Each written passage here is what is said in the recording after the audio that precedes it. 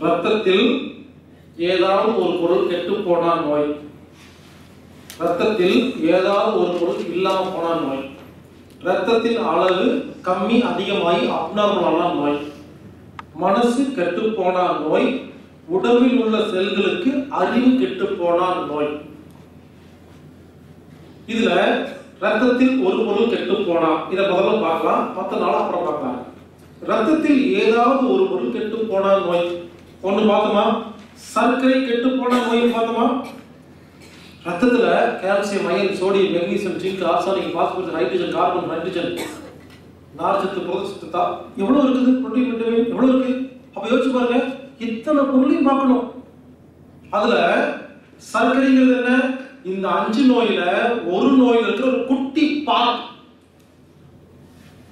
இப்படி ரத்தத்தில் ஒரு பொருள் கெட்டு போய் உள்ள போனா நோய் வரும்னு பார்த்தோமா அடுத்தது கால்சியம் கெட்டு போய் உள்ள போனா என்ன நோய் வரும் பார்க்கணும்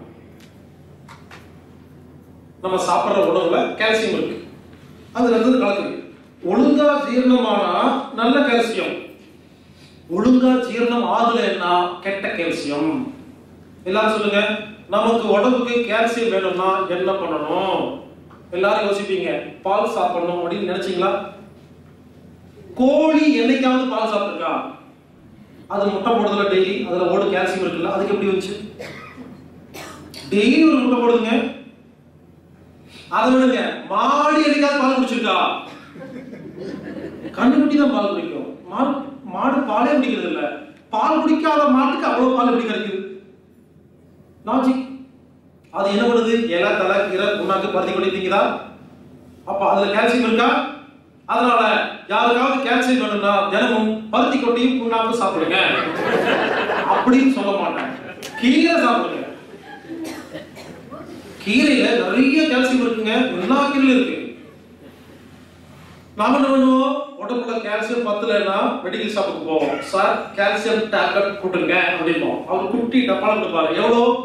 த்ரீ தௌசண்ட் ஃபைவ் ஹண்ட்ரட் அப்படிம்பாங்க okay thank you credit card accept பண்ணிக்கிறீங்களா? வந்துருவோம். வீட்டில் உட்காந்துருப்போம் ஒரு கீரை கிழமை கத்துவாங்க. அம்மா அரை கீரை அஞ்சு ரூபாமா அப்படின்னு. என்னது? அரை கீரை கட்டு அஞ்சு ரூபாயா? ரேட்டு இன்னும் அதிகமா தெரியுமா? போ போ. மூன்று ரூபாய் தெரியும் அப்படின்னு. வேற பேசுறது? யாருகிட்ட? கீரைக்காரிகிட்ட பழக்காரிகிட்ட குட்டி குட்டி பொருளை விற்கிறேன் போயிட்டு என்னது? அஞ்சு ரூபாய்க்கு நாலு பழமா? ஏழு சண்டை போடுறோமா இல்லையா? இதே எங்காவது போனோம்னா பாப்கார்ன் எவ்வளோ? அஞ்சு வெள்ளி. கிடைங்க. அஞ்சு மணிக்கு திரும்ப பார்க்காம தருவாங்க. வாங்கி சாப்பிட்டுருவீங்க இங்க பெரிய பெரிய ஹோட்டல்ல. பெரிய பெரிய சினிமா தேட்டர்ல யோசிச்சு பாருங்க எங்கெல்லாம் வேற பேசல? எதையாவது கொடுக்குறாங்க. கேட்ட ரேட்டு கொடுக்குறோமா? வந்தா காட்டணும் கொடுப்போம். லோக்கலுக்கு யாருக்கு? கொடுக்க மாட்டோம். காய்கறிக்காரங்கிட்ட கீரைக்காரங்கிட்ட பால்காரங்கிட்ட சண்டை ஒரே சண்டை. ஒரு ரூபா ரெண்டு ரூபாய்க்காக ஆனா பெரிய இடத்துல மொத்தமா கொடுக்குறாங்க. கண்டுக்கிறது இல்லைங்க. அதனால இனிமேல் அந்த விவசாயிகளுக்கு எல்லாம் சண்டை போட்டுருக்காங்க அவங்க பாவம் இவ்வளவு கொஞ்சமாக ச- சம்பாதிக்கிறாங்க. பெரிய பெரிய கோடிக்கணக்கில் சம்பாதிக்கிறாங்க. அவளை விட்டு வச்சிருக்கிறோம். உடம்புக்கு கால்சியம் வேணும்னா கீரை நிறைய சாப்பிடுங்க. எல்லாத்துக்கும் கால்சியம் இருக்குங்க. கேரட். பச்சை கேரட்டை கடிச்சு சாப்பிட்டா அவ்வளோ கால்சியம் கிடைக்குங்க அதில். எல் எண்ணெய். நல்லெண்ணெய். Gingelly oil. அதில் தான் சூப்பர் கால்சியம் இருக்கு. இதெல்லாம் கருவேப்பிலை புதினா கொத்தமல்லி இது அவ்வளவு கால்சியம் இருக்குங்க. இது சாப்பிட்டா போதும். இன்னொரு விஷயம் மெடிக்கல் ஷாப்ல போய் கால்சியம் டப்பா வாங்கிட்டு சாப்பிடுறீங்கல்ல கால்சியம் டேப்லெட் ஒரு ரகசியம் சொல்றேன். கால்சியம் டேப்லெட்டால ஒரு மனிதனோட உடம்புல கால்சியத்தை கொடுக்கவே முடியாது. இது சயின்டிபிக்கா நிரூபிக்கப்பட்ட உண்மை. எந்த சயின்டிஸ்டாலும் என்கிட்ட வந்து பேச சொல்லுங்க. கால்சியம் டேப்லெட்ல உடம்புக்கு கால்சியம் கிடைக்கும் சொல்ல சொல்ல பார்க்கலாம். அப்படி கிடைக்கவே கிடைக்காது. எப்படி தெரியுமா கிடைக்கும்? சூரிய வெளிச்சத்துல மூலமா ஒரு ரேஸ் வருது உடம்புல வருது இல்லையா? அதுல ப்ரோ விட்டமின் டி ஒரு பொருள் இருக்கும். விட்டமின் டின்னா ஒரு பொருளுங்க. ப்ரோன்னு சேர்த்து என்ன? அதுக்கான மூலப்பொருள் இருக்கும் கோதுமை மாவுங்கிறது என்ன? ப்ரோ சப்பாத்தி. தோசை மாவுங்கிறது என்ன? ப்ரோ இட்லி. அதாவது ஒரு பொருளை தயாரிக்க பயன்படுத்தப்படும் ஒரு பொருளுக்கு ப்ரோன்னு சொல்லுவாங்க. அப்போ ப்ரோ விட்டமின் டி அப்படின்னு என்னன்னா விட்டமின் டி உடம்பு தயாரிக்கிறதுக்கான மூலப்பொருள். அது சூரிய வெளிச்சத்துல மட்டும் தான் கிடைக்கும். சூரிய வெளிச்சம் தோல் மேல பட்டு உடம்புக்குள்ள போந்து விட்டமின் டியா கன்வெர்ட் ப்ரோ விட்டமின் டி உள்ள போய் விட்டமின் டியா கன்வெர்ட் ஆகும். அதுக்கப்புறம் உடம்புக்குள்ள one twenty five D three அப்படிங்கிற ஒரு ஹார்மோன் சொல்லணும். இப்படி அந்த ஃபங்க்ஷன் நடந்து முடிச்சோடனே அதுக்கப்புறம் கீரை கேரட்டு எள் என்ன சாப்பிட்றோம் இல்லையா? கருவேப்பிலை புதினா கொத்தமல்லி இதுல தான் கால்சியம் இருக்கு. இந்த கால்சியமும் அந்த ஒன் டுவெண்ட்டி ஃபைவ் டி த்ரீங்கிற ஹார்மோனை ஒன்று சேர்ந்துச்சுன்னா அப்பதான் கால்சியம் அப்சர்வேஷன் நடந்து அது ரத்தத்தில் கலந்து நம்ம உடம்புக்கு கால்சியம் சப்ளை நடக்கும். இந்த குழு பிரதேசம் லண்டன் சுவிட்சர்லாந்து போன்ற நாடுகளில் போய் பாருங்க. ஏன் கால்சியம் கம்மியா இருக்கு டேப்லெட் சாப்பிட்டு போக வேண்டியதானே? ஏன் வெயில் பார்த்தா போதும் சூரியனை பார்த்தா போதும் அவுத்து போட்டு போய் படுத்துறாங்க போய் பீச்சில் எதுக்கு? பார்க்குற அசிங்கமா இருக்கும். அவங்களுக்கு சூரிய வெளிச்சம் வேணும். இது செத்து போயிடுவாங்க. உடம்புல கால்சியம் இல்லாம போயிடும் நாம இங்க ஹீட்டான குளத்துல கடையில படுக்கக்கூடாது. நமக்கு தேவையில்லை. இங்கெல்லாம் இருக்கு. சூரிய வெளிச்சம் இருக்கு சூரிய வெளிச்சம் இல்லாத நாட்டில் படுக்கணும். எதுக்கு? சன் பா அப்பதான் கால்சியம் கிடைக்கும் இல்லை கிடைக்காது.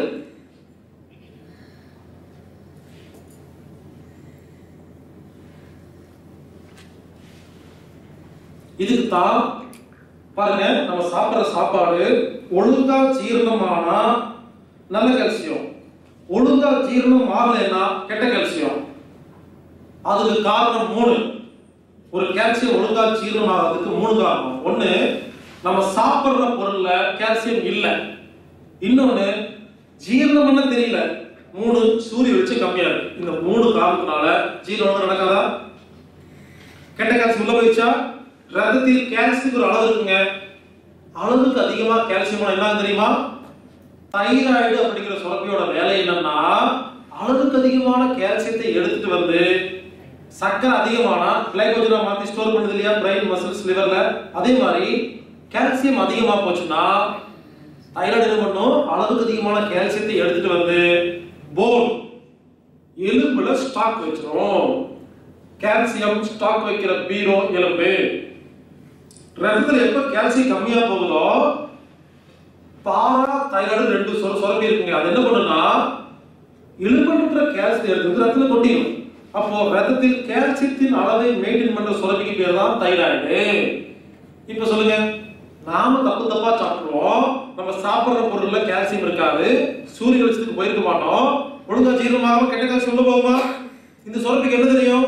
இந்த கெட்ட கால்சியத்தை எடுத்துட்டு போய் எலும்புல எல்லாம் ஸ்டாக் வச்சா எலும்பு உடஞ்சு போகுமா? எலும்பு அழுகி போகுமா? எலும்பு தேஞ்சு போகுமா? மூட்டு வலிக்குமா? கழுத்து வலிக்குமா? முதுகு வலிக்குமா? இடுப்பு வலிக்குமா? ரொமட்டட் ஆர்த்தரைட்டிஸ் வருமா? மூட்டு முழங்கால் வாடி எல்லாமே வருமா?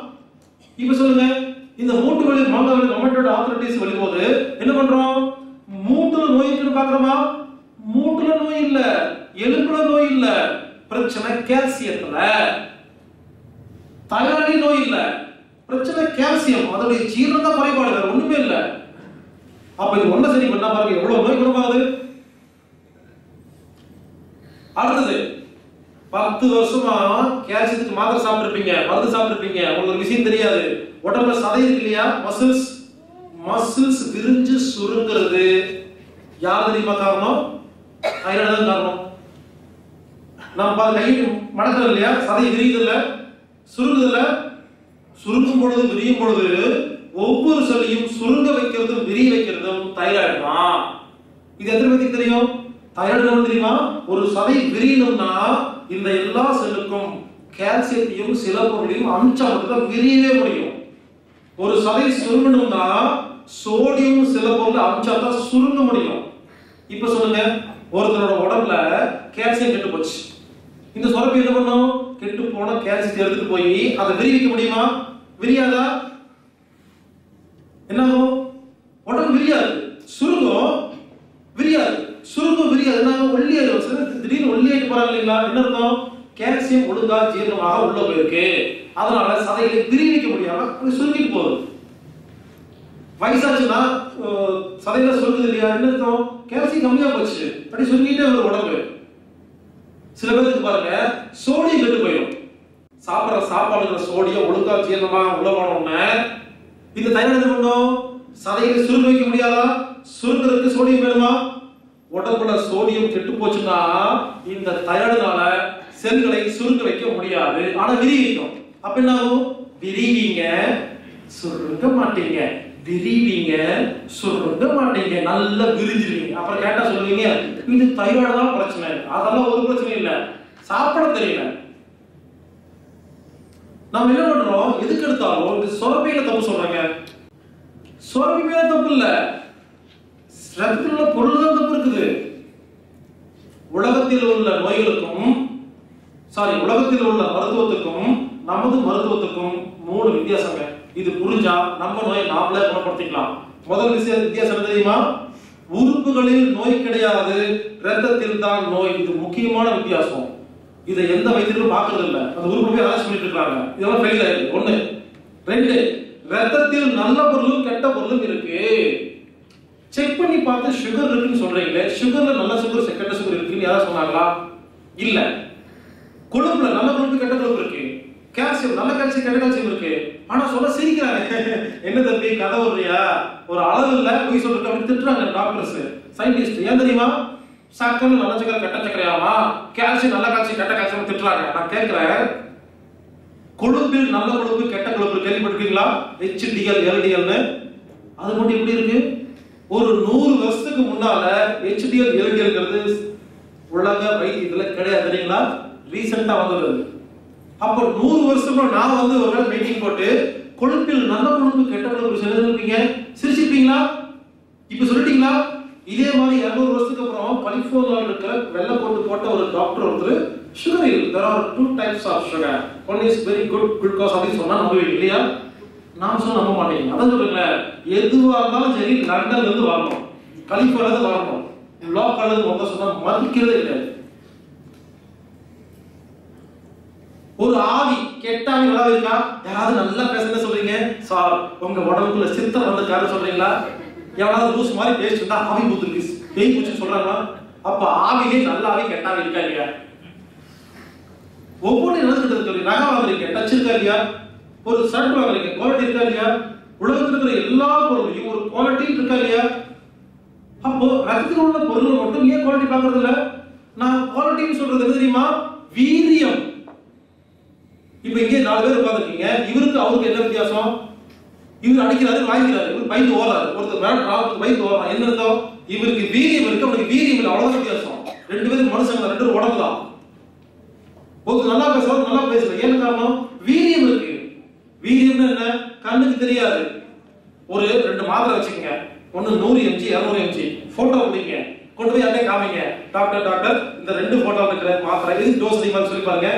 தெரியல பாரு. ஏன்? போட்டோல தெரியாது. ஸ்கேன் எடுத்து பிளட் டெஸ்ட் எடுத்து பார்த்தா ரத்தத்தில் உள்ள பொருளுக்கு வீரியம் தெரியாதுங்க. அது சூச்சம் கண்ணுக்கு தெரியாது. நான் வந்து கெட்டது நல்லது சொல்றேன் பார்த்தீங்களா? அப்படி இல்லை. வீரியம் கம்மியா இருக்கு. வீரியம் அதிகமா இருக்கு. வீரியம் அதிகமாக நல்லது. வீரியம் கம்மியா இருந்தா கெட்டது அவ்வளவுதான். நாலு சப்பாத்தி கொடுக்குறாங்க. நாலு கெட்டு போய் கிடக்கு. என்ன பண்ணுவீங்க? சாப்பிட்டு பிரயோஜனம் இல்லை. சப்பாத்தி இருக்குன்னு சொன்னா போதுமா? நல்லா இருக்கும் இது ரெண்டாவது வித்தியாசங்க. மூணாவது முக்கியமான வித்தியாசம் என்ன தெரியுமா? நம்ம உடம்புல இருக்கிற எந்த ஒரு உறுப்பும் தப்பு பண்ணவே பண்ணாது. சொல்றாங்க. சக்கர நோய் என்ன சொல்றாங்க? மால் ஃபங்க்ஷன் ஆஃப் பேங்க்ரியாஸ் அப்படி சொல்றாங்களா? என்ன அர்த்தம்? கணையம் தப்பு மால் ஃபங்க்ஷன் என்ன? தப்பு தப்பா வேலை செய்தாமா? கணையம் தப்பு பண்ணல. நீங்க தப்பு பண்றீங்க. கிட்னி பேர் சொல்றாங்க மால் ஃபங்க்ஷன் ஆஃப் கிட்னி சொல்றாங்களா? எந்த நோய்க்கு பேர் வச்சிருக்காங்க. மால் ஃபங்க்ஷன் ஆஃப் ஆர்கன் பேர் நான் சொல்லுங்க மால் ஃபங்க்ஷன் ஆஃப் யூ நீங்க தான் தப்பு பண்றீங்க. உறுப்புலாம் தப்பு பண்ணாது. நான் கேக்குறேன் உங்க கிட்னியை யாராவது இன்னைக்கு கூட்டிட்டு வந்திருக்கீங்களா? இல்ல ரூம்ல வச்சு கிட்னி கிட்னி நீ ரூம்ல இரு நான் போய் வீட்டுக்கு இடத்துல வந்தீங்களா? கிட்னி உங்க வீட்டு இருக்கா? ரூம்ல இருக்கா? இல்ல வீட்டுல வச்சுட்டு வந்தீங்களா? உங்க உறுப்பு இருபத்தி நாலு மணி நேரமும் பிறந்தது கூட தான் இருக்கு. அது என்னைக்காவது பிக்னிக் போயிருக்கா? அவங்க சொல்லிட்டு டாடா பிளேஸ் பிளேஸ் பிக்னிக் சொல்லிருக்கா? கதை பேசியிருக்கா? ஃப்ரெண்டு கிட்ட போய் அரட்டடிச்சிருக்கா ஒண்ணும் இல்லை. டிவி சீரியல் பார்த்துட்டு அதுவும் கிடையாது. நீங்க தான் உட்காந்து ஆண் உட்காந்து பார்த்துருக்கீங்க டிவி சீரியல உங்க உறுப்புல போய் நான் கேட்கிறேன் தப்பு பண்றது நாம திட்டுறது உறுப்பாமா யாருடைய உறுப்புல எந்த நோய் வந்தாலும் ஒரே காரணம் உறுப்பு கிடையாது. நீங்க தான் காரணம் நாம தான் காரணம். நாம செய்யற தப்புக்கு ஒரு உறுப்பு ரியாக்ஷன் கொடுக்குது. தப்ப சரி பண்ணா தானே ரியாக்ஷன் சரியா போகும்? நாம அந்த உறுப்பு மாத்திரம் என்ன பண்ணும்? மறுபடியும் நடக்கும்? கிட்னி ஃபெயிலியர் தூக்கிட்டு வேற கிட்னி வைக்க சொல்றாங்களே இப்பெல்லாம் எந்த தெரியுமா கொடுமை நடந்துட்டு இருக்கு? யாருக்காவது கிட்னி போயிடும் அது கூட யாராவது அம்மா அப்பா போனாங்கன்னா ஏமா ஓ கிட்னி கொடுமா? என்னமோ சட்னி கொடுக்குற மாதிரி. கிட்னி கொடுமா? யோசிச்சு விடுங்க. ஏ அம்மாவா நீ பெத்தைய திட்டம் தெரியுங்களா? நான் கேட்டிருக்கேன். கேவலம் திட்டுறாங்க.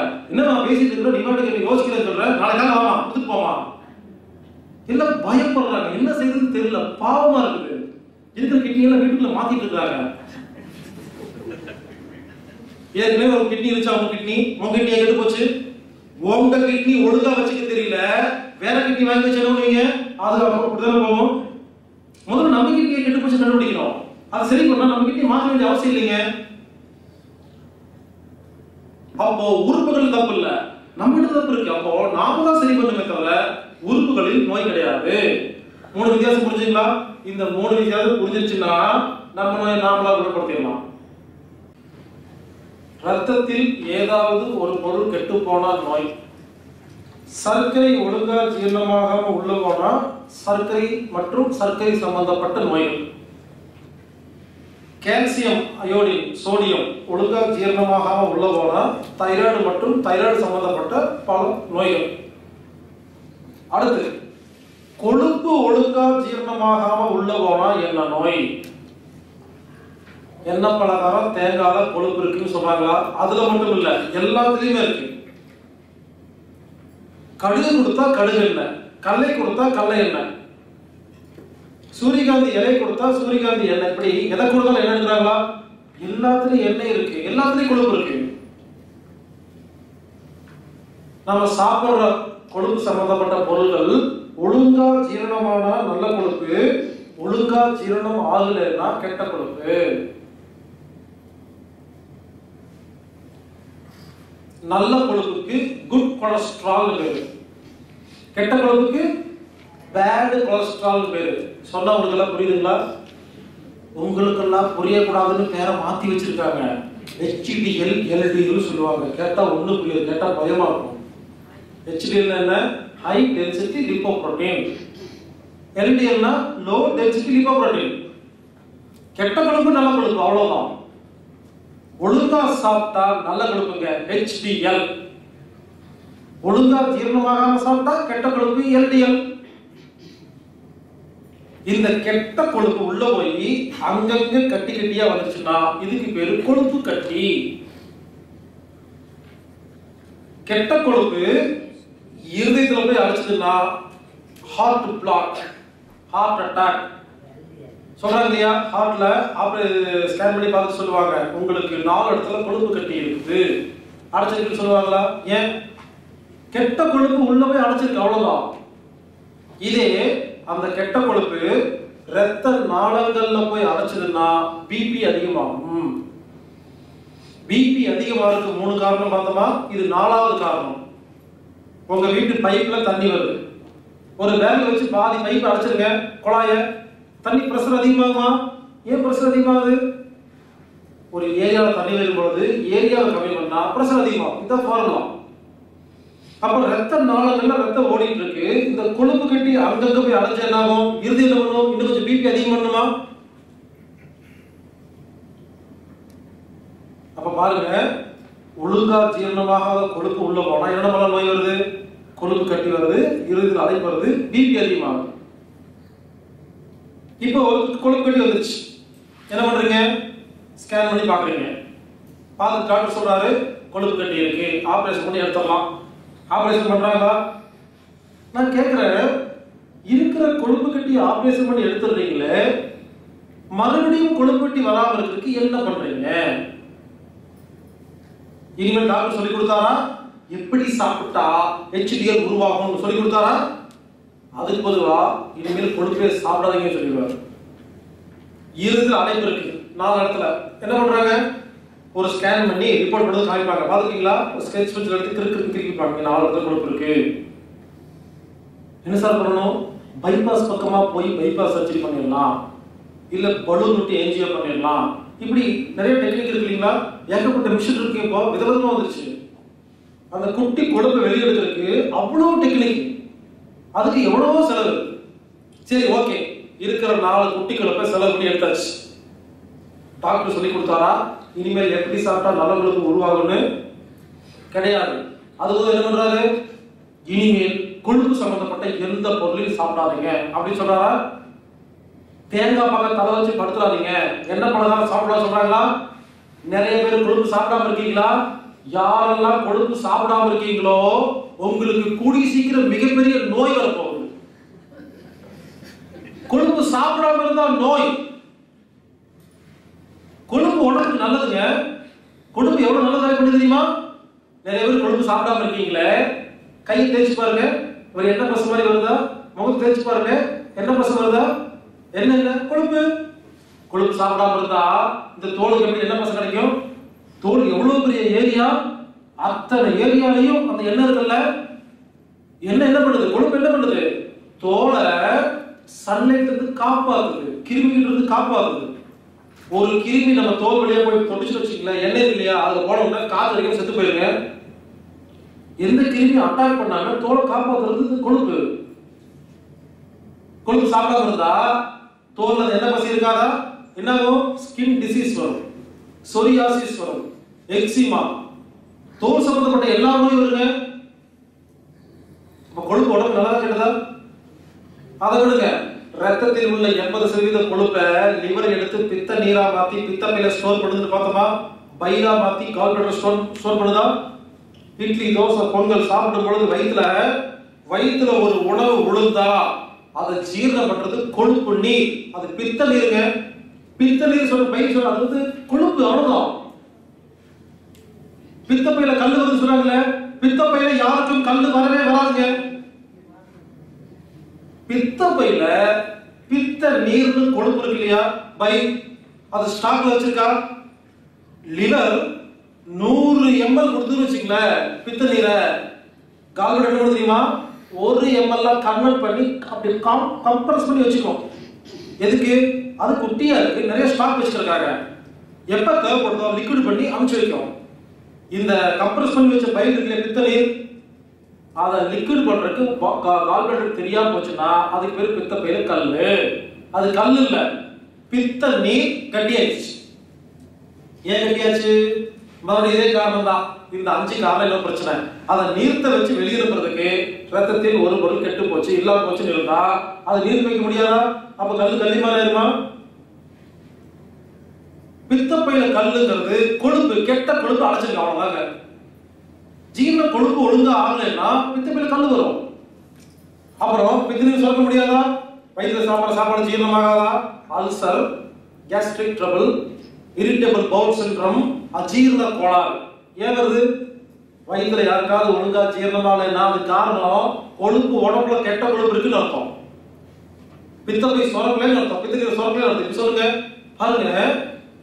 கொழுப்புக்கு எவ்வளவு வேலை தெரியுமா உடம்புல? அதை விடுங்க. உடம்புல ரெண்டு செல்லு ஒண்ணு சேராது. எத்தனை கோடி செல் இருக்கு? பக்கம் பக்கமா இருக்கல ரெண்டு செல் ஒண்ணு சேராதுங்க. ரெண்டு செல்லுக்கும் நடுவுல கொழுப்பு லேயர் இருக்குங்க அப்போ உடம்புல எத்தனை கோடி செல் இருக்குன்னா எத்தனை கோடி கொழுப்பு இருக்கும்? அப்ப உடம்பு கொழுப்பு நல்லதா கெட்டதா? முடியிறது நகை வரைக்கும் உடம்புல இருக்கிற எல்லா செல்லுக்கும் ஒவ்வொரு செகண்டும் கொழுப்பு தேவைப்படுதுங்க. அப்போ கொழுப்பு உடம்புக்கு அத்தியாவசியம் தானே? அவசியம் தானே? மிக முக்கியமானது தானே? அப்படிப்பட்ட கொழுப்பை உடம்புல இருக்கிற எல்லா உறுப்புக்கும் அவசியமா தேவைப்படுற அத்தியாவசியமான உயிரை காப்பாத்துற ஜீரணம் பண்ற தோலை காப்பாத்துற அப்படிப்பட்ட கொழுப்பை சாப்பிட வேண்டாம்னு சொல்றாங்களே அவங்களுக்கெல்லாம் என்ன கொழுப்பு இருக்கும்? கொழுப்பு உடம்புக்கு நல்லது. கரை நல்லதுன்னு கீழே விளம்பரம் பண்ணுவாங்க. கரை மட்டும் இல்ல கொழுப்பு நல்லதுதான். கொழுப்பு சாப்பிடாம இருந்தா எல்லா நோயும் அந்த காலத்துல எல்லாரும் தேங்காய் பழம் என்ன பண்ணுறதும் சாப்பிட்டு இருந்தாங்க. யாருக்கும் நோயெல்லாம் வரல. இப்பதான் புதுசு எல்லாம் கண்டுபிடிச்சிருக்காங்க. அதுலயும் குறிப்பா தேங்காய் சாப்பிடாதீங்க. கொழுப்பு இருக்குன்னு யாராவது சொன்னாங்கன்னா நான் ரூம் போட்டு நாலு நாளைக்கு சிரிச்சுட்டு வருவேன். காமெடியான விஷயம். கோயில்ல தேங்காய் பழம் கொடுக்குறாங்கல்ல பிரசாதம் சொல்லி. அவங்க எல்லாம் லூசா அறிவில்லை அவங்களுக்கெல்லாம் கெட்ட பொருளை பிரசாதம் கொடுத்துருவாங்களா? எவ்வளவு யோசிச்சிருப்பாங்க? அது எவ்வளவு நல்ல பொருள்னு? தேங்காய் ஒரு மனிதனுக்கான அத்தியாவசிய பொருளுங்க. அவசியமான பொருள் மருந்து. யாருக்காவது பூச்சிக்கடி இருந்துச்சுன்னா தேல் பாம்பு பல்லி ஏதாவது கடிச்சிச்சு வச்சுக்கல ஒரு பச்சை தேங்காய் வாயில போட்டு கடிச்சு சாப்பிடுங்க. விஷம் காணாம போயிருங்க. ஆன்டிபயோட்டிக் அது. விஷத்தை எடுக்கிறதுங்க தேங்காய். அதுக்கு நோய் கொடுக்கணும் அந்த காலத்துல யாருக்காவது நோய் வந்தா தேங்காய் பாலுல பனங்கருப்பட்டி கலந்து கொடுப்பாங்க. எல்லாமே ஒரு தாத்தா பாட்டி கேட்டு பாருங்க. அதெல்லாம் பழக்கமே இருக்கான் நோய் வந்தா ஒரே மருந்துங்க அரு மருந்து. தேங்காய் பாலை பழனி குடிச்சு வேண்டிய அவ்வளோ எல்லாமே குணமாகுங்க அன்னைக்கு மட்டும் இன்னைக்கு தான் யாருக்காவது நோய் வந்திருக்கா? இனிமேல் சாப்பிடாதீங்க ஒரு வாரத்துக்கு. ஒரு வாரம் தேங்காய் பால்ல பனங்கருப்பட்டி கலந்து மட்டும் குடிச்சுக்கிட்டே இருக்காது டயட்டு எப்படிப்பட்ட நோய் குணமாயிருங்க சேலஞ்சிங்க அவ்வளோ குணமாயிரும் அவ்வளோதான் அவ்வளோ அருமையான மருந்து. தேங்காய் பாலுங்கிறதுக்காக நம்ம உடம்புக்கு தேவை அத்தியாவசிய பொருள். ஒரு மனிதனோட வயசும் தென்னை மரத்தோட வயசும் ஒன்றா இருக்குங்க. நம்ம ஒரு நூற்றி இருபது வயசு வாழ்வோமா தென்னை மரம் அதே வயசு தான் ஒரு ஆராய்ச்சி ஒருத்தர் பண்ணியிருக்கிறாரு. எந்த ஒரு உயிர் எத்தனை வயசு வரைக்கும் உயிரோடு இருக்கோ அதே வயசு உயிரோடு இருக்கிற ஒரு செடி கொடி மரத்தில் இருக்கிற ஒரு பொருளை சாப்பிட்டா அதுக்கு எல்லாமே குணமாகுங்களாமாங்க அதை கண்டுபிடிக்கும் பொழுது மனிதனுக்கும் தேங்காய் மரத்துக்கு மட்டும்தான் ஒரே வயசு. அதனால தான் கண்டுபிடிச்சு அதை கொடுத்துருக்காங்க. இன்னொரு கண்டுபிடிப்பு நிலத்திலிருந்து எவ்வளவு தூரம் ஹைட்ல ஒரு பொருள் நமக்கு சாப்பிடக்கூடிய பொருளா இருக்கோ அது நல்ல பொருள் கண்டுபிடிச்சிருக்காங்க இதெல்லாம் பார்க்கும் பொழுது தேங்காய் தாங்க ஒரு மனிதனுக்கான மருந்து.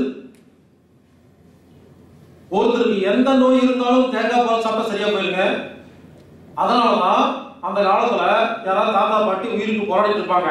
டாக்டர் வந்து பார்த்துட்டு மருந்து மாத்திரை கொடுத்து என்ன பண்ணுவாங்க? உயிரை காப்பாற்ற ட்ரை பண்ணுவாங்க. கடைசியில் முடியாது. டாக்டர் சொல்லுவார் நான் என் லெவலுக்கு ட்ரை பண்ணி பார்த்துட்டேன். நீ முடியல. உயிர் கண்டிப்பாக போயிடும் தந்தி கொடுத்துருங்க அப்படின்னு போயிடுவார். ஃபேமிலி எதுவும் பண்ணுவாங்க? கிராமத்தில் ஒரு தாத்தா பாட்டி உயிருக்கு போராடிட்டு இருந்து மருந்து மாத்திரை குணப்படுத்த முடியாத டாக்டர் சொல்லிட்டு போயிட்டா பேரனோ பேத்தியோ கூப்பிட்டு தேங்காய் பாலை கொடுத்து நீ கொண்டே ஊத்துமான்னு சொல்லுவாங்களாமா. இவர் படுத்திருப்பாரு இந்த பேத்தி பேரை வந்து வாயில தேங்காய் பால் ஊத்துனோடனே இந்த பேரனை பேத்தி பார்த்த சந்தோஷத்துல தேங்காய் பால் உள்ள போன தெரியுமா?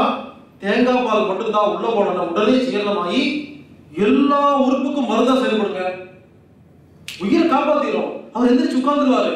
இப்படி உயிர் போற ஒரு பேஷண்ட்டை காப்பாத்துறதுக்காக கொடுக்க வேண்டிய மருந்து தான் தேங்காய் பால். இது அந்த காலம்.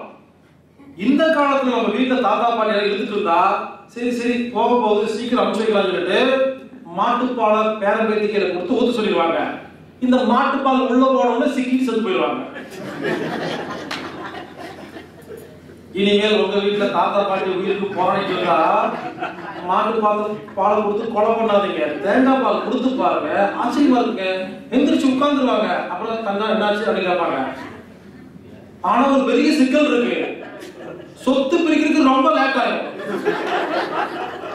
சொத்து உடனே வேணும்னா மாட்டு பாலத்துக்கு முடிச்சிருங்க ஆள் வேணும்னா தேங்காய் பால் கொடுங்க இவங்க விருப்பம். எல்லாம் யோசிச்சாங்க இன்னைக்கு போகணும் முதல்ல மாட்டு பால் தாண்டி. இது தெரியாம ரொம்ப நாள் இருக்கு இது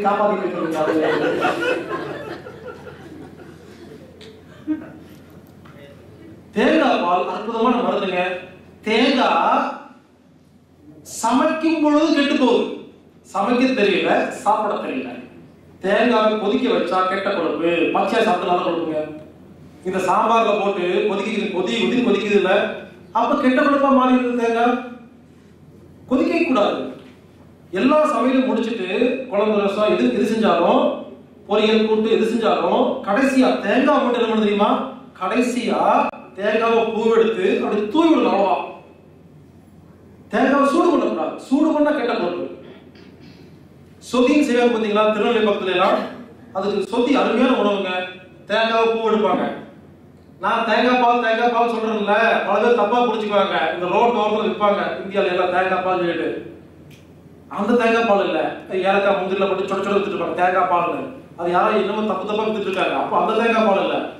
தேங்காய் பால்னா தேங்காய் பூ எடுக்கணும். தேங்காய் பூன்னு இருக்கு தேங்காய்க்குள்ளேயே பூ வரும். அதை பத்தி பேசல பாருங்க எப்படி எல்லாம் புரியல. தப்பு தப்பா பண்ணிடுறாங்க. தேங்காய் பூன்னு இருக்குது. உள்ள வரும். அது இல்ல. தேங்காவை திருகணும். பொரியலுக்கு போடுற மாதிரி தேங்காவை பூ எடுத்து நிறைய எடுத்து கையில போட்டு அமுக்கடா ஒரு பால் வரும். லேசா தண்ணி ஊத்துறது நல்ல பால் வரும். அந்த பாலை மட்டும் நல்லா புளிஞ்சு ஒரு டம்ளர். இந்த புளிஞ்ச தேங்காய் இல்லையா? அதை நீங்க சமையலுக்கு யூஸ் பண்ணிக்கங்க. நான் சொல்றது மருந்துக்காக சொல்றேன். அந்த பால் மட்டும் எடுத்து ஒரு டம்ளர் எடுத்து யாருக்காவது நோய் இருந்தா ஆசையா கொடுத்து பாருங்க. அதை சப்பி சப்பி சாப்பிட சொல்லுங்க. எப்பேற்பட்ட நோய் குணமாயிருங்க அதுக்காக வயசு பசங்கெல்லாம் உட்காந்துட்டு யூத்தா இருக்கிறவங்களாம் உட்காந்துட்டு தேங்காய் பழம் கஷ்டப்பட்ட இடத்துல சாப்பிட கூடாது. தேங்காய் வாயில போட்டு நல்லா மென்று முடிக்கணும் அவ்வளவுதான். நான் சொல்றது நோயாளிகளுக்கு எமர்ஜென்சி இருக்கிறவங்களுக்கு சொல்லிட்டு அல்சருக்கு அருமையான மருந்துங்க. தேங்காய் பால் தான் அல்சருக்கான அற்புதமான மருந்து. அதை மட்டும் சாப்பிட்டா போதும். எப்ப பசிக்குதோ அப்ப தேங்காய் பால் சாப்பிடணும். நாம என்ன பண்ணுவோம்? எப்ப பசிக்குதோ? பிஸ்கட் சாப்பிடுவோம். பிஸ்கட் சாப்பிட்டா நோய் பெருசாகும்.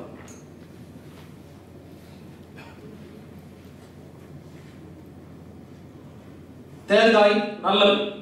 சாப்பிட தெரியல சமைக்க தெரியல. தான் பிரச்சனை.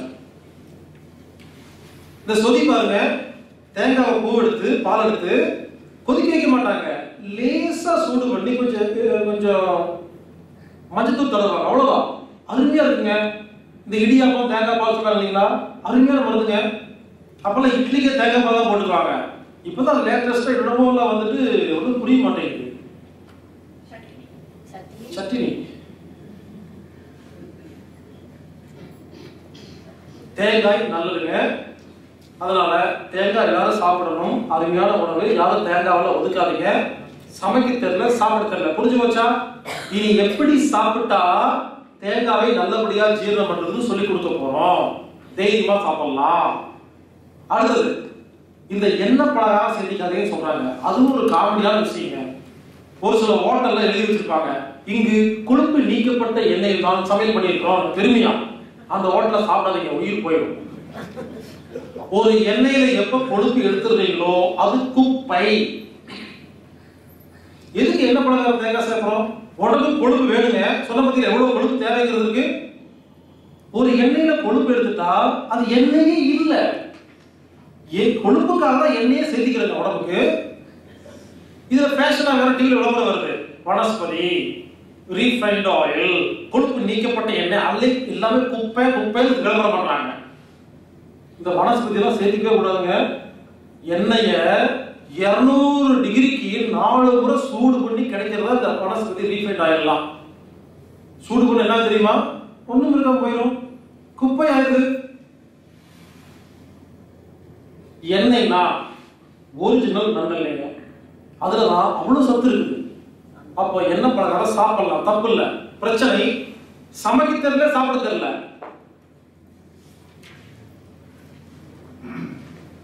ஒரிஜினல் நல்லெண்ணெயில தான் கொழுப்பு நிறைய நல்ல கொழுப்பு இருக்கு. கால்சியம் நல்ல கால்சியம் இருக்குங்க. மருந்து. கடையில் இருக்குது இல்லையா? நல்லெண்ணெய் எதுவுமே நல்லெண்ணெய் கிடையவே கிடையாது.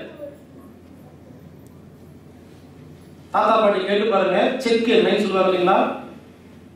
ஒரிஜினல் நல்லெண்ணெய்ங்க. அதை நாட்டில் வச்சு பாருங்க. டேஸ்ட் தெரியும்.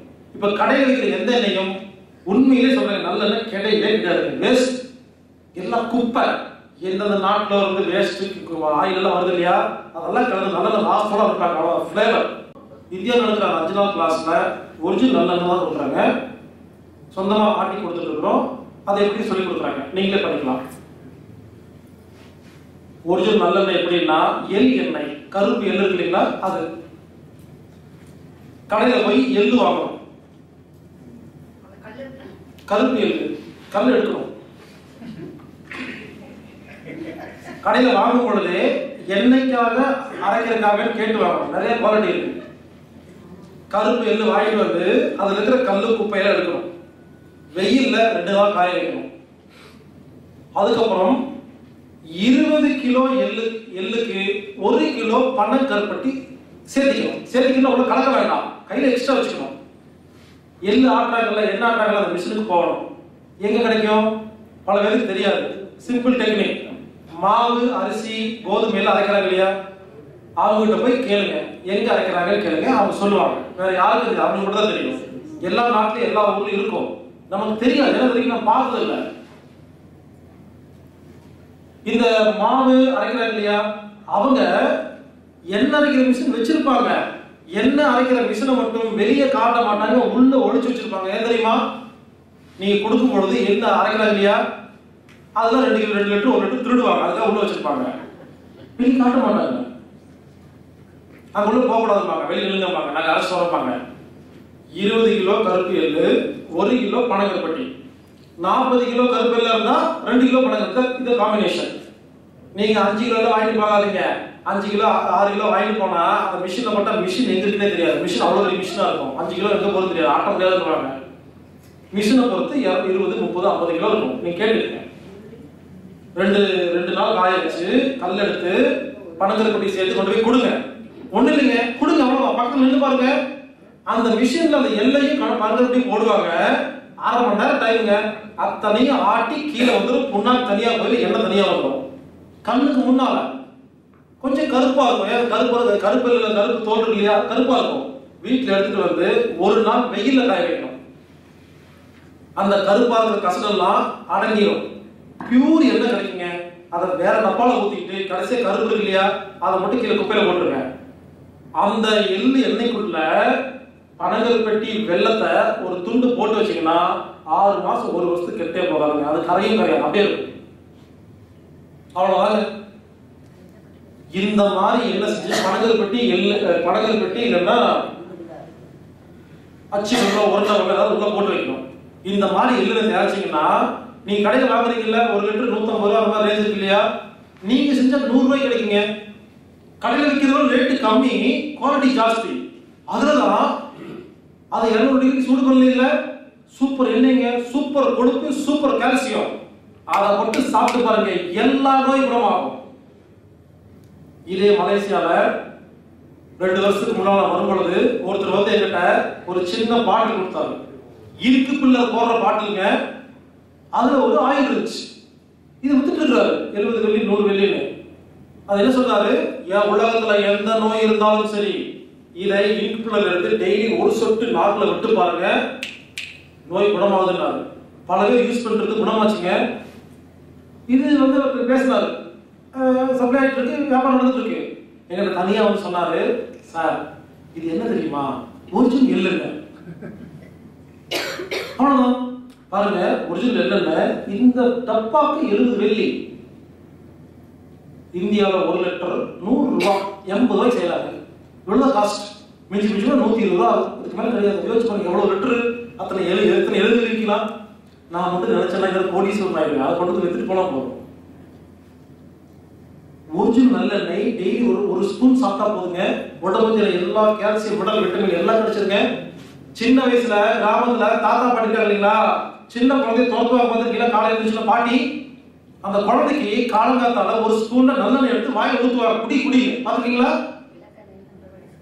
நல்லெண்ணெய். அப்ப யாரெல்லாம் ஓடி தப்பிச்சீங்களோ இப்ப மூட்டு வலி மனதோட உட்கார்ந்துருக்கீங்க. அப்ப ஒழுங்கா குடிச்சுதான் வந்திருக்காரு.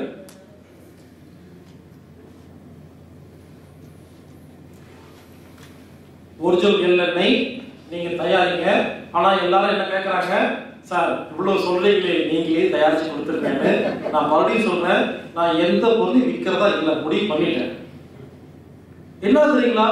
ஆரம்பத்தில் என்ன பண்ணுவேன் எல்லாரும் கேட்குறீங்களா யோசிச்சு பாருங்க நான் இப்போ எல் அந்த எள்ளெண்ணெய் கம்பெனி ஆரம்பிச்சேன்னா இன்டர்நேஷனல் ஏற்பட்ட டிமாண்ட் நான் சொன்ன போது வாங்குவீங்க. இல்லைன்னு சொல்லல. என்னோட வேலை அது கிடையாது. எஜுகேட் பண்ணுறது தான் வேலை. இப்போ முதல்ல ஆரம்பிப்பேன் கம்பெனி என்ன ஆகும் ஒரு நாளைக்கு ஒரு நூறு லிட்டர் எடுப்பேன். ஆனா டிமாண்ட் இரநூறு லிட்டர் போகும் என்ன பண்ணுவேன்? கலக்கு. முடிஞ்சு நாளைக்கு மட்டும் ஆரம்பிச்சிடுவேன் நான் பாட்டுக்கு ஆரம்பிச்சுட்டு சொல்ல கம்பெனி சேல்ஸ் பண்ணிட்டு போயிடுவேன் நான் மிஞ்சி மிஞ்சி போனா எவ்வளவு வருஷம் இருப்பேன்? மிஞ்சி மிஞ்சி போனால் இரநூறு மூணு வருஷம் இருபது இருப்பேன் நாற்பது வருஷம் போயிடுவேன் அதுக்கப்புறம் என்ன ஆகும்? இந்த கம்பெனி என்ன பண்ணுவாங்க? யாரோ வந்து கலப்பட வித்துட்டு இருப்பாங்க. அப்புறம் என்னால உலகத்துல கெட்டு போயிட்டு இருப்பாங்க. ஸோ கற்றுக் கொடுக்க எல்லாரும் கொடுத்துறீங்களா எது சொன்னாலும் பரவாயில்ல சார். நீங்களே செஞ்சு கொடுத்துருங்க. எல்லாரும் இதே மாதிரி சொல்லுவீங்க. யோசிச்சு பாருங்க. எது சொன்னாலும் பரவாயில்ல. நீங்களே செஞ்சு கொடுத்துருங்க அப்படின்னா இப்ப நீங்க என்னதான் பண்ணுவீங்க ப்ரோ நாம தான் செய்யணும். நான் சொல்லி மட்டும் தான் கொடுப்பேங்க. நீங்க தான் செய்யணும். சுக்கு காப்பியா இருந்தாலும் சரி எள்ளெண்ணெயா இருந்தாலும் சரி எல்லாமே. தெரிஞ்சு போச்சா? நீங்க என்ன நீங்க செய்ய வேண்டாங்க. உங்க வீட்ல லேபர் இருப்பாங்க இல்லையா? சர்வெண்ட் சொல்லுங்க. சார், நீங்க உங்க ஹஸ்பண்ட் இருக்காங்கல்ல? என்ன அவங்களுக்கு? சிம்பிள் விஷயங்க. பார்க்கறதுக்கு பெரிய விஷயமா இருக்கும். நீங்க ஒரு செஞ்சு பாருங்க. இதுவே பழக்கம் தான் ரெண்டு தடவை செஞ்சு பார்த்துட்டீங்கன்னா பழகிருங்க. அது சூடு பண்ணக்கூடாது. அப்படியே நம்ம சமையல் நார்மலா சமையல் பயன்படுத்திக்கலாம். வீட்டுல எள்ளெண்ணெய் மட்டும்தான் இருக்கணும் வேற எந்த எண்ணெயும் பயன்படுத்தக்கூடாதுங்க. அதாவது எள்ளெண்ணெய் ரொம்ப ரொம்ப நல்லது. அடுத்தது ஆலிவ் எண்ணெய். கடுகு எண்ணெய். கடலை எண்ணெய் எல்லாம் நல்லதுதான். பட் புரிஞ்சுக்கங்க நீங்க செஞ்சா மட்டும்தான் நல்லது. அவ்வளவுதான். கடையில் இருக்கிற எல்லாமே பேர் மட்டும்தான். உள்ள ஒண்ணும் கிடையாது. கடலை எண்ணெய் தேங்காய் எண்ணெய் எல்லாம் கிராமத்துக்கு போய் பார்த்துருக்கீங்களா? தேங்காய் அப்படி கீத்து கீத்தா போட்டு வெயிலில் காய வச்சு கொண்டு கொடுத்து அரைச்சு அந்த ஸ்மெல் இருக்கு இல்லைங்களா அப்படி இருக்குங்க. ஒரிஜினல் தேங்காய் எண்ணெய் ஒரிஜினல் கல்லெண்ணை சாப்பிட்டு பாருங்க அவ்வளவு நோய் குணமாக எல்லாமே மருத்துவங்கள் இருக்குங்க. ஆனா ஒரிஜினல் கிடைக்கிறது இல்ல அப்போ எண்ணெய் பலகாரம் தேங்காய் உடம்புக்கு நல்லது. அதை சமைக்கிற முறையும் சாப்பிடுற முறையும் தான் பிரச்சனையே தவிர வேற ஒன்றும் பிரச்சனை இல்லை. கடுகு நான் பொம்மையிலே கடுகுல சாப்பிடலாம் நல்லது. பொம்மையில் நான் இது வரைக்கும் செஞ்சு பார்த்ததில்லைங்க இல்ல கடுகு வந்து நார்த் நார்த் இந்தியாவில் கிடைக்குது சவுத் இந்தியாவில் கிடைக்கிறது இல்லை. ஸோ அவங்களுக்கு அந்த விஷயம் தெரியும். நான் என்ன ஆட்டி பார்க்கலாம் தெரியல என்ன ஃபார்முலா தெரியல. ஒன்றும் இல்லைங்க. எதா இருந்தாலும் ஊர்ல இருக்கிற தாத்தா பாட்டிக்கிட்ட போய் உட்காருங்க. விஷயம் கிடைக்குங்க. வேற யார்ட்டையும் அவங்க தான் சயின்டிஸ்ட் எல்லாமே. என்ன சாப்பிடணும்னு சொல்றீங்க? ஆனா சூடு காட்டி சாப்பிடக்கூடாதுன்னா அப்புறம் இல்லைன்னு. இல்லைங்க நான் என்ன சொல்றேன்னா சமையலுக்கு சூடு பண்ணிக்கங்க. ஏற்கனவே 200 டிகிரி சூடு பண்ணி ஒரு அதை ரீஃபைன் பண்றாங்க. அது வேண்டாம்னு சொல்றேன் அப்போ கொழுப்பெல்லாம் வெளியே போயிருக்கு. நம்ம சமைக்கும் போது சூடு பண்றோம் இல்லைங்களா? அப்பளம் வருது இல்லைங்களா? அப்பளத்துல கொழுப்பு உள்ள போட்டுரும். அப்பளம் வந்து வாயில சாப்பிட்டுருவோம். ஸோ பொறிக்கும் பொழுது அந்த கொழுப்பு அந்த பொருளுக்குள்ள போகுது அங்க வெளியே போயிருக்கு. அதனால எண்ணெயும் தேங்காவும் உடம்புக்கு ரொம்ப ரொம்ப நல்லதுங்க. சமைக்க தெரியல சாப்பிட தெரியல. இப்போ என்ன பண்ண போறோம்? யாருக்காவது கொழுப்பு பிரச்சனை இருக்கா? பாருங்க கொழுப்புல எவ்வளவு பிரச்சனை பாருங்க. நீங்க நினைச்சிட்டு இருக்கீங்க கொழுப்பு ஒண்ணு ஒழுங்கா ஜீரணம் கொழுப்பு பிரச்சனை. அது இல்ல. எல்டிஎல் ஹெச்டிஎலுக்கும் அதான் பிரச்சனை. கொழுப்பு கட்டிக்கும் அதான் பிரச்சனை. பிபி அதிகமா இருக்கு அதான். இறுதி அடைப்புக்கு அதான். கார்பரேட்டர் ஸ்டோனுக்கு அதான். வயிற்றுல ஜீரணம் ulcer irritable bowel syndrome gastric trouble எல்லாத்துக்கும் அதான் காரணம். பாருங்க ஒரே ஒரு பொருள் தப்பா உள்ள போனனால எத்தனை நோய் இருக்கு? நாம நினைச்சிட்டு இருக்கிறோம் ஸ்கின் டிசீஸ் வந்தா ஸ்கின் டாக்டர் போகணும். பித்தப்பையில கல் வந்தா வேற டாக்டர் வயிற்று நோய் வந்தா வயிற்று டாக்டர் வச்சிருக்குமா? இது தப்பு தானே எல்லா நோய்க்கும் ஒரே சிகிச்சை தானே? அதனால இன்னைக்கு என்ன பண்ண போறோம்? சர்க்கரையை எப்படி ஒழுங்கா சாப்பிட்டா சர்க்கரை நோய் குணப்படுத்துறது? கால்சியம் அயோன் சோடியம் எப்படி ஒழுங்கா சாப்பிட்டா தைராய்டு குணப்படுத்துறது? கொழுப்பை எப்படி ஒழுங்கா சாப்பிட்டு ஹெச்டிஎல்லா மாத்துறதுன்னு டெக்னிக் கத்துக்கிட்டா இது சம்பந்தப்பட்ட எல்லா நோய் குணமாயிருமா? இனி நீங்க தாராளமா சாப்பிடலாம். என்ன வேணாலும். சில பேர் வீட்டுக்கு வந்தா விருந்தாளியா வந்தாங்கன்னா பஜ்ஜி சுடுவீங்களா அவங்க கேட்காம சுட்டுருவீங்க. அவர் உட்காந்துருப்பாங்க திடீர் பஜ்ஜி வைப்பீங்க. ஏங்க பஜ்ஜி எதுக்குங்க சுட்டீங்க? எனக்கு கொழுப்பு இருக்குங்க. டாக்டர் சாப்பிட வேண்டாம்னு சொல்லியிருக்காங்க என்ன பழம் சாப்பிடறதே இருக்கு அப்படி சொல்றீங்களா? அவங்க என்ன பண்ணுவாங்க? என்னங்க? உங்களை நம்பி நான் பாட்டு பஜ்ஜி சுட்டேங்க ஒன்னே ஒன்று சாப்பிடுங்க ப்ளீஸ்னு கேட்பாங்களா? என்ன பண்ணுவீங்க சரி சரி ஒன்னே ஒன்று சாப்பிட்றேன் உங்களுக்காக அப்படின்ட்டு அந்த பஜ்ஜி எடுப்பீங்க. கையில போட்டு புளிவீங்களா என்ன இருக்குன்னு? பஜ்ஜி என்ன ஆகும்? பொச்சி மாதிரி ஆகும் அப்புறம் பேப்பர் எடுத்து தட்டுவீங்க தட்டு தட்டு தட்டி அந்த பேப்பர்ல எண்ணெயில எடுக்கலாம் பஜ்ஜி சப்பாத்தி மாதிரி ஆகும் அதை சாப்பிட வேண்டியது. நான் கேட்கிறேன் ஒரு குட்டி பஜ்ஜி என்ன பாவம் வந்துச்சு இவ்வளவு கொடுமைப்படுறீங்க அந்த பஜ்ஜியை? பிரச்சனை பஜ்ஜியில இல்ல எண்ணெயில இல்ல நமக்கு சாப்பிட தெரியலங்கிறதுக்காக அதை எவ்வளவு கொடுமைப்படுத்தணும். இப்ப நாம எப்படி சாப்பிட்டா எண்ணெய் பலகாரத்துல இருக்கிற எண்ணெயை நல்ல கொழுப்பா பார்க்கறது கத்துக்க போறோமா? இனிமேல் எந்த வீட்லயாவது போய் யாராவது பஜ்ஜி கொடுத்தாங்கன்னா பஜ்ஜி எடுத்து புளிங்க. ஒருவேளை எண்ணெய் வரலன்னா ஹலோ எண்ணெய் கம்மியா இருக்குன்னு ஒரு டம்ளர்ல வாங்கி தொட்டு சாப்பிடணும் எண்ணெய் உடம்புக்கு நல்லது. எப்போ ஒரு எண்ணெயில கொழுப்பு எடுக்கிறீங்களோ அது குப்பை. அதே மாதிரி எப்போ ஒரு பொருள்ல சுகர் எடுக்கிறோமோ அதுவும் குப்பை. சுகர் ஃப்ரீ சுகர் ஃப்ரீ நிறைய பேர் சாப்பிட்டு இருக்கீங்களே அது ஒரு உலகமாக காமெடிங்க. காமெடியும் காமெடி உலகமாக காமெடி. சொல்லுவாங்க சுகர் ஃப்ரீ சாப்பிடுங்க. ஏன்?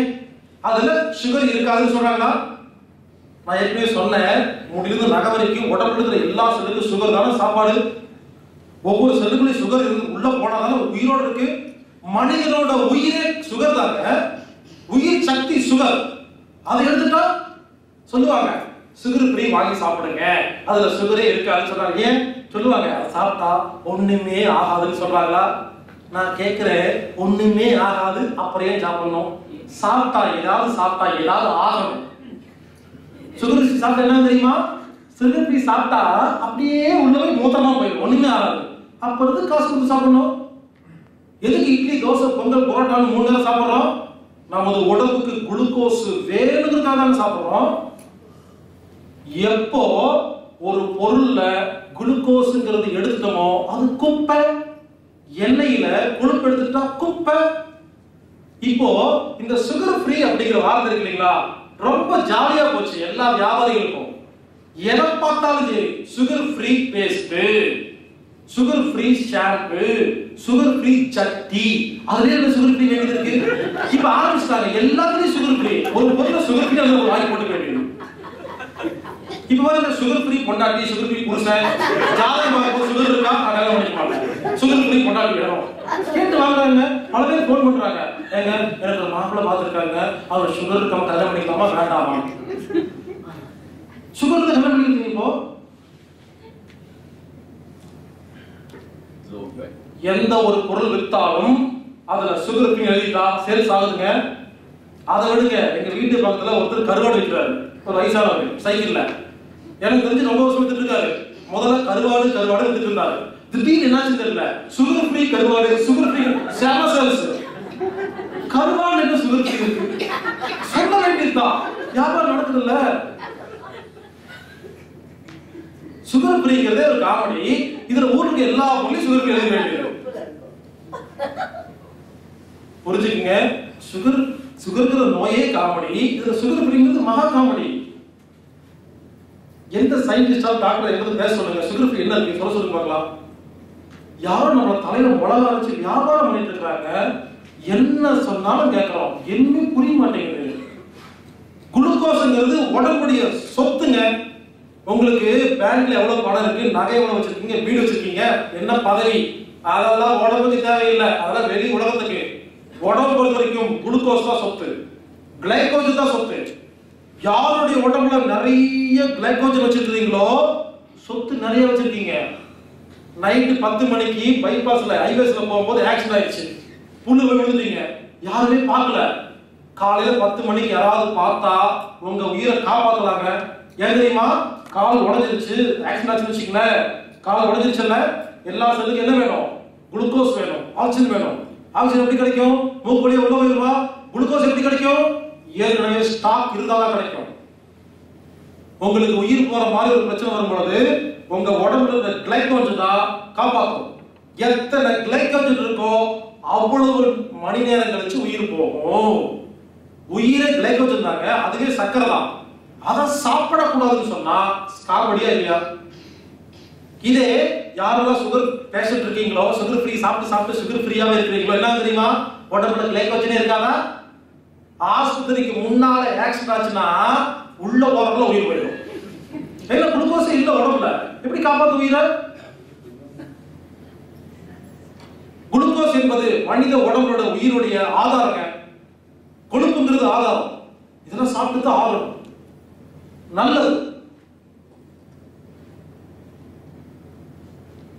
சர்க்கரை ஒழுங்கா ஜீரணம் ஆகலன்னா சர்க்கரையும் சர்க்கரை சம்பந்தப்பட்ட ஐம்பது வகையான நோய்களும். பார்த்தோம் இல்லைங்களா சர்க்கரை கெட்டு போச்சுன்னா கண்ணு கெட்டு போகும் கிட்னி கெட்டு போகும் அந்த மாதிரி. கால்சியம் அயோடின் சோடியம் ஒழுங்கா ஜீரணமாக உள்ள போனா தைராய்டு மட்டும் தைராய்டு சம்பந்தப்பட்ட ஐம்பது நோய்கள். டாக்டர் பேசு மூட்டு வலி மனதால் வலி இதெல்லாம் வச்சுட்டு இதெல்லாம் குண்டாகிறது ஒல்லியாகிறது இதெல்லாம். கொழுப்பு ஒழுங்கா ஜீரணமாகலைன்னா கொழுப்பு சம்பந்தப்பட்ட ஐம்பது வகை நோய்கள். கொழுப்பு கட்டி இருதய அடைப்பு கால்பிளேட்டர் ஸ்டோனு பித்தப்பையில பிரச்சனை வருது ஜீரணமாக இருக்கிறது அஜீரண கோளாறு irritable bowel syndrome gastric trouble தோல் சம்பந்தப்பட்ட ஸ்கின் டிசீஸ் சொரியாசிஸ் எக்ஸிமா பல்லு எல்லா நோய்க்கு காரணம் கொழுப்பு ஒழுங்கா ஜீரணமாக ஆகுது. நூப்பது நூத்தம்பது நோய் கண்டுபிடிச்சாச்சா? நூத்தம்பது நோய் என்ன காரணம்? சர்க்கரை கால்சியம் கொழுப்பு. மூணு தாங்க நேச்சர் இது மூணு ஒழுங்கா ஜீரணமாக உள்ள போனாலே நூத்தம்பது நோய். அப்போ யோசிச்சு பாருங்க ரத்தத்தில் ஏதாவது ஒரு பொருள் வெட்டு போனான்னு சொன்ன பாத்தீங்களா? எத்தனை பொருள் இருக்கு? எல்லாத்தையும் பத்தி பார்க்க முடியாது. சில லாஜிக்கா புரிஞ்சிருச்சுன்னா அவ்வளவுதான். மத்ததெல்லாம் நீங்களே புரிஞ்சுக்கணும். வைட்டமின் ஏ ஒழுங்கா ஜீரணமாகாம உள்ள போனா என்ன நோய் வரும்? கண் சம்பந்தப்பட்ட நோய் வரும். வைட்டமின் கே ஒழுங்கா ஜீரணமாக உள்ள போனா என்ன வரும்? ரத்தம் உறையாது. நமக்கு காயம் வளர்த்த உரையும் இல்லை இல்ல சில பேருக்கு உரையாதுங்க கேட்டு பாருங்க. அவங்க எப்பவுமே ஊசி வச்சிருப்பாங்க. திடீர்னு அடிபட்டுருச்சுன்னா ஊசி போட்டா தான் உறையும். அதுக்கு ஒரு ஊசி போடணும். அப்போ வைட்டமின் கே குவாலிட்டி கம்மியா இருக்குன்னு அர்த்தம். அது சரி பண்ணா சரியா போயிடும். வைட்டமின் பி ஒழுங்கா ஜீரணமாகாம உள்ள போனா மசில் சம்பந்தப்பட்ட நோய் வரும். ஏன்? மசில்கள் சாப்பிடுற உணவு வைட்டமின் பி இப்படி ரத்தத்துல ஒவ்வொரு பொருள் இருக்கு. ஒவ்வொரு பொருளும் கெட்டு போன நோய் தானே இது மறுபடியும் மறுபடியும் பார்க்க வேண்டிய அவசியம் இல்லை. நீங்க புரிஞ்சுக்கங்க. ரத்தத்தில் ஏதாவது ஒரு பொருள் கெட்டு போனா நோய். அஞ்சுல ஒண்ணு பார்த்துட்டோமா ரத்தத்துல ஒரு பொருள் கெட்டு போனா எல்லா உறுப்புக்கும் நோய் வருமா? ஒரு குறிப்பிட்ட நோய் வருமா? எல்லா உறுப்பு தான் நோய் வரும். இப்ப மூட்டு வந்து வலிக்குது. மூட்டு வலி என்பது மூட்டு சம்பந்தப்பட்ட நோய் இல்லை. ரத்தத்தில் வைட்டமின் ஏதோ கெட்டு போச்சுன்னு அர்த்தமா? ஒரு சிம்பிளா சொல்றாங்க. ஒரு வீடு பத்திக்கிட்டு எரியுது. பெரிய பங்களா வீடு. எல்லா ஜன்னல் கதவு எல்லாம் அடைச்சு வச்சிருக்கு. உள்ள ஒரு குபுன்னு தீ பிடிச்சி எரியுது. நீங்க வெளியே நிக்கிறீங்க. ஒரு ஜன்னல் லேசா திறந்துருக்கு. அது வழியா புகை வருது. நீங்க பாக்குறீங்க ஒரு பேப்பர் எடுத்து எழுதுறீங்க. மூணாம் நம்பர் ஜன்னலில் புகை என்பது வருகிறது. எழுதுறீங்க. இது கரெக்ட் தான். ஆனா தப்பு. மூணாம் நம்பர் ஜன்னல்ல புகை வரதுங்கிறது பிரச்சனை இல்ல. மொத்த வீடு பத்திக்கிட்டு எரிதுங்கிறது தான் உண்மை. நீங்க ஓடி போய் ஜன்னல் அமுத்துறீங்க. ஜன்னல் அமுத்துருச்சு. கொக்கி போட்டீங்க. புகை வெளியே வரல. குணப்படுத்திட்டீங்களா? சரி பண்ணிட்டீங்களா? என்ன ஆகும்? மொத்த வீடு பத்தி எரிஞ்சிருமா? நீங்க புரிஞ்சுக்கங்க. யாருக்காவது மூட்டுல வழி வந்தா மூட்டு என்ற ஜன்னலில் புகை வருது. அப்படிங்கிறது நினைச்சிட்டு இருக்கிறோம். இல்லை. மொத்த உடம்பு பத்திக்கிட்டு எரியறதுனால மூட்டுங்கிற ஜன்னல்ல போக வருது. உண்மை? அப்போ இந்த மூட்டுல போய் ட்ரீட்மெண்ட் பார்த்தா குணப்படுத்த முடியாது. மொத்த உடம்பையும் அவிக்கணுமா அப்போ ரத்தத்தில் ஒரு பொருள் கெட்டு போனா மொத்த வீடு பத்திக்கிட்டு எரியும். ஏன் மூட்டு மட்டும் வலிக்கும்? அந்த பொருள் அதிகமா சாப்பிடுறது மூட்டாகும். எந்த பொருள் கெட்டு போச்சோ அந்த பொருளை உடம்புல எந்த உறுப்பு அதிகமா பயன்படுத்துதோ அந்த உறுப்பில் முதல் முதல்ல நோய் தெரியும். அந்த உறுப்புல நோய் இல்ல. அந்த உறுப்பு தான் சிம்டம் காட்டுது உடம்புல ரத்தத்துல ஏதோ ஒரு கம்மியா போச்சு கெட்டு போச்சுன்னு இன்ஃபர்மேஷன் கொடுக்கறதா அந்த உறுப்பே தவிர அந்த உறுப்பில் நோய் இல்லை. அதனால இப்ப நாம அஞ்சு நோயில ஒரு நோய் பத்தி விளக்கமா பார்த்துட்டு அடுத்த ஸ்டெப் போக போறோம். நல்லா புரிஞ்சுக்கங்க. ரத்தத்தில் ஏதாவது ஒரு பொருள் கெட்டு போனா எல்லா உறுப்புக்கும் நோய் வரும். ஒரு மனிதனுக்கு முதல் முதல்ல ரத்தத்தில் ஏதாவது ஒரு பொருள் கெட்டு போற நோய் தான் வரும். வந்தா என்ன பண்ணணும்? இது எப்படி இயற்கையா எந்த ஒரு மருந்து மாத்திரை இல்லாம குணப்படுத்துறது டெக்னிக் தெரிஞ்சு போச்சுன்னா அதை சரி பண்ணிட்டோம்னா மற்ற நாலு நோய் வரவே வராது இல்லைங்களா? அந்த காலத்துல ஒரு மனிதனுக்கு முதல் முதல்ல ரத்தத்தில் ஒரு பொருள் கெட்டு போற நோய் மட்டும்தான் வரும். இதை சரி பண்றதுக்கு தான் சில பத்தியங்கள் சில முறைகளை சொல்லி கொடுப்பாங்க. அதை செஞ்சா சரியா போயிடும். இந்த நாலு நோய் வரவே வராதுங்க. என்னாச்சு? அந்த வைத்தியம் வந்து மூட பழக்க வழக்கம் அதனால உயிர் போகுது அப்படி இப்படின்னு சில மருந்து மாத்திரை கம்பெனிகள் ஒவ்வொரு நாட்டுக்குள்ளேயும் பூந்து என்ன பண்ணாங்க? பிரச்சாரம் பண்ண ஆரம்பிச்சாங்க. மக்களை ஏமாத்த ஆரம்பிச்சு என்ன பண்ணாங்க? இந்த நோயை குணப்படுத்த முடியாது. பாருங்க சர்க்கரை நோய்ங்கிறது ஒரு பொருள் கெட்டு போற நோய். ஒழுங்கா சாப்பிட்டா குணமாகுமா? அதை சொல்லி கொடுக்காம கண்ட்ரோல் பண்ணணும்னு ஆரம்பிச்சாங்க. ஒரு நோயை கண்ட்ரோல் பண்ணா அந்த நோய் பெருசாகும். கண்ட்ரோல் எப்ப பண்ணணும்? எமர்ஜென்சியில மட்டும்தான் நோயை கண்ட்ரோல் பண்ணணும். குணப்படுத்துறதுக்கு குணப்படுத்தினா தான் குணப்படுத்த முடியும். கியூரிங்கிறது வேற ட்ரீட்மெண்ட்ங்கிறது வேற கண்ட்ரோல்ங்கிறது வேற. கண்ட்ரோல் பண்ணுறது கியூரிங் கிடையாது. அது ஒரு எமர்ஜென்சி வைத்தியம். இப்படி ரத்தத்தில் ஒரு பொருள் கெட்டு போனோடனே பாருங்க ஒண்ணு கண்ட்ரோல் பண்ணா முத்தி போகும். குணப்படுத்தாம வச்சிருந்தா முத்தி போகும். இல்ல தப்பு தப்பா வைத்தியம் அதை முத்தி போகுமா? இப்படி மூணு காரணத்தினால இந்த நோய் முத்தி போய் என்ன ஆகுது பெரிய நோயா மாறுது. இந்த நோய்க்கு பேர் என்ன? ரத்தத்தில் ஏதாவது ஒரு பொருள் இல்லாம போறது. ரத்தத்தில் ஒரு பொருள் கெட்டு போனா சின்ன நோய் இல்லாம போனா பெரிய நோய். சமையல் ரொம்ப உப்பு இருக்குது கொஞ்சம் கெட்டு போயிருக்கு. பரவாயில்ல. உப்பே இல்லை பெரிய நோய். ரத்தத்துல சர்க்கரை கெட்டு போயிருக்கு. சின்ன நோய். சர்க்கரையே இல்லை. மயக்க போட்டுறோமா? கேல்சியம் கெட்டு போயிருக்குது. பரவாயில்ல. கொஞ்சம் குண்டாவீங்க இல்ல ஒல்லியாவீங்க. பாக்குறதுக்கு அசிங்கமா இருக்கும். பரவாயில்ல. கால்சியமே இல்ல. என்ன ஆகும் எலும்பு இருக்கிற கால்சியத்தை எடுத்துட்டு வந்து ரத்தத்தில் போட்டினா எலும்பு உருகி போகுமா? எலும்பு உருக்கி நோய் வரும். டிபி வரும். டிபிங்கிறது கால்சியம் உடம்புல டிஃபிஷியன்சிக்கான ஒரு சிம்டம் இப்ப சொல்லுங்க. ரத்தத்துல ஒரு பொருள் கெட்டு போகுது. இதை தப்பு தப்பா வைத்தியம் பார்த்து என்ன பண்றோம்?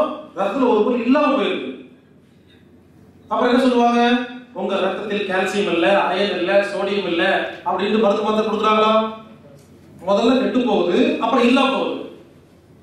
ஒரு நோயை கண்ட்ரோல் பண்ண நோய்ங்க.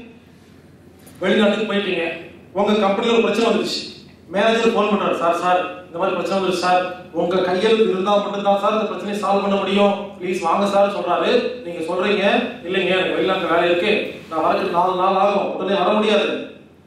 நீங்க ஒண்ணு பண்ணுங்க. நாலு நாளைக்கு இந்த மாதிரி சமாளிங்க. ஒரு டெய்லிங் சொல்லி- ஒரு டெக்னிக் சொல்லி கொடுத்தீங்களா?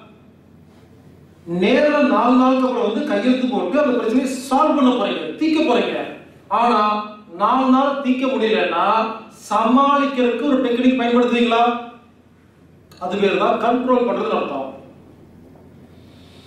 Sugar BP asthma thyroid cancer AIDS எல்லாம் கண்ட்ரோல் பண்றாங்க இல்லைங்களா? கீமோதெரபி டயாலிசிஸ் பண்ணி பண்ணிடலாம். அது கண்ட்ரோல் பண்ண என்ன தெரியுமா?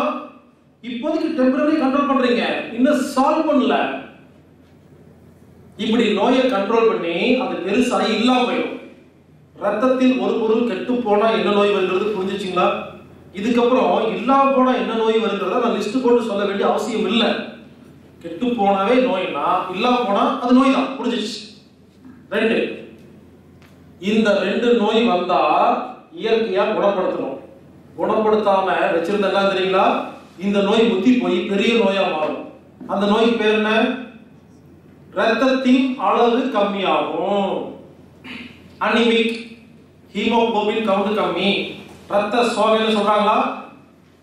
பாருங்க ஒரு மனிதனுக்கு ரத்தத்தின் அளவு கம்மியா போச்சுன்னா அதுக்கு காரணம் இந்த ரெண்டு நோய் ஏற்கனவே வந்திருக்கு. நீங்க ஒழுங்கா அதுக்கு ஆக்ஷன் எடுக்கல ரத்தம் எல்லாம் சாதாரணமா கம்மியெல்லாம் போகாது. இந்த ரெண்டு நோய் வந்து குணப்படுத்தாம இருந்தா மட்டும்தான் வரும். எப்படி தெரியுங்களா? ரத்தத்தை யார் உருவ வைக்கிறா? யார் மேனுஃபேக்சர் பண்றா? எலும்பு மச்சைகள் போன் மேலோஸ் இது என்ன பண்ணுது? ரத்தத்தில் உள்ள பொருளை எடுத்து ரத்தம் ஊற வைக்குதுங்க. ரத்தம் புது ரத்தம் ஊறுது இல்லைங்களா? புது ரத்தம் ஊறுறக்கே ரத்தம் தான் காரணம். ரத்தத்தில் உள்ள பொருளை எடுத்து தான் புது ரத்தம் ஊற வைக்கும் உங்க ரத்தத்தில் ரெண்டு பொருள் கெட்டு போச்சு நாலு பொருள் இல்லைன்னா இது எப்படி ஊற வைக்கும்? சும்மா இருக்கும். உங்க வீட்டுல ஒரு லேபர் வேலை செய்யறாரு இந்த செ- செவரெல்லாம் சுண்ணா பூசிட்டு இருக்காரு. திடீர்னு போய் பார்த்தா சும்மா உட்காந்துருக்காரு ஹலோ என்னப்பா? சம்பளம் வாங்கிட்டு நீ வாட்டி உட்காந்துருக்கிற வேலை செய்ய சொன்னா எதுவுமாரு ஹலோ எனக்கு வேலை செய்ய தெரியும். சிமெண்ட் கெட்டு போயிருக்குது கட்டியா இருக்கு. போ மாத்திக்கலாம் பாரா செங்கல் இல்லவே இல்லைங்க. நான் எப்படி கட்டடம் கட்டுறது கேட்பாரா அப்புறம் லேபர்னா அவருக்கு தேவையான எல்லா பொருளையும் ஒழுங்கா நல்ல பொருளா வாங்கி கொடுத்தா தானே வேலை வாங்க முடியும். உங்க எலும்பு மஞ்சள் கிட்ட ஏப்பா ரத்தம் ஊறுறது கம்மியா போச்சு? ரத்த சோகைன்னு சொல்றாங்கன்னு நீங்க உங்க உடம்பு கிட்ட கேட்டீங்கன்னா உடம்பு திட்டும். என்ன தெரியுமா திட்டம்? ஏய் முதல்ல ரத்தத்தில் நாலு பொருள் கெட்டு போய் கிடக்கு. ரெண்டு பொருள் இல்ல. அதை நீ சரி பண்ணு. நான் ரத்தம் ஊறி அனுப்பி சரி பண்றேன்னு சொல்லுவோம் அப்போ ஒரு பொருள் கெட்டு போய் இல்லாம போய் ரத்த சோகம் வந்துருச்சா? இப்ப என்ன பண்ணுவோம்? ரத்த சோகம் வந்துருச்சுன்னா அயன் டேப்லெட் சாப்பிடுங்க. அந்த லேகியும் சாப்பிடுங்க இந்த லேகியும் சாப்பிடுங்க சொல்றாங்களா? அதெல்லாம் ஒரு பிரயோஜனம் இல்லை.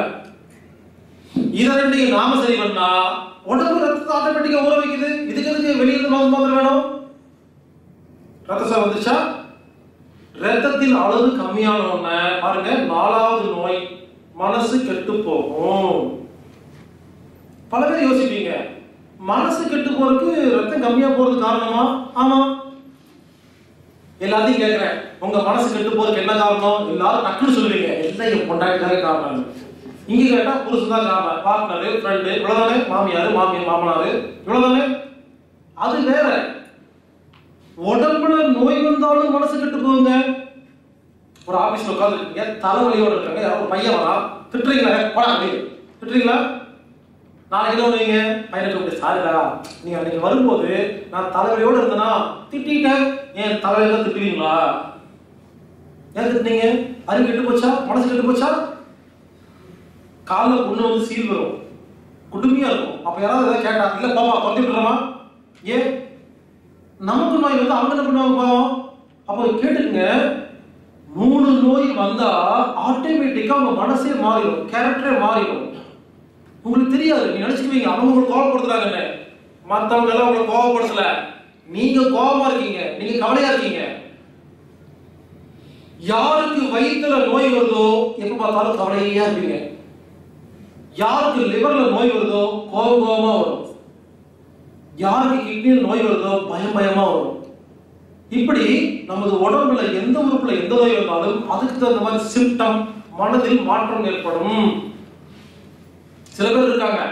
ஏதாவது சொல்லிட்டா போதும். கண்ணில் படபட தண்ணி வரும். டேம் தகுந்த மாதிரி அழுதுட்டே இருப்பாங்க. கவனிங்களா எதுக்கு தான் அழுகுறானே தெரியல. எப்ப பார்த்தா அழுகுறாங்க. ஏன்னா உடம்புல எப்ப சிறுநீரத்துக்கு தெம்பு இல்லையோ நல்லா கேட்டுங்க சிறுநீரோட வேலை என்ன? தண்ணியில் இருக்கிற எல்லா நல்ல பொருளையும் ரத்தத்தில் கலந்து கெட்ட பொருளை மூத்திரம் அனுப்புறதா? கிட்னிக்கு எப்போ தெம்புலையோ சான்ஸ் பார்த்துக்கிட்டே இருக்கும். எப்பாவது சான்ஸ் கிடைக்காதா? அழுது கண்ணு வழியா தண்ணி தூக்கி வெளியே வீசிட்டோம்னா நமக்கு வேலை மிச்சம்னு சொல்லி எதிர்பார்த்து கண்ணில் தண்ணி விடும் யாருடைய கிட்னி ஸ்ட்ராங்கா இருக்குதோ அழுகாச்சு வராதுங்க. தைரியமா இருப்பாங்க. பாருங்க இந்த மாதிரி சில பேர் சிரிச்சுக்கிட்டே இருப்பாங்க எப்போ பார்த்தாலும். திட்டினாலும் சிரிப்பாங்க. அது ஒரு நோய் தான். உள்ள ஒரு நோய் இருக்குன்னு அர்த்தம். இப்படி ஒவ்வொருத்தருக்கும் ஒவ்வொரு நோய்ங்க. வெளியே பார்த்தா கண்டுபிடிச்சிடலாம். அப்ப என்ன அர்த்தம்? நமது உடம்பில் வரும் நோய்களுக்காக மனசு மாறுது. ரத்தத்தில் ஒரு பொருள் கெட்டு போகுது. அப்புறம் இல்லாம போகுது. ரத்தத்தின் அளவு கம்மியா போகுது. மனசு கெட்டு போச்சா? இது நாளும் கெட்டு போன உடனே என்ன தெரியுமா? கடைசியா கிளைமேக்ஸ்ல கடைசி என்ன இருக்கு? அறிவு. ஒவ்வொரு சொல்லுக்கு அறிவு இருக்கா? அது ஆட்டோமேட்டிக்கா கெட்டு போக ஆரம்பிக்குது. உங்களை ஒரு ரூம்குள்ள கூட்டி வச்சாச்சு.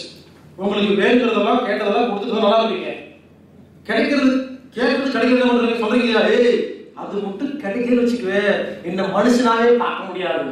ஏன்? பைத்தியம் முடிச்சுன்னு அர்த்தம். அப்ப செல்லு சொல்லும் ஏய் எனக்கு மட்டும் கேல்சியம் ஒழுங்கா கொடுத்தீங்கன்னா நான் பைத்தியம் முடிச்சிடணும் மனுஷனாவே இருக்க மாட்டேன் அது மிருகம் மாறிடு அது கெட்டு போதா அறிவு கெட்டு போனா உயிர்கொல்லி நோய்கள் கேன்சர் எய்ட்ஸ் ஒவ்வொரு செல்லுக்கு அறிவு இருக்குங்க. ஒவ்வொரு அறிவு கெட்டு போனா என்ன தெரியுமா? இதுக்கு பேர் தான் உயிர்கொல்லி நோய்கள். இப்போ இங்க உட்கார்ந்து இருக்கிற அத்தனை பேருடைய உடம்புலையும் கோடிக்கணக்கான செல் இருக்குல்ல அதுல பல லட்சம் செல்லு அறிவிட்டு போய் கிடக்குதுங்க. நமக்கு தெரியல. அறிவிட்டு போய் கிடக்கும். தோலில் இருக்கும் செல்லு அறிவிட்டு போனாலும் என்ன ஆகும் கொஞ்சம் புண்ணு வரும் கருப்பாகும். பரவாயில்ல. சில முக்கியமான உறுப்புகள் இருக்கிற செல்லுக்கு அறிவிட்டு போனா அது தப்பு தப்பா வேலை பண்ண ஆரம்பிக்குமா? அப்ப லிவர் இருக்கிற செல்களுக்கு அறிவிட்டு போய் தப்பு தப்பா வேலை பார்த்தா இது கிட்னி பாதிக்குமா? அப்புறம் கிட்னி தப்பு பண்ணி லிவர் ஒவ்வொன்றா மாத்தி மாத்தி பாதிச்சு என்ன ஆகும் ஒரு இடத்துல அடிபட்டா போதுங்க. எல்லாமே அடிபடுங்க கார் ஓட்டிட்டு போறீங்க. கார் வீலுக்குள்ள ஒரு சின்ன பால்ஸ் பேரிங் இருக்கு. அதுக்குள்ள ஒரு பால்ஸ் இருக்கு பாத்தீங்களா அந்த பால்ஸ் லேசா தேஞ்சு போனா ஆகும் பால்ஸ் தான் தேஞ்சு போச்சு. அது கை போச்சு. பேரிங் தேஞ்சு போகுமா? பேரிங் தேஞ்சு போச்சுன்னா அதுக்கப்புறம் ரிம்மு தேஞ்சு போகுமா? ரிம்மு ஆடுச்சுன்னா டயர் தேஞ்சு போகுமா? டயர் தேஞ்சு போனால் வண்டி ஆடுமா? வண்டி ஆடுச்சுன்னா மைலேஜ் கம்மியாகுமா? இன்ஜின் புள்ளி பார்த்தீங்கன்னா ஒன்று ஒரு சின்ன பால். அதுக்கு ஒரு பிரச்சனை வந்தோம்னா எவ்வளோ பிரச்சனை உண்டு பண்ணுது? நமது உடம்புல எங்கெங்கெல்லாம் செல்களுக்கு அறிவு கெட்டு போகுதோ அந்த செல்னால சைடு எஃபெக்ட் வந்து வந்து வந்து வந்து நமக்கு தெரியாது. கோடிக்கணக்கான செல்கள் அறிவு கெட்டு போக ஆரம்பிச்சோம்னா கடைசியா நமது உடம்புக்குள்ள நிறைய அறிவு இருக்குல்ல? அறிவு அறிவு சொன்ன பார்த்தீங்களா? அதுல ஒரு ரெண்டு அறிவு பத்தி பார்க்கலாம். ஒண்ணு நோய்கிருமி எப்ப நம்ம உடம்புக்குள்ள போகுதோ நமது உடல் அறிவு கொலப்பட்டது பார்த்தோமா? ஹெல்பர் கில்லர் சப்ரஸர் மெமரி அப்படிங்கிற நாலு ஆக்ஷன் பண்ணி நோய் குணப்படுத்துதா அதுக்கு ஒரு அறிவு இருக்கா? இந்த அறிவு கெட்டு போனா என்ன ஆகும் அது சில குறிப்பிட்ட செல்கள ஸ்டாக் இருக்குமா அந்த அறிவு? கெட்டு போச்சு. நோய்க்கு உடம்புல போகுது. உடம்பு கொலை பண்ணவே இல்லை. ஹெல்ப் இருந்துச்சு கில்லர் இருக்கல கில்லர் இருந்துச்சு சப்ரஸர் இருக்கல அறிவு கெட்டு போச்சா? என்ன ஆகும்? நோய்க்கு உள்ள போகுது. சாப்பிட்டு சாப்பிட்டு குண்டு குண்டா இருக்குமா? எல்லா உறுப்பையும் பாதிக்குமா? இதுக்கு பேரு எய்ட்ஸ் எய்ட்ஸ்னா என்னன்னா உங்க உடம்புல நோய் கிருமியை கொலை பண்ற அறிவு கெட்டு போச்சுன்னு அர்த்தம். அதுக்கு தான் இம்யூன் பவர்னு சொல்லுவாங்க. நோய் எதிர்ப்பு சக்தி இல்லைன்னு அர்த்தம். எப்பெல்லாம் உங்களுக்கு ரூம்ல கூட தும்மல் வருதோ வாந்தி வருதோ வயிற்றால வருதோ நோய் எதிர்ப்பு தன்மை இருக்குன்னு அர்த்தம். இதெல்லாம் வரலன்னு சொன்னீங்கன்னா ஒண்ணு ஆரோக்கியமா இருக்கீங்க இல்ல அறிவிக்கிட்டு போயிட்டு அர்த்தம். ஒரு நோய் கிருமி உள்ள போய் அதை கொலை பண்ற அறிவு நம்ம உடம்புக்குள்ள இல்லைன்னா எய்ட்ஸ் இங்க உட்கார்ந்து இருக்கிற அத்தனை பேருக்குமே எய்ட்ஸ் இல்ல அப்படின்னு நீங்க சொன்னீங்கன்னா நடந்தீங்க சொல்லுவேன்? உங்க உடம்பில் நோய் எதிர்ப்பு சக்தி இருக்குன்னு சொல்லுவேன். யாருக்காவது எய்ட்ஸ் இருக்குன்னு சொன்னீங்கன்னா உடம்புக்குள்ள நோய் கிருமி உள்ள போனா அதை கொலை பண்றதுக்கு அறிவு இல்லைன்னு அர்த்தங்க. அவ்வளவுதான். அப்ப எய்ட்ஸ் என்பது குணப்படுத்தக்கூடிய நோய். எப்படி அறிவு கெட்டு போனா எய்ட்ஸ் தானே எப்படி அறிவு கொடுக்கிறது? இங்க உட்காந்து யோசிக்க கூடாது இந்த நாளையும் நாம சரி பண்ணோம்னா இந்த இந்த வேலையை உடம்பு சரி பண்ணிக்குமா? முதல்ல நாளை நாம சரி பண்ணணும். அதுக்கப்புறம் தான் எய்ட்ஸ் குணம் ஆகும். கேன்சர்னா என்ன? நமது உடம்பில் இருக்கிற எல்லா செல்லும் தன்னைத்தானே புதுப்பிக்குதுன்னு பார்த்தோமா லிவர் ஒன் இயர் டபிள்யூபிசி பதிமூணு நாள் RBC one twenty days intestine குடல் முப்பத்தாறு மணி நேரம். இந்த டேட் வந்துச்சுன்னா தன்னை தலை புதுசு பண்ணிக்கணும். அப்போ நமது உடம்புல இருக்கிற எல்லா உறுப்புகளும் தன்னை தானே புதுப்பிக்குதுன்னு பார்த்தோமா? அதுக்கு ஒரு டைம் டேட் இருக்கு இல்லையா? அதுக்கு ஒரு அறிவு இருக்கு இல்லையா? இந்த அறிவு கெட்டு போனா என்ன ஆகும்? ரத்தத்தில் வெள்ளை இருக்குங்க பதிமூணு நாள்ல செத்து புதுசா மாறணும். செத்துனா ரீஜென்ரேட் ரினியூவல் ஆகுது இப்போ அந்த அறிவு கெட்டு போச்சு நம்ம உடம்புல. என்ன பண்ணும்? பதிமூணு நாள் பொதுவா முன்னூத்தி முப்பது நாளுக்கு அப்புறம் சாவகாசமா போய் புதுப்பிக்குது. என்ன ஆகும் டபிள்யூபிசி கம்மியாயிடும் செக் பண்ணி பார்த்தா நாலாயிரத்தி ஐநூறுல இருந்து ஒரு பன்னெண்டாயிரம் இருக்கணும் இந்த நார்மல் கணக்கு. எவ்வளவு தெரியுமா வரும்? மூவாயிரம் ரெண்டாயிரம் போயிடும். செக் பண்ணி பார்த்து சொல்லுவாங்க. டோட்டல் கவுண்ட் சொல்லுவாங்க அதுக்கு. டோட்டல் கவுண்ட் ஆயிரம் தான் இருக்குது உங்களுக்கு பிளட் கேன்சர் அப்படிம்பாங்க. ரத்த புற்றுநோய்னா என்ன? ரத்தத்தில் உள்ள வெள்ளை அணுக்கள் கம்மியாயிடுச்சுன்னு அர்த்தம். அது எப்படி கம்மியாகும்? ரீஜென்ரேட் பண்ணுது இல்லையா அந்த அறிவு உடம்பு கெடுத்துக்கிச்சுன்னு அர்த்தம். யார் ரீஜென்ரேட் பண்றா? தைமஸ் சுரப்பி லிவர் கிட்னி இவங்க தான் அப்ப யோசிச்சு பாருங்க. முதல்ல கிட்னி அந்த டபிள்யூபிசி உருவாக்கி அதை அனுப்பிச்சு வைக்கும். அது லிவருக்கு போகும் தைமஸுக்கு போகும் அங்க போய் இங்க போய் முழு ஷேப் ஆகி அத்தனை போய் கலக்குது. ஒரு பத்து உறுப்பு ஒன்று சேர்ந்து உருவாக்குது. இந்த பத்து உறுப்புல எந்த உறுப்புல எந்த செல்லுக்கு டேமேஜ் ஆயிருந்தா அறிவிக்கிட்டு போயிருந்தா இது ஒழுங்கா ப்ரொடியூஸ் பண்ணிருக்காதுன்னு கண்டுபிடிக்க முடியுமா? ஆக மொத்தம் நீங்க புரிஞ்சுக்க வேண்டியது எங்கேயும் எங்கேயும் அறிவிக்கிட்டு போச்சுன்னு அர்த்தம். இப்ப சொல்லுங்க இந்த இதுக்கு ட்ரீட்மெண்ட் ரத்தத்துல போய் பார்த்தா முடியுமா? அந்த எந்த உறுப்புக்கு அறிவிக்கிட்டு போச்சோ அந்த உறுப்புல இருக்கிற அறிவிக்கிட்டு போன செல்ல சரி பண்ணா மட்டும்தானே பிளட் கேன்சர் சரி பண்ண முடியும்? இதுவரைக்கும் உறுப்புகளில் நோய் இல்லை ரத்தத்தில் தான் நோய் சொன்ன பார்த்தீங்களா? பிளட் கேன்சர் என்பது ரத்தம் சம்பந்தப்பட்ட நோய் இல்ல உறுப்பு சம்பந்தப்பட்ட நோய். ரத்தத்தில் வெள்ளை இருக்கிற புதுப்பிக்கிற அறிவு இருக்கிற செல்களுக்கு எங்கேயோ ஒரு அறிவு கட்டு போச்சுன்னு அர்த்தம். அங்க அடிச்சா இங்க சரியா போகும். இதே ரத்தத்தின் வெள்ளை அணுக்கள் பதிமூணு நாள்ல செத்து போறது பதிமூணு செகண்ட்ல ரீஜெனரேட் ஆகும். என்ன ஆகும்? செல்கள் அறிவிட்டு போய் தேவையில்லாம அதிகமா ப்ரொடியூஸ் பண்ணுமா? அப்ப ரத்தத்தில் என்ன ஆகும் ஒரு லட்சம் ரெண்டு லட்சம் போயிருங்க. கேள்விப்பட்டிருக்கீங்களா? பிளட் டெஸ்ட் எடுத்து பார்த்தா ரத்தத்தின் வெள்ளை அணுக்கள் ஒன் லேக் டூ லேக் இருக்கும். பன்னெண்டாயிரம் தான் இருக்கும் ரத்தத்தின் வெள்ளை அணுக்கள் ரொம்ப ரொம்ப நல்லதுங்க. நல்லது அதிகமான நோய். அமிர்தமும் அளவுக்கு மிஞ்சினா அமிர்தம் நஞ்சுக்கிற மாதிரி அளவுக்கு அதிகமான டபிள்யூபிஸ் அதிகமாகி சொல்லுவாங்க உங்களுக்கு பிளட் கேன்சர் பிளட் கேன்சர் என்ன?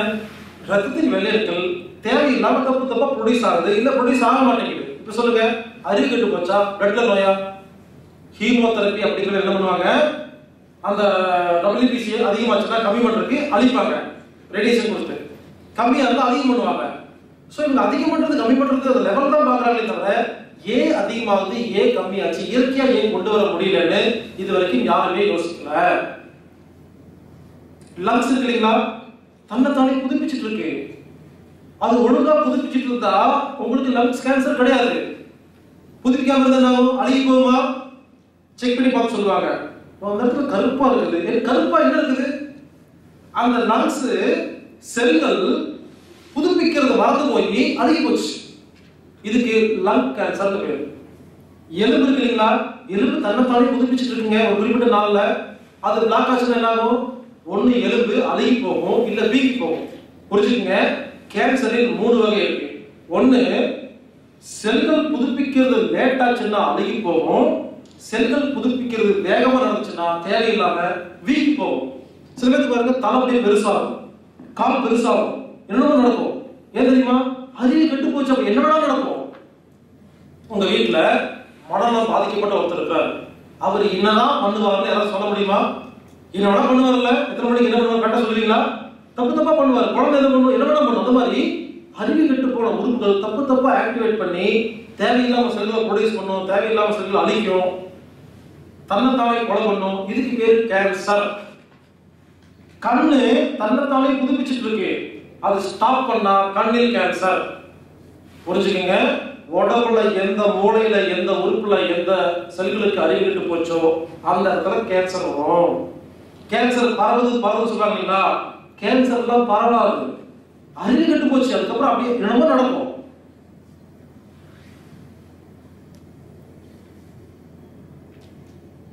அளவுக்கு அதிகமா செல்கள் ப்ரொடியூஸ் பண்ணா வீங்கும். புதுப்பிக்கிறத மறந்து போனா அழுகும். அவ்வளவுதான். கேன்சர் ரெண்டு டைப் இன்னொரு டைப் அப்புறம் சொல்றேன். கழிவுகள் அதிகமானா கேன்சர் வரும். மூணு டைப் ஆரம்பத்தில் சொன்ன பார்த்தீங்களா மூக்கு வழியா வாய் வழியா அடஸ் வழியா கழிவு வெளியே போகலன்னா நமக்கு தங்கி சொன்ன பார்த்தீங்களா? நமது உடம்புல எல்லா இடத்துலையும் கழிவு தங்கி இருக்குங்க. உடம்பு எழுதியோ பண்ணும்? மூக்கு வழியா போக முடியல வாய் வழியா போக முடியல அது வழியா போக முடியல காய்ச்சல் வந்தா போக முடியல வேறு வழியா போக முடியல செல்ட் போட்டுக்கிறாங்க பவுடர் போட்டுக்கிறாங்க. எப்படி போறதுன்னு தெரியாம எங்காவது ஸ்டாக் வச்சிடும் என்ன தெரியுமா? இந்த கழிவு ஸ்டாக் வச்சு ஸ்டாக் வச்சு ஸ்டாக் வச்சு ஒரு இடத்துல கழிவு கட்டி வந்துடும் இந்த கழிவு கட்டி இருக்கு இல்லைங்களா? இதுதான் கேன்சர் கட்டியா மாறுது. சொல்றாங்கல்ல இங்க கேன்சர் கட்டி இருக்குமோ டவுட்டா இருக்கு பயாப்சி பண்ணி பாக்குறாங்க என்னது? கழிவுகள் ஒண்ணு சேர்ந்து கேன்சரா மாறுது. அதுக்கு முன்னால ஒரு ரகசியம் சொல்றேன் உங்களுக்கு. பிரபஞ்சம் பத்தி ஒரு ரகசியம் சொல்றேன். ஒரு பாட்டில்ல அரிசி எடுத்து ஒரு கைப்பிடி எடுத்து அரிசி போட்டுங்க பாட்டில்ல. நல்லா டைட்டா மூடிடுங்க. உள்ள காத்தே போக கூடாது எம்சில் போட்டு எல்லாம் அடைச்சு வச்சிருங்க. இதை வச்சுட்டு கேமரா வச்சு ஷூட் பண்ணிட்டே இருங்க. இந்த அரிசி என்ன ஆகும்? ஒரு ஆறு மாசம் ஒரு வருஷம். அரிசி அப்படியே இருக்குமா? போக போக என்ன ஆகும் அரிசி கெட்டு போக ஆரம்பிக்குமா? கெட்டு போன அரிசி என்ன ஆகும் திடீர்னு பார்த்து ஒரு வண்டு இருக்கும். பாத்துருக்கீங்களா உங்க டப்பால போட்டு வீட்டில் வைங்க அங்கேயே வண்டு வந்துடும் வண்டி எப்படி வந்துச்சு? கொஞ்சம் யோசிச்சு பாருங்க. வண்டோட அம்மா அப்பா யார்? திடீர்னு எப்படி வண்டு பாடத்தில் வந்துச்சு. காப்பே போடல எப்படி வண்டு வந்துச்சு? யார் அம்மா யார் அப்பா? அரிசி தான் அம்மா அரிசி தான் அப்பா. அம்மையும் மாணவனே அப்பனும் ஆனவனே சொல்றோம் இல்லையா? இது ஒன்று சொன்னா நம்ப மாட்டீங்க. ஆனா அரிசி வந்து வண்டு வரும். நம்புவீங்க. அரிசி தான் அம்மா அரிசி தான் அப்பா.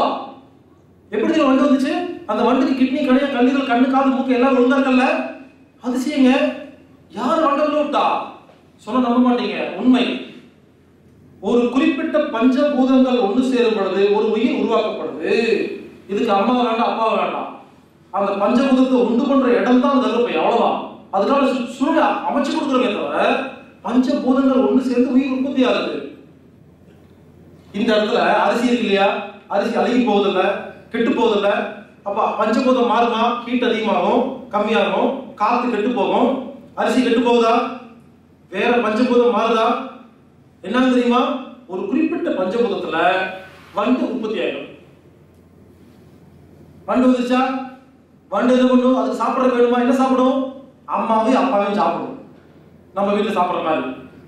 அரிசி போட்டு சாப்பிட்டுருக்கோம் நம்ம தான் உருவாக்கி கொடுத்துருப்போம். நம்மளே திட்டோம். ஏ என்ன அறிவு இருக்கா? அந்த மாதிரி. அது அரிசி சாப்பிடுதா? அரிசி சாப்பிட்டு சாப்பிட்டு என்ன ஆகும்? பார்த்தீங்கன்னா ரெண்டு வண்டு மூணு வண்டு. எப்படியாச்சு? வண்டுகள் ஒண்ணுங்களா இருக்க ஒரு வண்டு உருவாகி இன்னொரு வண்டு உருவாகி ஆணும் பெண்ணும் உருவாகி இனப்பெருக்கம் பண்ணி வண்டுகள் குடும்பம் நடத்த ஆரம்பிச்சிருவோம். குழப்பத்துக்கு ஆரம்பிச்சிருவோம். நிறைய வண்டு ஆயிடும் எல்லா வண்டும் அரிசி சாப்பிடுமா? சாப்பிட்டு சாப்பிட்டு சாப்பிட்டு சாப்பிட்டு சாப்பிட்டு அரிசி தீர்ந்து போயிருமா? இப்ப என்ன ஆகும்? எல்லா வந்து சாக ஆரம்பிச்சிடும் செத்து செத்து விடுமா வண்டு மட்டும் செத்து கிடக்கும் ஒரு காலத்துல. வண்டு செத்த உடனே திடீர்னு பாருங்க வண்டு வந்து ஒரு புழு வரும். புழுவோட அம்மா அப்பா யாரு? வண்டு தான் புழு உருவாகி இது என்னது? இது இனப்பெருக்கம் பண்ணி குழந்தை பத்துக்கிட்டு அந்த வண்டை சாப்பிட ஆரம்பிக்குது. புழுக்கள் செத்து போயிடுவான் அப்புறம் பூச்சி உருவாகுமா? இப்படி கொஞ்சம் கொஞ்சமா கொஞ்சம் கொஞ்சமா உருவாகி ஒரு குறிப்பிட்ட வருஷத்துக்கு அப்புறம் பாத்தீங்கன்னா அந்த பாட்டுக்குள்ள ஒண்ணுமே இருக்காதுங்க. அரிசி எங்க போச்சு? அரிசி ஒண்ணும் இல்லாம ஆயிடுச்சு. குட்டி குட்டி புழுவா மாறி புழு பூச்சியா மாறி ஒண்ணு மாறி ஒண்ணும் இல்லாம நம்ம கண்ணுக்கு தெரியல. இந்த பாட்டிலுக்குள்ள அந்த அரிசி பஞ்சபூதமா மாற்றப்பட்டு அங்க இருக்குது. வேற ஃபார்ம்ல மாறிடுச்சு. இது ஒத்துக்கிறீங்களா? இது ஒன்றும் பெருசா ஒன்றும் இதுக்கு ஒன்றும் சயின்ஸ் ப்ரூஃப்லாம் தேவையில்லை ஒத்துக்க முடியுதா இல்லையா? அவ்வளவுதாங்க. ஒண்ணும் இல்லாத இடத்துல ஒண்ணு உருவாகும். இருக்கிறது ஒண்ணும் இல்லாம போகும். இவ்வளவுதான். இதைத்தான் பல தத்துவங்கள்ல பல ஞானிகள் சொல்றாங்க. செந்தில் ஒரு ஞானிகளும் சொல்லியிருக்காரு. ஒரு செங்கல் எடுத்து உடைப்பாரு இது செங்கலுப்பா உடைச்சோம் இது என்னென்ன? கல்லுப்பா தேய்ப்பாரு மண்ணுப்பா இது என்னென்ன? மண்ணுப்பா. அவ்வளவுதான். ஒண்ணும் இல்லை. அடிக்க போயிட்டே இருப்பாரு செந்தில் ஒரு படத்துல. இதுதான். அப்போ எதுக்கு சொல்ல வரேன்னா ஒரு கழிவு நம்ம உடம்பு தேக்கி வச்சிருக்கு. எதுக்கு? எந்த பக்கம் வெளியே போக முடியலன்னு. இந்த கழிவு என்ன தெரியுமா? கழிவு போக போக டீப் ஃபார்ம் ஆகும். பஞ்ச பூதங்கள் மாறுமா? கழிவுக்குள்ள இருந்து ஒரு பூச்சி உருவாகும் புழு உருவாகும் வைரஸ் உருவாகும் பாக்டீரியா உருவாகும். எதுக்கு? இந்த கழிவை சாப்பிடுறக்காக இந்த கழிவு சாப்பிட்றதுக்கு பூச்சி உருவான அங்க வந்து அரிக்கும் சொரியும் வலிக்கும். அப்பதான் டாக்டர் போவோம். இங்க என்னவோ அரிக்குது டாக்டர் வலி தாங்க முடியல. ஸ்கேன் பண்ணி பார்த்துட்டு அங்க கேன்சர் கட்டி இருக்குன்னு சொல்லுவாங்க. கேன்சர் கட்டி இல்ல கழிவு கட்டி இருக்கு.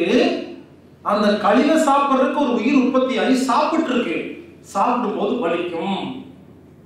இப்ப சொல்லுங்க இவங்க ஆராய்ச்சி பண்ணி பார்த்துட்டு அந்த கிருமி இருக்கீங்களா பாக்டீரியா பாக்டீரியா சார் இதை ஸ்கேன் பண்ணி பார்த்துட்டு இதுக்கு கேன்சர் கிருமிகள் பேர் வச்சிருக்காங்க. என்ன பண்ணுவாங்க? ரேடியேஷன் கொடுத்து அங்க இருக்கிற கிருமியை சாகடிச்சிருவாங்க. அப்புறம் செக் பண்ணி பார்ப்பாங்க கேன்சர் கிருமி இல்ல அப்படிம்பாங்க. நாங்க குணப்படுத்திட்டோம்பாங்க. ஆறு மாசம் மறுபடியும் வந்துடும் ஏன் வந்துச்சு? அந்த கழிவு இருக்கிற வரைக்கும் அதை சாப்பிட்றதுக்கு கழிவுக்குள்ள இருக்க ஒரு உயிர் உற்பத்தி ஆகிட்டே தான் இருக்கும். அந்த கழிவை எடுத்தா மட்டும் தான் குணப்படுத்த முடியும். அதை அங்கேயே வச்சுட்டு கிருமி மட்டும் சாகடிச்சிட்டு இருந்தா குணப்படுத்த முடியாது. ஒரு சின்ன உதாரணம் சொல்றேன். பைபாஸ் ரோட்ல ஹைவேஸ்ல ஒரு நாய் செத்து போச்சு. நாய் அடிபட்டு. நாய் கிடக்குது பக்கத்துலேயே உட்காந்துருக்கேன் மூணு நாள் நாலு நாள் அஞ்சு நாள். என்ன தெரியுமா? ஒரு ஒரு வாரத்துக்கு அப்புறம் அந்த நாய்க்கு மேல ஆயிரம் புழு இருக்கும். பார்த்துருக்கீங்களா? புழு மொச்சிட்டு இருக்கும். நான் கேட்கிறேன் இந்த ஆயிரம் புழுக்களும் தூரமா இருந்து ஏய் மச்சான் அங்க வாங்கடா. ஒரு நாய் செத்து போயிருக்கு. வாங்க வந்துச்சா? லைனா வந்துச்சா? நாய்ங்கிற ஒரு உயிர் செத்து போய் ஆயிரம் புழு உயிரா மாறிடுச்சு. அந்த புழுவோடைய அம்மா அப்பாவே நாய் தாங்க. செத்து போன நாய் தான் புழுவா மாதிரி இருக்கு இப்போ. இது ஒரு போட்டோ பிடிச்சி நீங்க எழுதுங்க. பெரிய சயின்டிஸ்ட் இந்த புழுக்கள் ஆயிரம் புழுக்கள் ஒண்ணு சேர்ந்து நாயை கொலை பண்ணிடுச்சுங்கிறதுலாம் எப்படி காமெடியா இருக்கு? அப்படிதாங்க. கேன்சர் கிருமி வந்து உடம்புல அந்த- உறுப்பு எல்லாம் டேமேஜ் பண்ணிடுச்சு எழுதி வச்சிருக்காங்க கேன்சர் கிருமி வந்து டேமேஜ் பண்ணல. அழுகி போன உறுப்புகள் கூட இருந்து ஒரு ஒரு உயிர் உற்பத்தி ஆகுது அது எப்படி எல்லாம் அழுகி போகுதோ வேற வேற வித்தியாசமான உயிர் உருவாகுங்க. அதெல்லாம் கணக்கெல்லாம் போட முடியாது. எழுதி வச்செல்லாம் பார்க்க முடியாது. சயின்ஸ் எல்லாம் தெரியும். அவ்வளோ உயிர்கள் இருக்கு. பஞ்சபூதத்தில் என்னென்னமோ மாறும். கடலுக்குள்ள எவ்வளவு மீன் இருக்கு தெரியுமா? எத்தனை லட்சம் டைப் இருக்கு தெரியுமா? அந்த மாதிரி நம்ம உடம்புக்குள்ள லட்சக்கணக்கான கிருமிகள் திடீர்னு உருவாகும் திடீர்னு சாகும். இது எல்லாம் கணக்கு போட்டு உட்கார்ந்து எழுதிட்டு ஆராய்ச்சி பண்றதா? இந்த ஜென்மம் பத்தாது. புரிஞ்சுக்க வேண்டியது உடம்புல கழி இருக்கக்கூடாது. நம்ம டெக்னிக் யாராவது ஃபாலோ பண்ணீங்கன்னா என்ன தெரியுமா? அக்கி வரும். அக்கின்னா என்ன? திடீர்னு கிச்சுக்கிட்டு இந்த இடத்துல இருந்து ஒரு கொப்பளம் மாதிரி வருது அப்படியே அப்படியே அழுக்கெல்லாம் வெளியே வருது. இங்கே வரும் அது வரும். பயப்படாதீங்க. அது வந்தா கேன்சர் தப்பிச்சிங்கன்னு அர்த்தம். வரலன்னா அதான் கேன்சர் ஆக போகுதுன்னு அர்த்தம். நம்ம டெக்னிக் யாரெல்லாம் ஃபாலோ பண்ணல போது பண்ணி பயப்படுவாங்க. சார் நீங்க சொன்னதை ஃபாலோ பண்ணலருந்து காலத்துக்கு திடீர்னு ஒரு புண்ணு மாறிங்க. அப்படியே அடுத்தடுத்தா வெளியே வருதுங்க. அக்கி வந்துருச்சுங்க அங்க வந்துச்சு இங்க வந்துச்சுமாங்க சந்தோஷமா இருங்க. அந்த களி வெளியே வந்து வெளியே போகுதா? உடம்புக்கு எப்ப தெம்பு வருதோ சக்தி நிறைய கிடைக்குதோ தைரியம் என்ன பண்ணும்? இந்த கழிவுகளை அதுக்கு அங்கங்க அப்படியே பேக் பண்ணி வெளியே வச்சுட்டுரும் ரொம்ப வருஷமா வாந்தி வழியா மூக்கு வழியா அரசு வழியா போகாத கழிவுகள் கட்டி கட்டியா இருக்குங்க யாருக்கும் தெரியாது. அதெல்லாம் அங்கங்க வெளியே வரும். பயப்படாதீங்க. அதெல்லாம் கேன்சர் கட்டி வெளியே வந்தா அக்கி வராட்டி கேன்சர் இவ்வளவுதாங்க. இந்த சின்ன சின்ன ரகசியங்கள் தெரியாம பல பேர் இன்னும் செத்துட்டு இருக்காங்க கேன்சர் எய்ட்ஸ் சொல்லிட்டு. நீங்க புரிஞ்சுக்கங்க. கேன்சர் எய்ட்ஸ்ங்கிறது ஒரு பெரிய நோயெல்லாம் கிடையாதுங்க. உடம்புல ஒரு நோய் கிருமியை கொலை பண்ற அறிவு கெட்டு போச்சுன்னா எய்ட்ஸ் உறுப்புகளை புதுப்பிக்கிற அறிவு கெட்டு போச்சுன்னா கேன்சரு கழிவுகள் அதிகமாகி தேங்கிச்சுன்னா கேன்சர் இவ்வளவுதான். இவங்க என்ன பண்றாங்க? ஒரு இடத்துல கேன்சர் வந்துச்சுன்னா ஆபரேஷன் பண்றேங்கிற பேர்ல என்ன பண்ணுவாங்க? அறுத்து எடுக்கிறாங்களா? நல்லா கேட்டுங்க கேன்சருக்கு மட்டும் ஆபரேஷன் பண்ணி அறுத்து எடுத்துட்டீங்கன்னா அது பரவ ஆரம்பிச்சிடும் சொல்றாங்க இல்லையா? அதுக்கப்புறம் பரவிச்சுன்னு ஏன் பரவிச்சு தெரியுமா?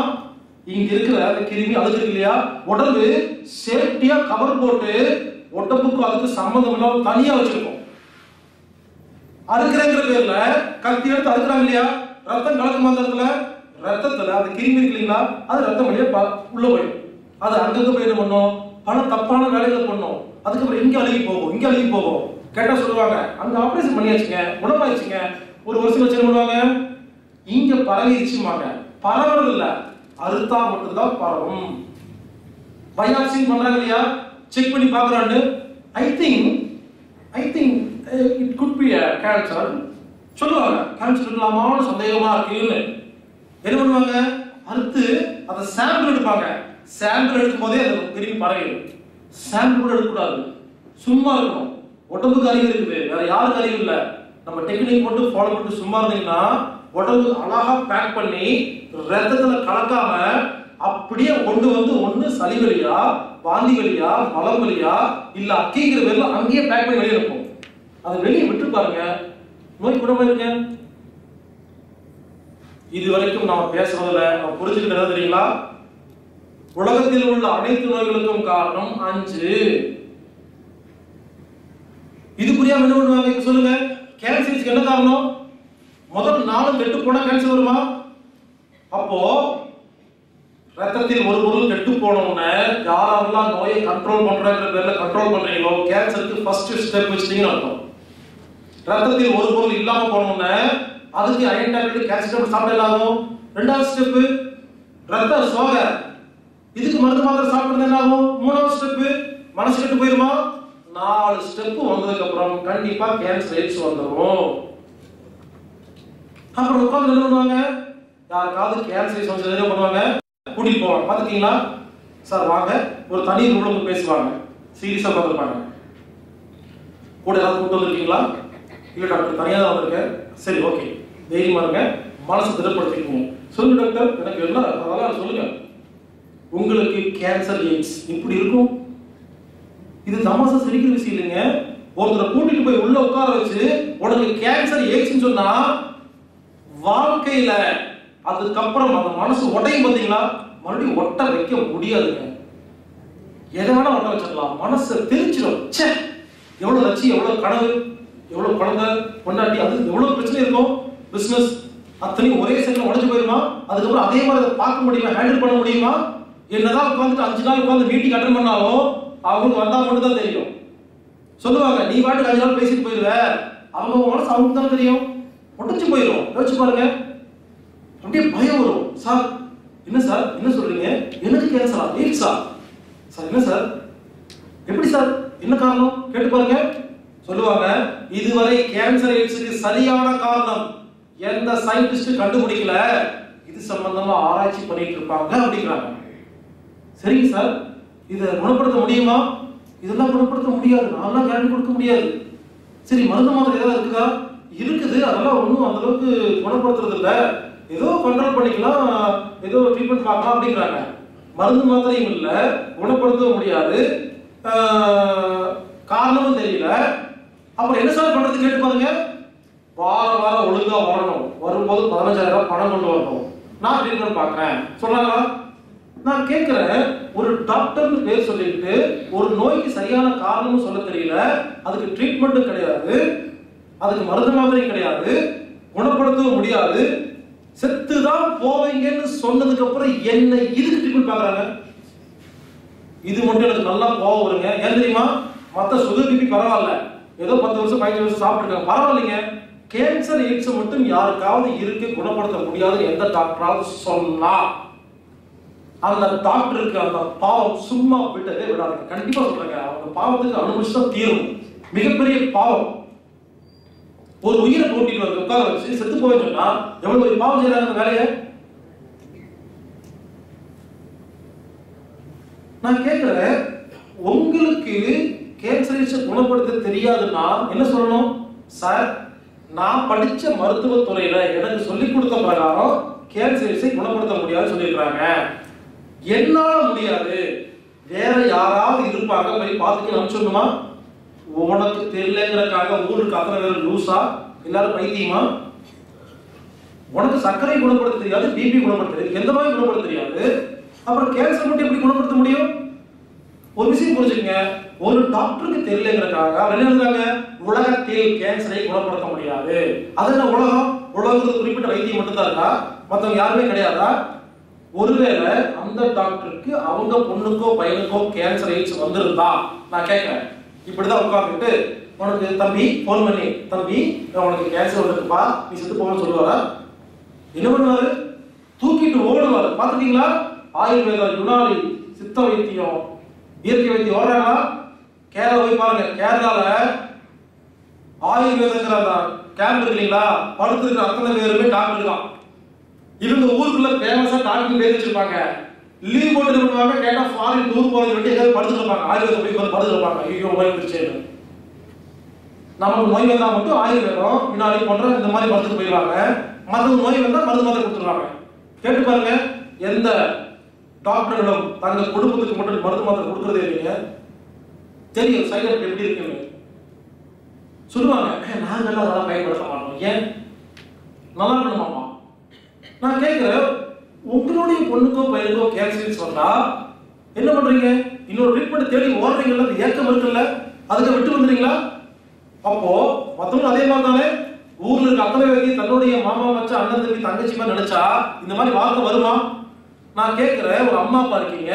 உங்க பையனுக்கு கேன்சர் ஆயிடுச்சுன்னு டாக்டர் சொல்றாரு.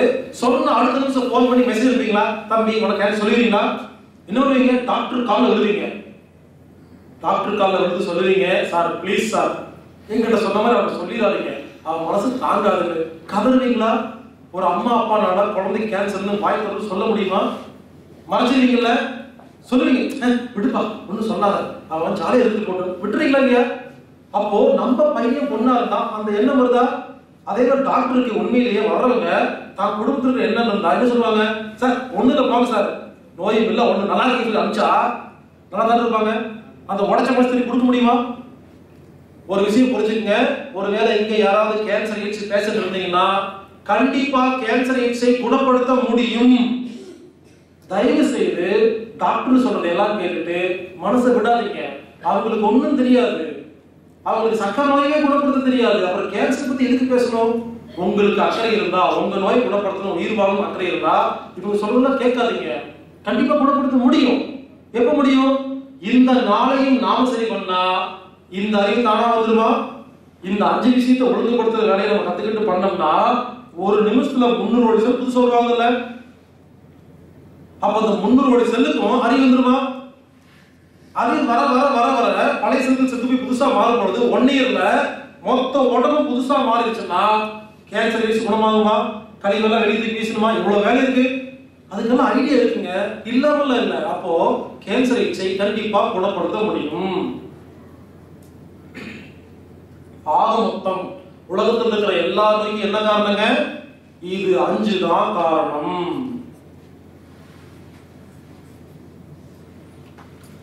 இப்ப நீங்க பாதி டாக்டர் ஆயிட்டீங்க.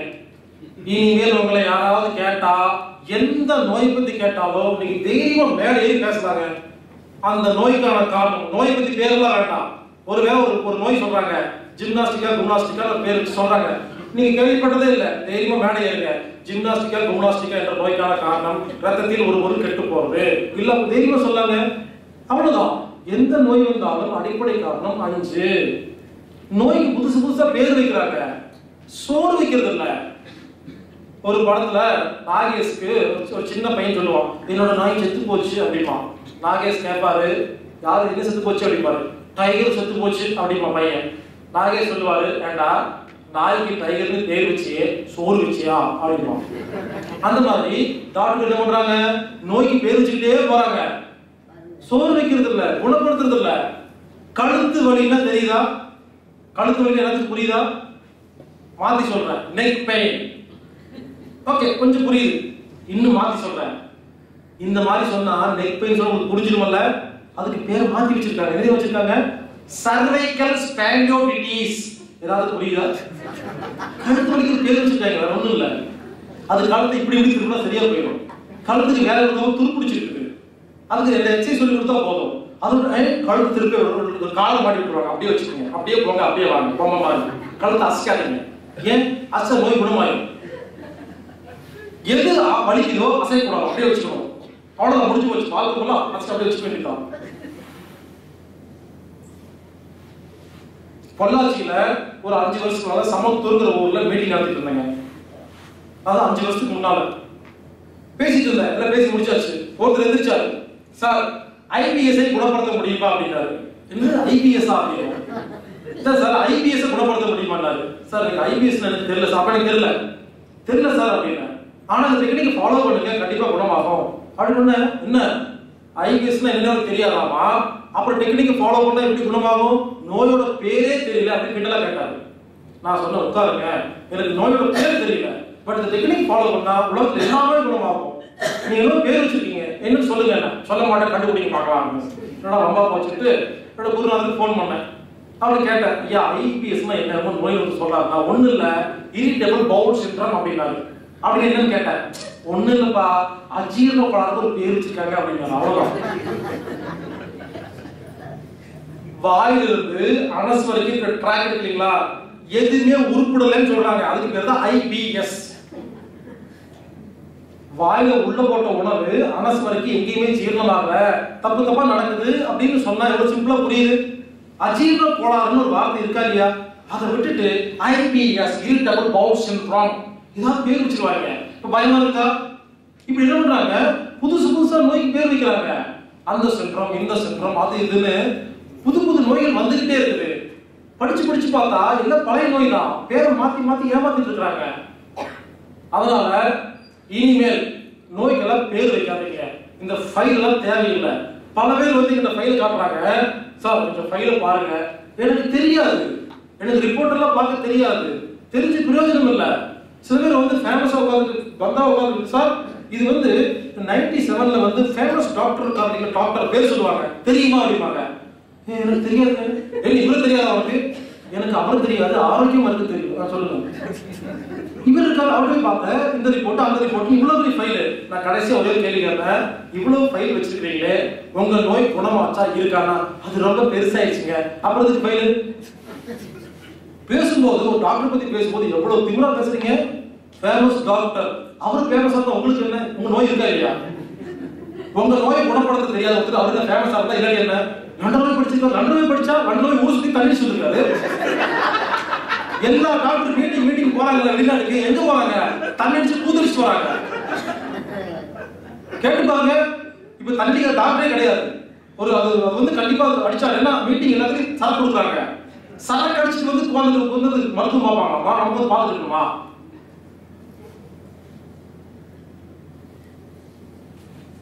வெளிநாட்டுக்கு போயிட்டு வந்தா போதாதுங்க. சரக்கு இருக்கணும் இங்க. இங்க சரக்கு அடிச்சு போய் இங்க சரக்கு இருக்கணும் நமக்கு ஒரு பெருமை. அந்த விசிட்டிங் கார்ல ஏபிசிடி இஜெட் வரைக்கும் போட்டா போதும். நிறைய படிச்சிருக்காருங்க.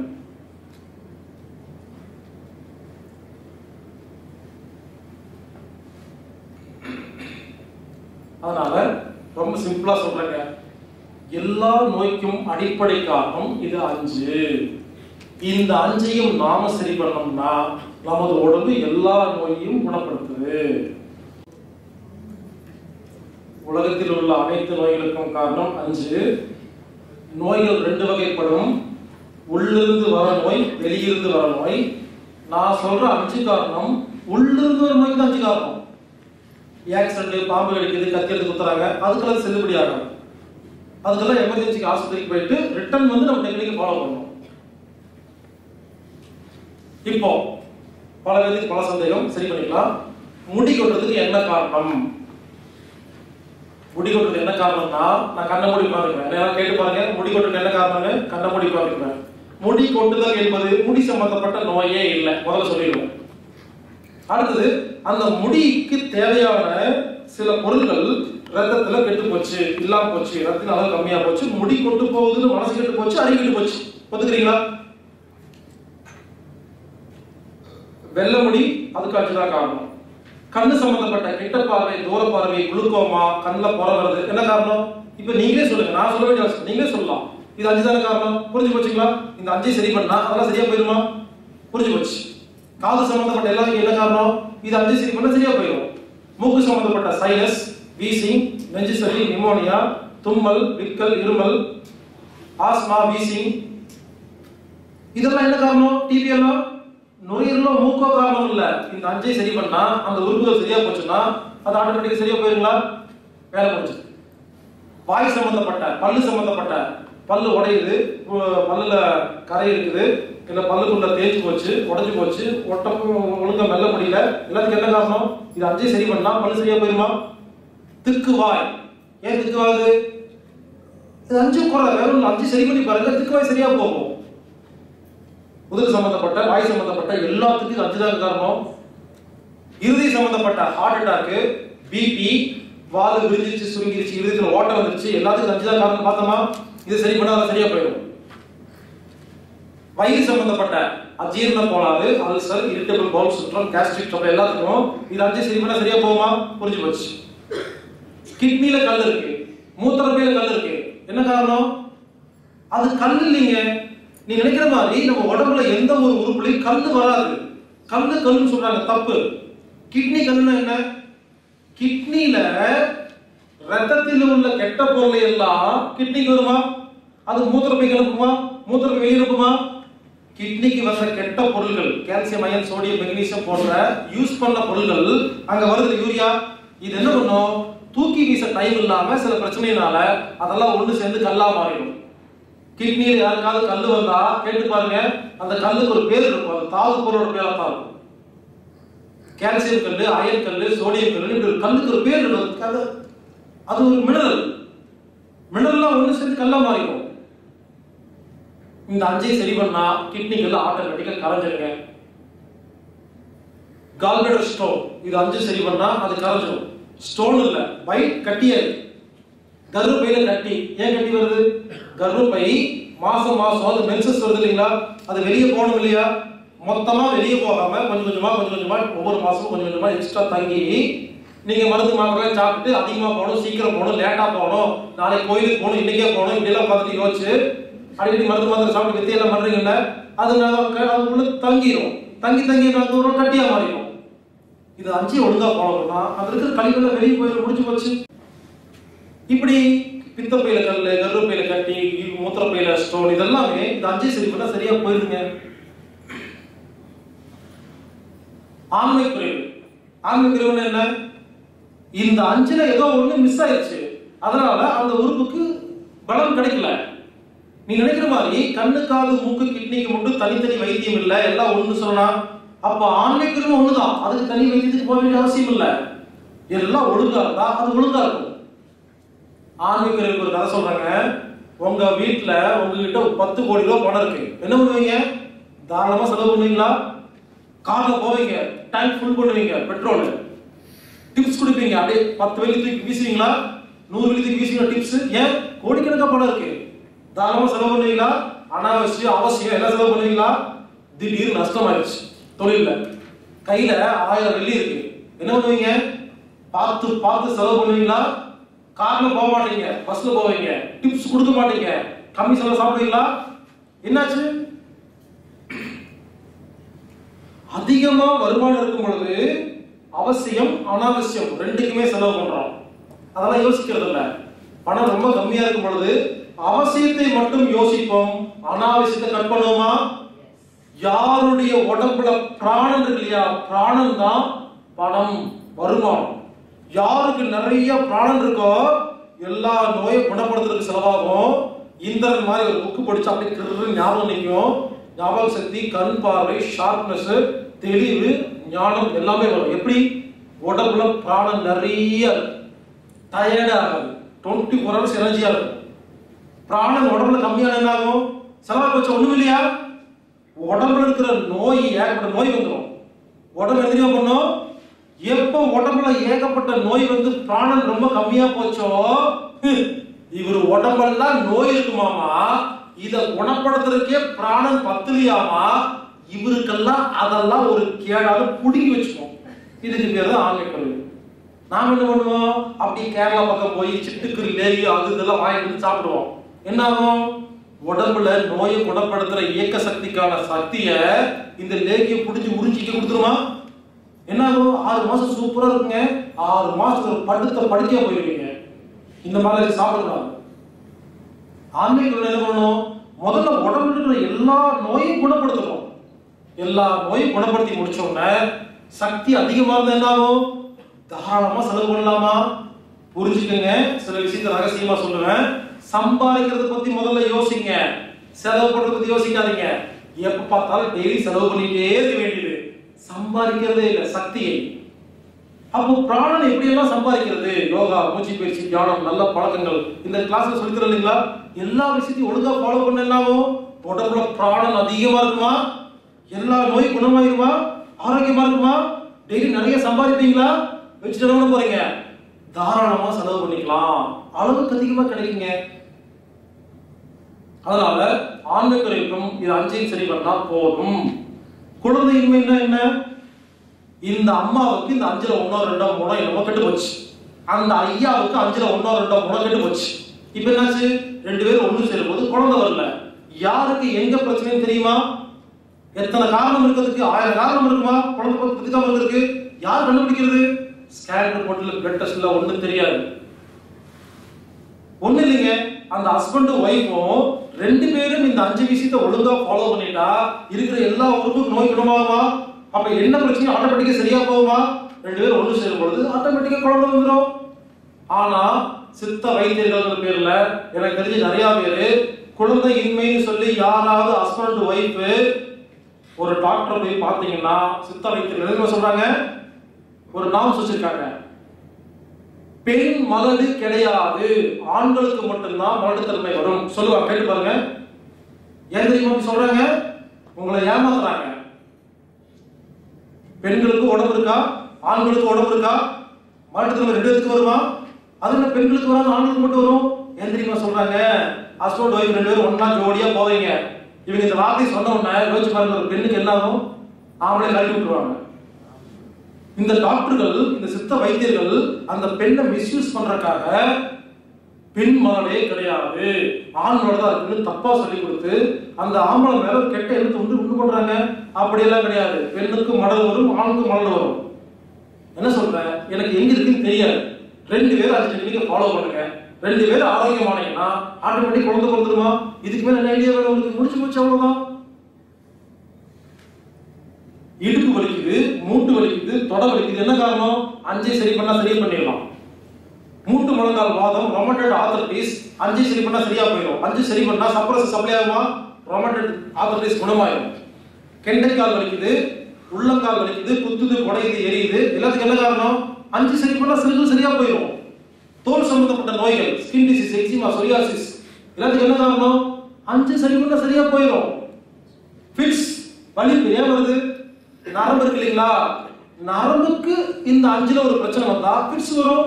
இந்த அஞ்சை சரி பண்ணா பிட்ஸ் சரியாயிடும் வலிப்பு. வெரிகோஸ் வெயின் நரம்பையே சுருண்டுது? இந்த பம்பு சொன்ன பார்த்தீங்களா இந்த பம்புக்கு அதிக வேலை கொடுத்தா நரம்பு சுருண்டுரும். நிக்கிற வேலையே பார்த்துட்டு இருப்பாங்க. நடந்துகிட்டே இருப்பாங்க. இந்த பம்ப் என்ன பண்ணும்? பம்ப் பண்ணி பம்ப் பண்ணி முடியாம நரம்பு சுத்தி வச்சிடும் கொஞ்சம் உட்காந்து ரெஸ்ட் எடுத்தா சரியா போயிடும். அப்போ அதுக்கு அஞ்சு காரணம் சரி பண்ணி பாருங்க. ஆட்டோமேட்டிக்கா சரியா போகும். Cancer AIDS thyroid. பாருங்க ஆரம்பத்துல சொன்னேன். எல்லா நோய்க்கும் அஞ்சு காரணம் சொன்னா அதுக்கப்புறம் உட்கார்ந்து முடி கொட்டுறதுல இருந்து ஆரம்பிச்சு கண்ணு மூக்கு வாய் இறங்கிட்டே வந்தா கீழே.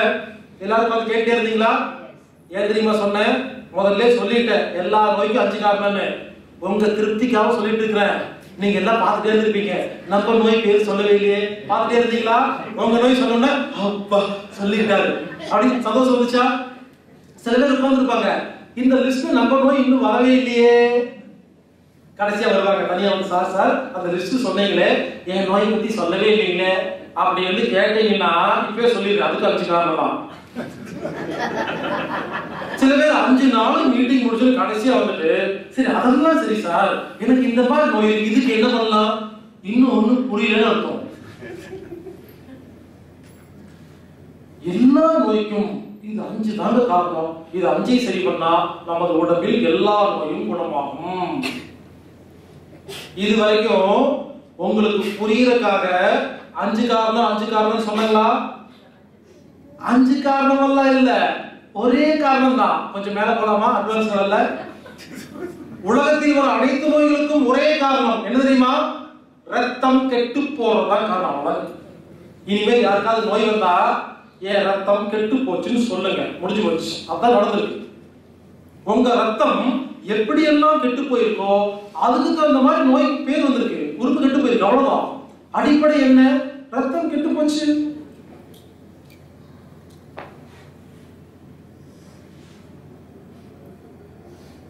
ஆரம்பத்துல சொன்னேன். நம்ம உடம்புக்குள்ள ஒரு சுரப்பி இருக்குது. அது ஒரு திரவத்தை சுரக்குது. அந்த திரவம் எல்லா நோயும் குணப்படுத்துன்னு சொன்ன பாத்தீங்களா? அந்த திரவம் என்ன அந்த சுரப்பி என்னன்னு பார்க்கலாங்க வேற ஒன்றும் இல்ல. அந்த சுரப்பிக்கு பேரு எலும்பு மச்சைகள் போன் மேரோஸ் அது சுரக்கிற திரவம் என்ன? ரத்தம்.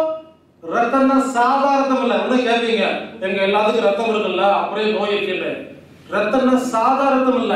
கேட்டுங்க எல்லா பொருளும் நல்ல பொருளா தேவையான அளவு வீரியத்தோட சுத்தமா இருக்கிற ஒரு துளி ரத்தம் எந்த செல்லுக்கிட்ட போகுதோ அந்த செல்லு கதவு திறந்து அதுக்கு என்ன பொருள் வேணுமோ அது நல்ல பொருளா தேவையான அது சுத்தமா இருந்துச்சுன்னா எடுத்தா அது நோய் குணமாயிருமா? அப்போ நகம் அழுகி போச்சு. இதுக்கு என்ன மருந்து? சுத்தமான ரத்தம். இங்க சப்ளை ஆனா சரியா போயிருமா? கிட்னி ஃபெயில் ஆயிடுச்சு.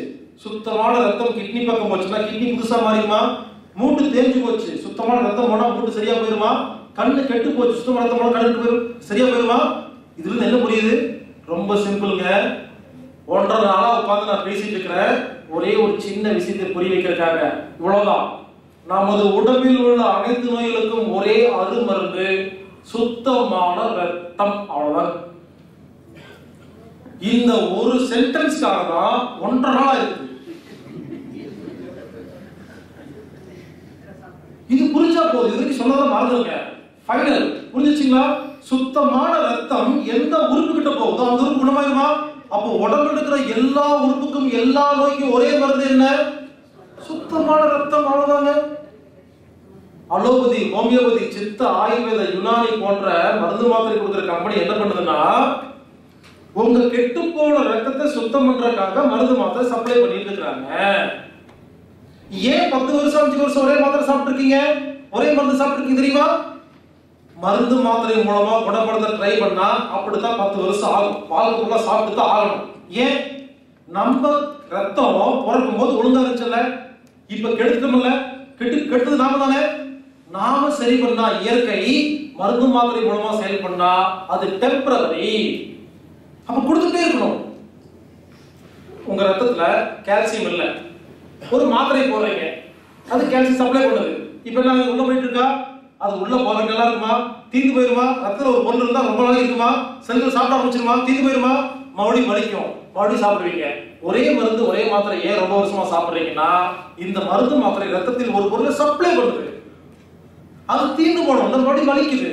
மறுபடியும் அதே மாத்திரை சாப்பிடுறீங்க. ஏன்? இயற்கையா சப்ளை பண்றதுக்கு இது வரைக்கும் யாரும் உங்களுக்கு ஐடியா சொல்லி கொடுக்கல. அதான் பிரச்சனை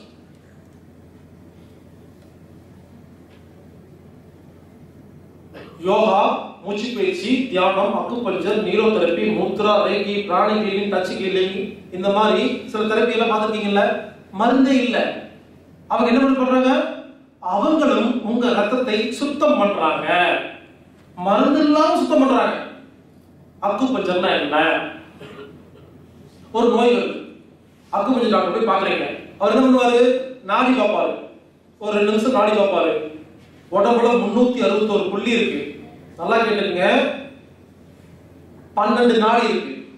பன்னெண்டு நாடி பிடிச்சி பார்ப்பாரு உடம்புல இருக்கிற பன்னெண்டு உறுப்புக்கு பன்னெண்டு நாடி. அவர் கால்குலேட் பண்ணுவாரு. பன்னெண்டு உறுப்புல எந்தெந்த உறுப்புல எனர்ஜி இருக்கு இல்லைங்கிறத நானும் காட்டும். பார்த்தாச்சா? எந்தெந்த உறுப்புல எனர்ஜி இல்லையோ அந்த உறுப்புக்கு எனர்ஜி கொடுக்குற வேலையை மட்டும்தான் இந்த அக்குபஞ்சர் டாக்டர் பார்க்கறாரு. முன்னூத்தி அறுபத்தோரு புள்ளியில எந்தெந்த புள்ளியை தொட்டா இவங்களுக்கு அந்தந்த உறுப்பு ஆக்டிவேட் ஆகும் கண்டுபிடிச்சு சயின்ஸ் அப்படி தொடுவாரா? ஊசி போடுவாரா?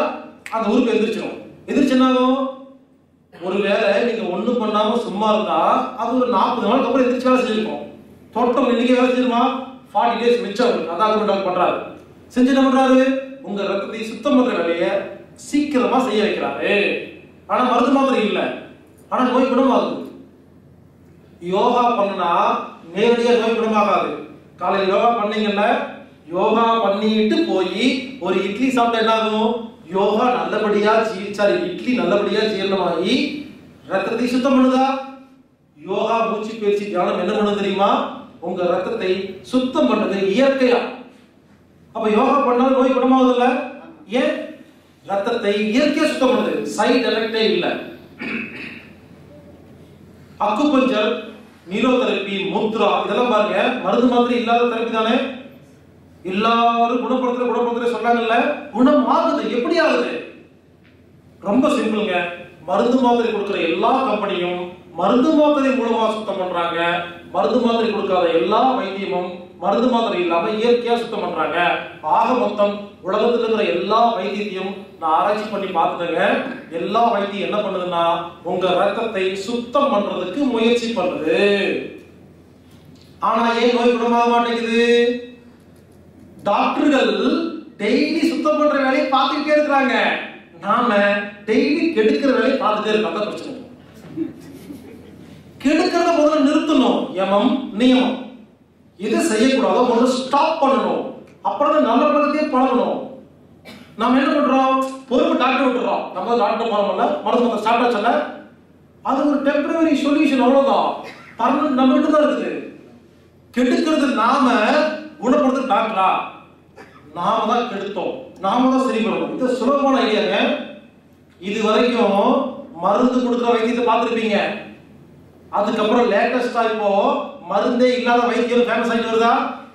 இப்ப அதோட லேட்டஸ்ட் மருத்துவரே இல்லாத வைத்தியம். நமக்கு நாமே வைத்தியம். முடிஞ்சு போச்சுங்க.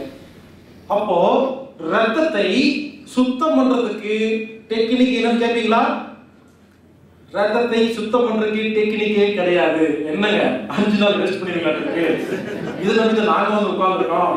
இவ்வளவு நேரம் ஒன்றரை நாளா பேசி ரத்தம் கெட்டு போக நோய் சொல்லிட்டு இப்ப டெக்னிக்கே இல்லைன்னு சொல்றீங்கன்னா ரத்தத்தை சுத்தம் பண்றதுல டெக்னிக்கலா ஒண்ணும் இல்ல. கெடுக்காம இருந்தா போதும் அவ்வளவுதான். நாம கெடுத்துட்டு இருக்கிறோம். அதை போல ஸ்டாப் பண்ணா இயல்பு வந்து ரத்தம் சுத்தமா தான் இருக்கும். நீங்க ஒன்றும் சுத்தம் பண்ண வேண்டாம். டெய்லி கெடுக்காம இருந்தா போதும். அப்ப ரத்தத்தை கெடுக்கிறது எப்படின்னு தெ- தெரிஞ்சு அதை செய்யாம இருந்தா ஆட்டோமேட்டிக்கா சுத்தமாயிருது. அதனால கடைசி என்ன புரிஞ்சுக்கிட்டோம். நமது உடம்பில் வரும் அனைத்து நோய்களுக்கும் காரணம் ரத்தம் கெட்டு போறது ரத்தத்தை சுத்தம் பண்றதுதான் வைத்தியம். நோய்கள் உறுப்புகள் இல்ல ரத்தத்துல தான் இருக்கு. இன்னும் யாருக்காவது சந்தேகம் இருந்தா கடைசியா ஒரு உதாரணம். யாருக்காவது மூட்டு வழியில் ஆஸ்பத்திரி போனீங்கல்ல கையில ஊசி போட்டாங்கல்ல என்னைக்காவது யோசிச்சு பார்த்தீங்களா? மூட்டு தானே வலிக்குது. இந்த டாக்டர் ஏன் கையில ஊசி போட்டாரு அப்படின்னு யோசிச்சீங்களா? ட்ரீட்மெண்ட் இது கையில? வலி கையில இருக்கு மூட்டு தான் இருக்கு. புரிஞ்சுக்கங்க. மூட்டு வலி என்பது மூட்டு சம்பந்தப்பட்ட நோய் இல்லை உங்க ரத்தத்துல மூட்டில் இருக்க செல்களுக்கு தேவையான ஒரு பொருள் கெட்டு போச்சு இல்லாம போச்சு. இதை கண்டுபிடிச்ச சயின்டிஸ்ட் என்ன பண்ணிட்டாங்க? உங்ககிட்ட எல்லாம் சொல்லி கொடுத்தா நீங்க எல்லாம் நல்லா போயிருவீங்களோ நல்ல நல்ல சொல்லியே கொடுக்காம மருந்து மாத்திரை எல்லாம் கண்டுபிடிச்சு என்ன பண்ணிட்டாங்க? ஊசியில சொல்லிட்டாங்க. ட்ரீட்மெண்ட் கையில் இல்ல மூட்டுல இல்ல ட்ரீட்மெண்ட் ரத்தத்துல. அந்த பொருள் ரத்த கலந்து இல்லையா? அந்த பொருள் ரத்தம் வழியா சுத்திக்கிட்டு மூட்டுக்கிட்ட வரும்போது மூட்டு எடுத்து சாப்பிடுதா? இப்ப சொல்லுங்க. இது மூட்டு வழியா ரத்தம் கெட்டு போனதா? முடிஞ்சு போச்சு. எனக்கு சின்ன வயசுல கண்ணு வலிச்சுதுங்க. நான் ஆஸ்பத்திரிக்கு போனேன். என்ன டாக்டர் என்ன பண்ணாரு? குப்புற படுக்க வச்சு இங்க ஊசி குத்திட்டாரு அப்பதான் யோசிச்சேன் எனக்கு இதுதானே வலிக்குதுன்னு சொன்னேன். அதுவா வலிக்குதுன்னு சொன்னேன். அங்கே ஊசி குத்துறாரு அப்புறம் தான் புரிஞ்சது அங்க குத்துல ஊசி ஒரு பொருள் ரத்த மொழியை சுத்திக்கிட்டு கண்ணுக்கிட்ட போய் கண்ணு குணமாயிடுச்சு அப்பதான் யோசிச்சேன் கண்ணு சம்பந்தப்பட்ட நோயே இல்லை. காது வலிக்குதுங்க. வாயில மாத்திரை சாப்பிடுறீங்க? வாயில மாத்திரை சாப்பிட்டா காது எப்படி குணமாகுது? அப்போ வாயில சாப்பிட்ட மாத்திரை ஜீரணமாகி ரத்தத்துல போய் கலந்து அதை சுத்திக்கிட்டு காது கிட்ட போகும்போது காது குணமாகுதா? இப்ப சொல்லுங்க ஊசி மருந்து மாத்திரை மூலமா குணமாகுது குணமாகுதுன்னு ட்ரை பண்ணிட்டு இருக்கீங்களே அது உறுப்பு சம்பந்தப்பட்ட நோயா? கிடையாது. ரத்தம் சம்பந்தப்பட்ட நோய். இது புரியலீங்க. உலகத்தில் உள்ள அனைத்து நோய்களுக்கும் இது அஞ்சுதான் காரணங்கிறத புரிஞ்சுக்கிட்டா போதுங்க. இன்னும் சிம்பிளா சொல்றேங்க. ஒரு ஆக்சிடென்ட் ஆகுது. ஆஸ்பத்திரிக்கு போறீங்க. என்ன பண்றாங்க? உங்களை படுக்க வச்சு ஒரு டப்பா மாட்டுறாங்களா? வெள்ளைக்காய் டப்பா? என்ன சொல்றீங்க? குளுக்கோஸ் டப்பா பேர் வச்சிருக்கீங்களா? அது குளுக்கோஸ் இல்ல. ஒரு சில இடத்துல குளுக்கோஸ் மாட்டுவாங்க சோடியம் பிளட் மாட்டுவாங்க கலெக்ட் நிறைய டிஃப்ரெண்ட் டைப் இருக்கு. கையில ஊசி சொல்லுறாங்களா ஒரு டப்பா மாட்டிருக்கா? கோமால படுத்திருக்காரா? மூணு மாசம் எந்திரிக்கவே இல்லை. வாயில சாப்பாடு போகல. தண்ணி குடிக்கல. மூத்திரம் மட்டும் போயிட்டு இருக்கு. பாத்துக்கீங்களா குளுக்கோஸ் டப்பா மட்டும் மாத்தி மாத்தி மாத்தி வச்சுட்டு இருப்பாங்க நான் கேட்கிறேன். எப்படி உயிரோடு இருக்கிறாரு? அவர் சாப்பிடல. தண்ணி குடிக்கல. எப்படி இருக்கிறாரு? சாப்பாட்டு மூலியமா என்ன பொருள் உள்ள போகுதோ தண்ணி மூலமா என்ன பொருள் உள்ள போகுதோ அந்த பொருள் கடைசி என்னவா மாறுமோ அந்த பொருளை இந்த டப்பா வழியா கையில் இருக்கிறாங்களா இந்த கையில் எடுக்கும் போது கண்ணுக்கு தனி டப்பா மூக்கு தனி டப்பா வச்சாங்களா? ஒரே டப்பா சொட்டு சொட்டா சொட்டு சொட்டா தண்ணி உள்ள போயிட்டு இருக்கா அப்போ ஒரே ஒரு பொருளை சொட்டு சொட்டா அனுப்பிச்சிட்டா எல்லா செல்லும் உயிரோடு இருக்கா? இதுல என்ன புரியுது? ரத்தம் தான் நோய். ரத்தத்துல இவங்க என்ன பண்ணுவாங்க தெரியுங்களா? இப்பதான் பிளட் டெஸ்ட் எடுக்கணும். பிபி சுகர் டெஸ்ட் பண்ணி பார்க்கணும். கேல்சியம் டெஸ்ட் பண்ணி பார்க்கணும். தைராய்டு டெஸ்ட் பண்ணுங்க. ஆக்சிடென்ட் ஆகும் பொழுது எந்த உறுப்பு எந்த உறுப்பு டேமேஜ் ஆச்சு தெரியுமா? கடையை கடையை வந்து கடைக்கு மேல நாலு டயர் ஏறிக்கும் இருக்கும் கடை போயிருக்கும். இப்ப இனிஷியல் என்ன பண்றது? மருந்து கொடுத்து ஆகணும். தைராய்டு மேல கம்மி ஏறி இருக்கும் தைராய்டு வேலை செய்யாது. அடிபட்டுருக்கோம். வேலை செய்யாது. அப்ப தைராய்டு செக் பண்ணி தான் ஆகணும் தைராய்டு மாத்திரை சாப்பிட்டு தான் ஆகணும். நான் வேண்டாம்னு சொல்ல எப்போ? எமர்ஜென்சிகளை மட்டும்தான் நாம ரத்தத்தில் எல்லா பொருளும் நல்ல பொருளா வைக்கிறதுக்கு இந்த டெஸ்ட் எல்லாம் பண்ணி பண்ணி ரெடி பண்ணுவாங்க. பாத்துக்கீங்களா ஒண்ணு இல்லைங்க. உங்களுக்கு எந்த நோய் இருந்தாலும் ஹாஸ்பிட்டல் தெரியுமா பண்றாங்க? பிளட் டெஸ்ட் பண்ணி அதுல என்னென்ன பொருள் இருக்குன்னு டெஸ்ட் பண்ணி பார்த்துட்டு எது கம்மியா இருக்கோ அதிகமா இருக்கோ அதை மெயின்டைன் பண்றாங்க இல்லைங்களா? மெயின்டைன் பண்ணா உடம்புல இருக்கிற எல்லா நோயும் குணமாயிரும். இது வந்து எமர்ஜென்சி வீட்டுக்கு வந்துட்டு மெயின்டைன் பண்ணக்கூடாது. எல்லாமே இருக்கணும். அவ்வளவுதான். நல்ல பொருளா இருக்கும் சரியா போயிடும். இதுல இருந்து புரிஞ்சுக்கங்க. மூணு மாசம் கோமால படுத்திருக்கிற ஒருத்தருக்கு வெறும் குளுக்கோஸ் தண்ணி மட்டும் தானே உள்ள போகுது. இந்த இடத்துல மட்டும் தான் உள்ள போகுது. எப்படி எல்லா உறுப்பும் காப்பாத்திட்டு இருக்கு அப்ப தனித்தனி உறுப்புக்கு தனித்தனி வைத்தியம் பண்ணாங்களா இல்ல இல்ல. அதே மாதிரிதான். எந்த நோயா இருந்தாலும் ஒண்ணு கையில ஊசி போடுறாங்க இல்ல பின்னால போடுறாங்க. அப்ப என்ன அர்த்தம்? எங்க ஊசி போட்டாலும் வேலை செய்யல அப்ப நோய் உறுப்புகள்ல கிடையாது. ரத்தத்தில் தான் நோய். அதனால ஃபைனல் இப்ப என்ன வந்திருக்கு நாம உலகத்தில் உள்ள அனைத்து நோய்களுக்கும் அஞ்சு காரணம். அடுத்து அஞ்சு இல்ல ஒரு காரணம் ரத்தம் கெட்டு போறதா நோய் முடிஞ்சு போச்சுங்களா? இதுல அஞ்சு அஞ்சு பார்த்தோம் இல்லைங்களா இந்த அஞ்சுல மூணு தான் நம்பிக்கிட்டு இருக்கு. ரெண்டு உடம்பு பார்த்துக்கும். ரத்தத்தில் எல்லா பொருளும் நல்ல பொருளா வைக்கிறது நம்ம வேலைங்க. ரத்தம் ஊற நீங்க ஊற வைக்க முடியும்? அது எலுமிச்சை தானா பார்த்துக்கும். இது ரெண்டையும் நீங்க ஒழுங்குபடுத்தினா இது ஆட்டோமேட்டிக்கா ஒழுங்காயிருமா இது நம்ம கையில் கிடையாது. மனசை ஒழுங்கா வச்சுக்கிறது நம்மகிட்ட இருக்கு. அறிவை சரிப்படுத்தி நம்ம கிட்ட இருக்கா? செல்கள் புதுசா உருவாகுது இல்லையா? அது ஆட்டோமேட்டிக்கா அறிவு இருக்கும் இல்லையா? இது நம்ம வேலை கிடையாது. பாருங்க. அஞ்சு அஞ்சுன்னு சொல்லலாம் அஞ்சுல ரெண்டு நம்ம வேலை கிடையாது. ரத்தத்தில் எல்லா பொருளும் நல்ல பொருளா வைக்கிறதும் மனசை ஒழுங்கா வச்சுக்கிறது மட்டும்தான் நம்மகிட்ட நம்ம இருக்கு. ரத்தம் ஊறுறதும் அறிவை சரி பண்றதும் உடம்புடைய வேலை. அப்போ உலகத்தில் உள்ள அனைத்து எப்படி குணப்படுத்துறது? ரத்தத்தில் எல்லா பொருளும் நல்ல பொருளா வச்சுக்கிறது எப்படின்னு டெக்னிக்கு நம்ம கத்துக்க போறோம். மனசை எப்படி ஒழுங்கா வச்சுக்கிறதுன்னு கத்துக்க போறோம். இத மூளையும் சரி பண்றது எப்படிங்கிறது கத்துக்கிட்டோம்னா மத்த எல்லாத்தையும் உடம்பு பார்த்துப்போம் வாழ்க வையகம் வாழ்க வளமுடன் குருவே துணை எல்லா புகழும் இறைவனுக்கு.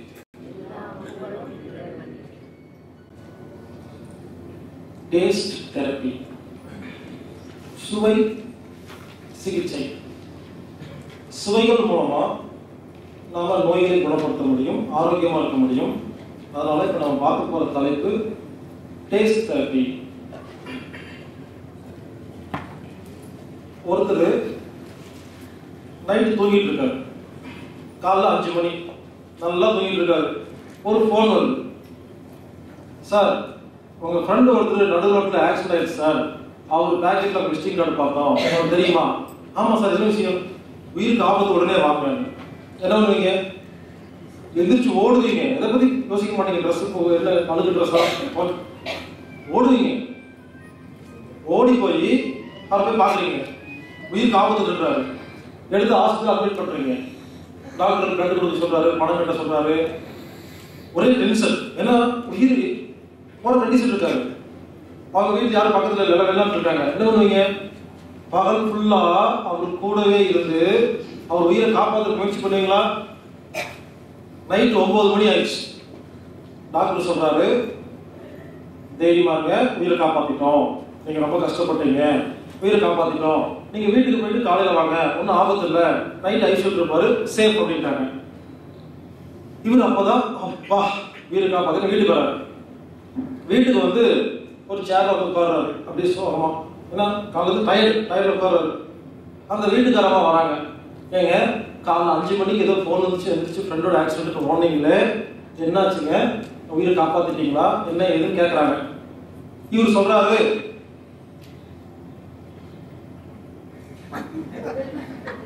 மைக்கு பிரச்சனை இல்லை. அவர் பேசுறாரு வார்த்தை வரமாட்டேங்குது. ஏன் தெரியுங்களா?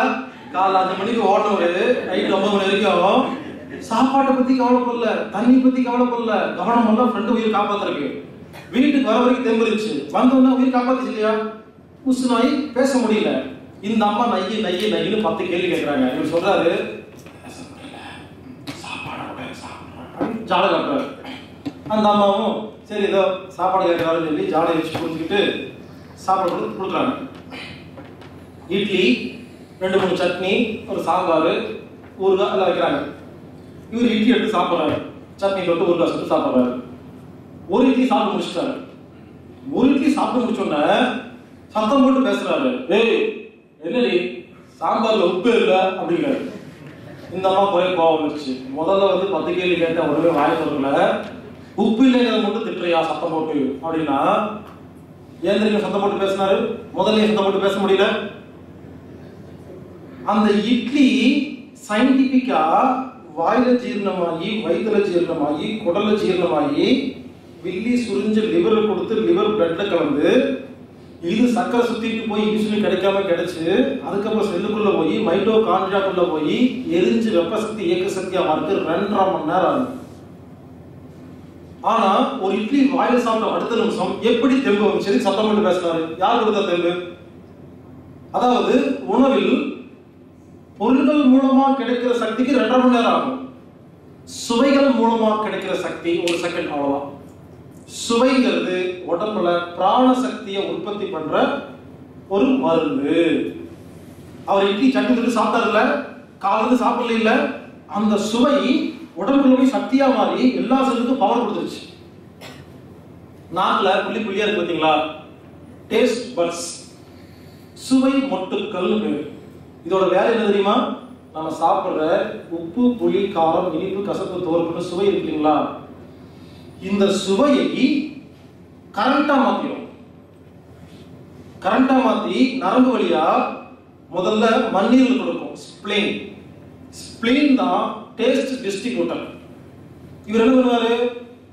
சுவைகளை எடுத்து எனர்ஜி பிராணசக்தியா மாத்தி எல்லா செல்லும் கொடுத்துருவாருங்க. நம்ம பார்த்தோம் இல்லையா? குளுக்கோஸ் பேக்ரியாஸ் இன்சுலின் மைட்டோகாண்ட்ரியா எல்லாம் போய் பிராணசக்தி கிடைக்குதுன்னு? பிராணசக்தி குளுக்கோஸ்ல மட்டும் கிடைக்காது. அது ஒரு வழி. சுவை ஒரு செல்லுக்கு நேரடியாக பிராணசக்தி கொடுத்துரும். இது எப்படி இருக்கு பாருங்க. இதுக்கு ரெண்டாம் மணி நேரம் ஆகும். வேலை. இது அப்படி இல்லை. ஒரு செகண்ட் தான். பிராணசக்தி கொடுத்துருதுங்க. நமக்கு தேவை என்ன? பிராணசக்தி தானே. குளுக்கோஸ் வழியா கிடைக்கணும் அவசியம் இருக்கா? சுவை நேரடியாக பிராணசக்தியாக மாறி எல்லா சக்திக்கும் சக்தியை கொடுக்குது. ஒரு உணவு எடுத்து வாயில போட்டு சுவையா இருக்கு இல்லையா வாயில போட்டு மெல்லுங்க. ஒரு சப்பாத்தி எடுத்து வாயில போட்டு மெல்லுங்க. டேஸ்டா இருக்கா? டேஸ்டா இருக்கா? கம்மியாயிட்டே வருதா? காணாம போச்சு டேஸ்ட் சப்புன்னு ஆயிடுச்சா? சுவை எங்க போச்சு? இன்னும் நீங்க முழுங்கல வாயில சுவை எங்க போச்சு? நாக்கு சுவை எடுத்து பிராணனா மாத்தி நரம்பு வழியா எல்லா செல்களுக்கும் சப்ளை பண்ணுது. நம்ம உடம்புக்கு பல வகையில பிராணம் கிடைச்சிட்டு இருக்கு. உணவு ஒரு வழி தூக்கம் ஒரு வழி தண்ணி ஒரு வழி உழைப்பு ஒரு வழி சுவையும் ஒரு வழி உங்க வீட்டில்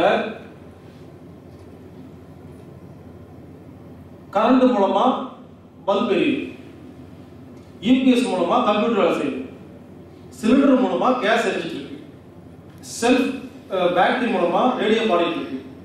இப்படி ஒவ்வொரு கரண்ட்ல ஒவ்வொரு வேலை செய்யுதா சோலார் மூலமா ஹீட்டர் வேலை செய்யுது. வேற வேற கரண்ட் தானே? கரண்ட் போச்சுன்னா ஹீட்டர் ஆஃப் ஆகுமா? ஆஃப் ஆகுது. அது சோலார் மூலம் வேலை செய்யுது. யூபிஎஸ்ல கரண்ட் தீர்ந்து போனா கம்ப்யூட்டர் மட்டும் தான் ஆஃப் ஆகும் ஃபேன் ஓடிட்டு இருக்கையில கரண்ட் வேலை செய்யுது. இப்படி யோசிச்சு பாருங்க. நம்ம வீட்டுக்குள்ளேயே வித்தியாசமான வேற வேற எனர்ஜி இருக்கு இல்லையா? அந்த மாதிரி நமது உடம்புல மொத்தம் அஞ்சு விதமான கரண்ட் இருக்கு. ஒண்ணு இந்த சாப்பிடுற சாப்பாட்டுக்கு உப்பு புளி காரம் இனிப்பு கசப்பு தோறுப்பு இல்லைங்களா? இந்த ஆறு சுவை உடம்புக்குள்ள அஞ்சு கரண்டா மாறும். ஒவ்வொரு சுவை நாக்கில் படும் பொழுது அது ஒரு கரண்டா மாறும். அந்த கரண்ட்டுக்கு ஒரு சில உறுப்புகள் தான் வேலை செய்யும். மற்ற உறுப்புகள் வேலை செய்யாது. உணவுல ஒரு குறிப்பிட்ட பர்சன்டேஜ் சுவை மூலமா பிராணன் பேலன்ஸ் தான் பொருள் மூலமா பிராணன் இனிமேல் அதிகமாக பண்ணாதீங்க. உணவு எடுத்து வாயில போடணும். நல்லா மெல்லணும்.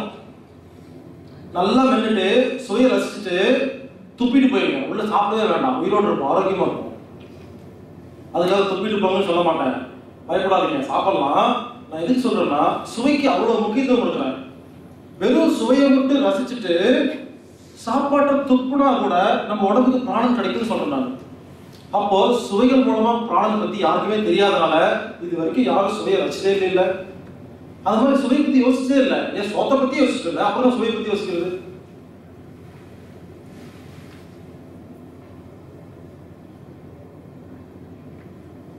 சுவைகள் மூலமா உடனே பிராணம் கிடைக்குது. பொருள்கள் மூலமா லேட் ஆகுது. ஒரு ஹோட்டலுக்கு போங்க. ஹோட்டலை பொறுத்த வரைக்கும் அஜினமோட்டா சோடா இதெல்லாம் போட்டு எப்படி டேஸ்டா சமைக்கிறதுன்னு யோசிப்பாங்களே தவிர சத்து பொருளை யோசிக்க மாட்டாங்க. பாத்துக்கீங்களா ஹோட்டலில் போய் சாப்பிட்டு பாருங்க. சாப்பிட்டு முடிச்சுட்டு பயங்கர தெம்பா இருக்குமா? ஒரு மணி நேரத்துக்கு ஜாலியா இருக்கும். ஏன் தெரியுமா? சொல்லுவீங்க சூப்பர் சாப்பாடு. ஏன்? சுவை தான் இருந்துச்சு இது உள்ள சுவை சுவை உள்ள போன ஃபுல் கரண்ட் சப்ளை ஆயிடுச்சா?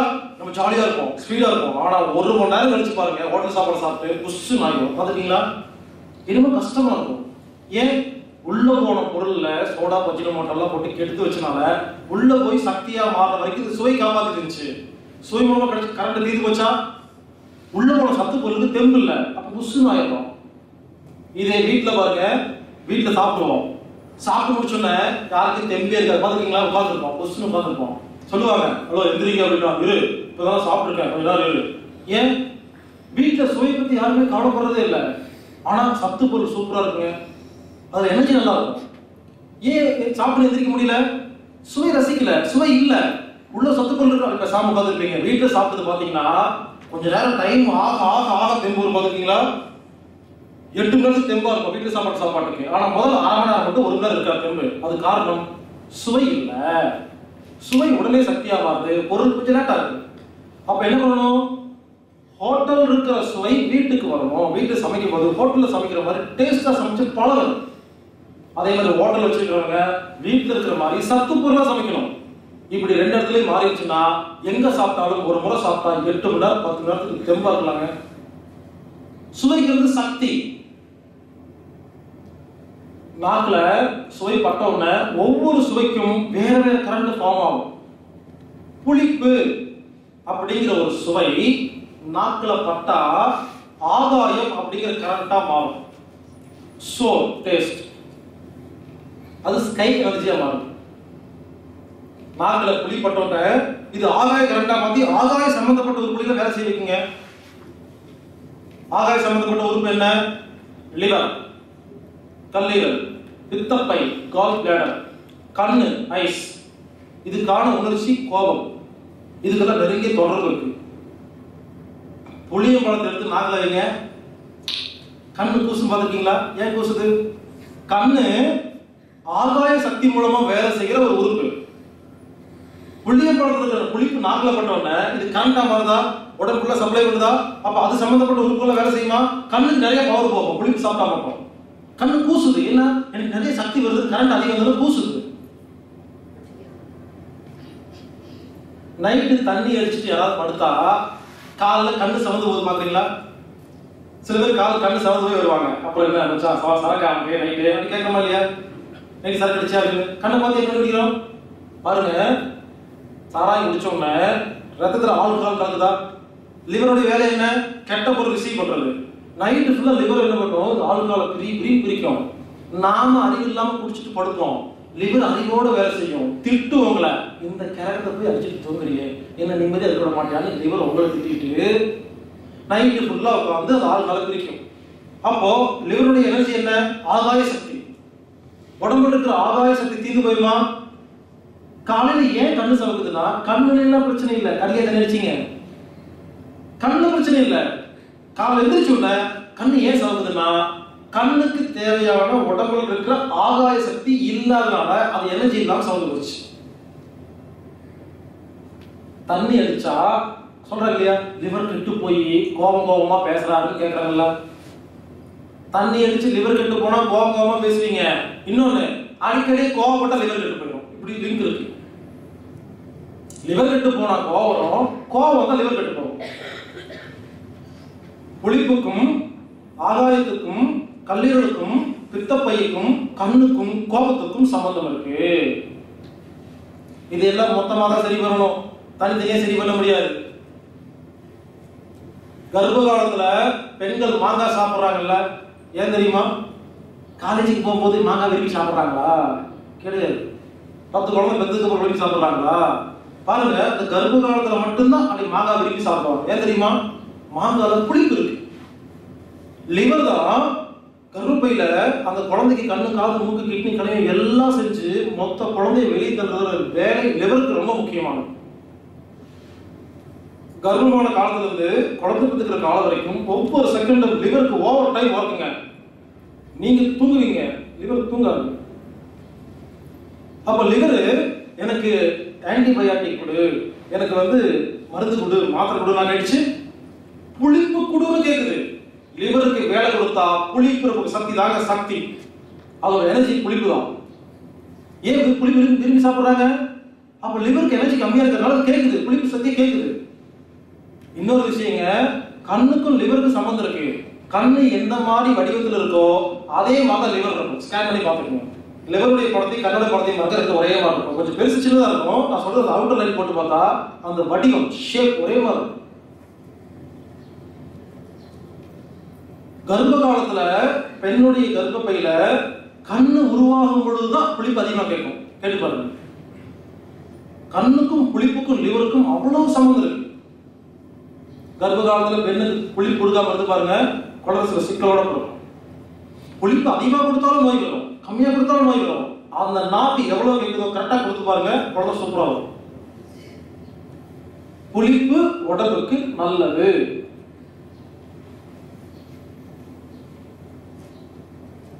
அப்போ ஒரு கண்ணில் ஒரு நோய் ஒருத்தருக்கு கண்ணை மட்டும் ஸ்கேன் பண்ணி ஆராய்ச்சி பண்ணி கண் டாக்டர் பாக்குறாங்கல்ல இது என்ன பிரயோஜனம்? யோசிச்சு பாருங்க.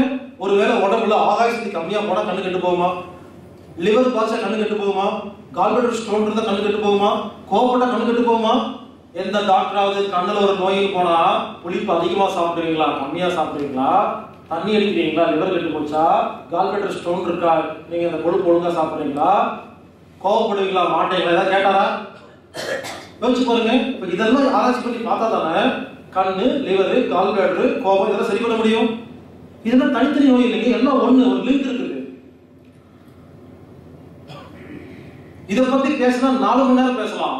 இப்படி லிங்க் பண்ணி லிங்க் பண்ணி. இனிமேல் லிங்கே புரிஞ்சுக்கிங்க அவ்வளவுதான். நான் மொத்தமா லிங்க் சொல்லிடுறேன். அதுக்கப்புறம் அது சம்பந்தப்பட்ட எல்லா வகைக்கும் காரணம் இருக்கு. அதுல ஒவ்வொரு லிங்க் இருக்குது. புளிப்பு ஆகாயம் கல்லீரல் பித்தப்பை கண்ணு கோபம். அவ்வளவுதான். இதுல லிங்க் இருக்கு. இப்படி பேசிட்டே இருக்கலாம். அப்போ ஒரு மனிதனோட உடம்புல ஆகாய சக்தியை சரி பண்ணா இது அத்தனை சக்தி அத்தனை உறுப்புகளும் குணமாயிடும் அதை மட்டும் நீங்க புரிஞ்சுக்கிட்டா போதும். தனித்தனி உறுப்புக்கு தனித்தனி சிகிச்சை எல்லாம் கிடையாது. அடுத்தது உப்பு. சால்ட் டேஸ்ட் உப்பை நாக்கில் வச்சா நம்ம உடம்புக்கு நீர் சக்தி கிடைக்கும். வாட்டர் எனர்ஜி கிடைக்கும். வாட்டர் எனர்ஜி மூலமா வேலை செய்யற உறுப்புகள் கிட்னி சிறுநீரகம் மூத்திரப்பை யூரினரி பிளேடர் காது இயர்ஸ் பயம். அவங்கவங்க காதும் கிட்னி ஒரே மாதிரி ஷேப்ல இருக்கும் செக் பண்ணி பாருங்க. உப்பு தின்னவன் தண்ணி குடிப்பான்னு சொல்றாங்க இல்லைங்களா? ஏன்? உப்பை நாக்குல வச்சு பாருங்க. உ- உப்பு என்ன பண்ணும்? நாக்குல பட்டு நீர் கரண்டா மாறி உடம்புல சப்ளை ஆயிருமா? அப்ப நீர் கரண்ட் மூலமா வேலை செய்யற கிட்னி என்ன பண்ணும் அது வேலை செய்யுமா? அது எனர்ஜி கிடைச்சிருமா? கிட்னியோட வேலை என்ன? உடம்புல இருக்கிற தண்ணி எல்லாம் எடுத்து நல்ல தண்ணியை ரத்தத்தில் கலந்து ரத்தத்தில் இருக்கிற கெட்ட பொருளை எல்லாம் எடுத்து கெட்ட தண்ணி எடுத்து மூத்திரம் அனுப்புறதான வேலை? உப்புதுன்னா ஏன் தண்ணி குடிக்கிறோம்? உப்பு தின்னா கிட்னி வேலை செய்யும். கிட்னி வேலை செஞ்சு உடம்புல தண்ணி தீர்ந்து போயிடும். அப்போ தாகம் எடுக்கும். எவ்வளவு உப்பு சாப்பிட்றீங்களோ அவ்வளவு தண்ணி குடிச்சு தான் ஆகணும். ஏன்? அவ்வளவு தண்ணி கிட்னி வெளியே வச்சுருக்கோம் இதான் கான்செப்ட் உப்புக்கு கிட்னிக்கு அவ்வளவு சம்மந்தம் இருக்கு. பயத்துக்கும் கிட்னிக்கும் உப்புக்கும் சம்மந்தம் இருக்கு. சொல்றாங்க இல்லையா? பயத்துல ஒண்ணுக்கு போயிட்டான். அப்படிங்கிறாங்க இல்லையா? நம்மளை பார்த்தா அந்த பையன் டெரர் நான் டெரர் என்ன பார்த்தா அந்த பையன் ஒரு பயத்துல ஒண்ணுக்கே போயிடும் அப்படின்னு சொல்றாங்களா? நாமளே சின்ன வயசுல சில பேர் அப்பா படிக்கும் அடிக்கும் போது பயந்து ஒண்ணுக்கு போயிடும் இல்லையா? ஏன்? பயம் தான் ஒண்ணுக்கு போகுது? பயம்ங்கிற உணர்ச்சி உடம்புல இருக்கிற நீர் சக்தியை சாப்பிட்டு போயிருங்க. ஒவ்வொரு உணர்ச்சிக்கும் நமது உடம்புல ஒரு கரண்ட் செலவாகும்.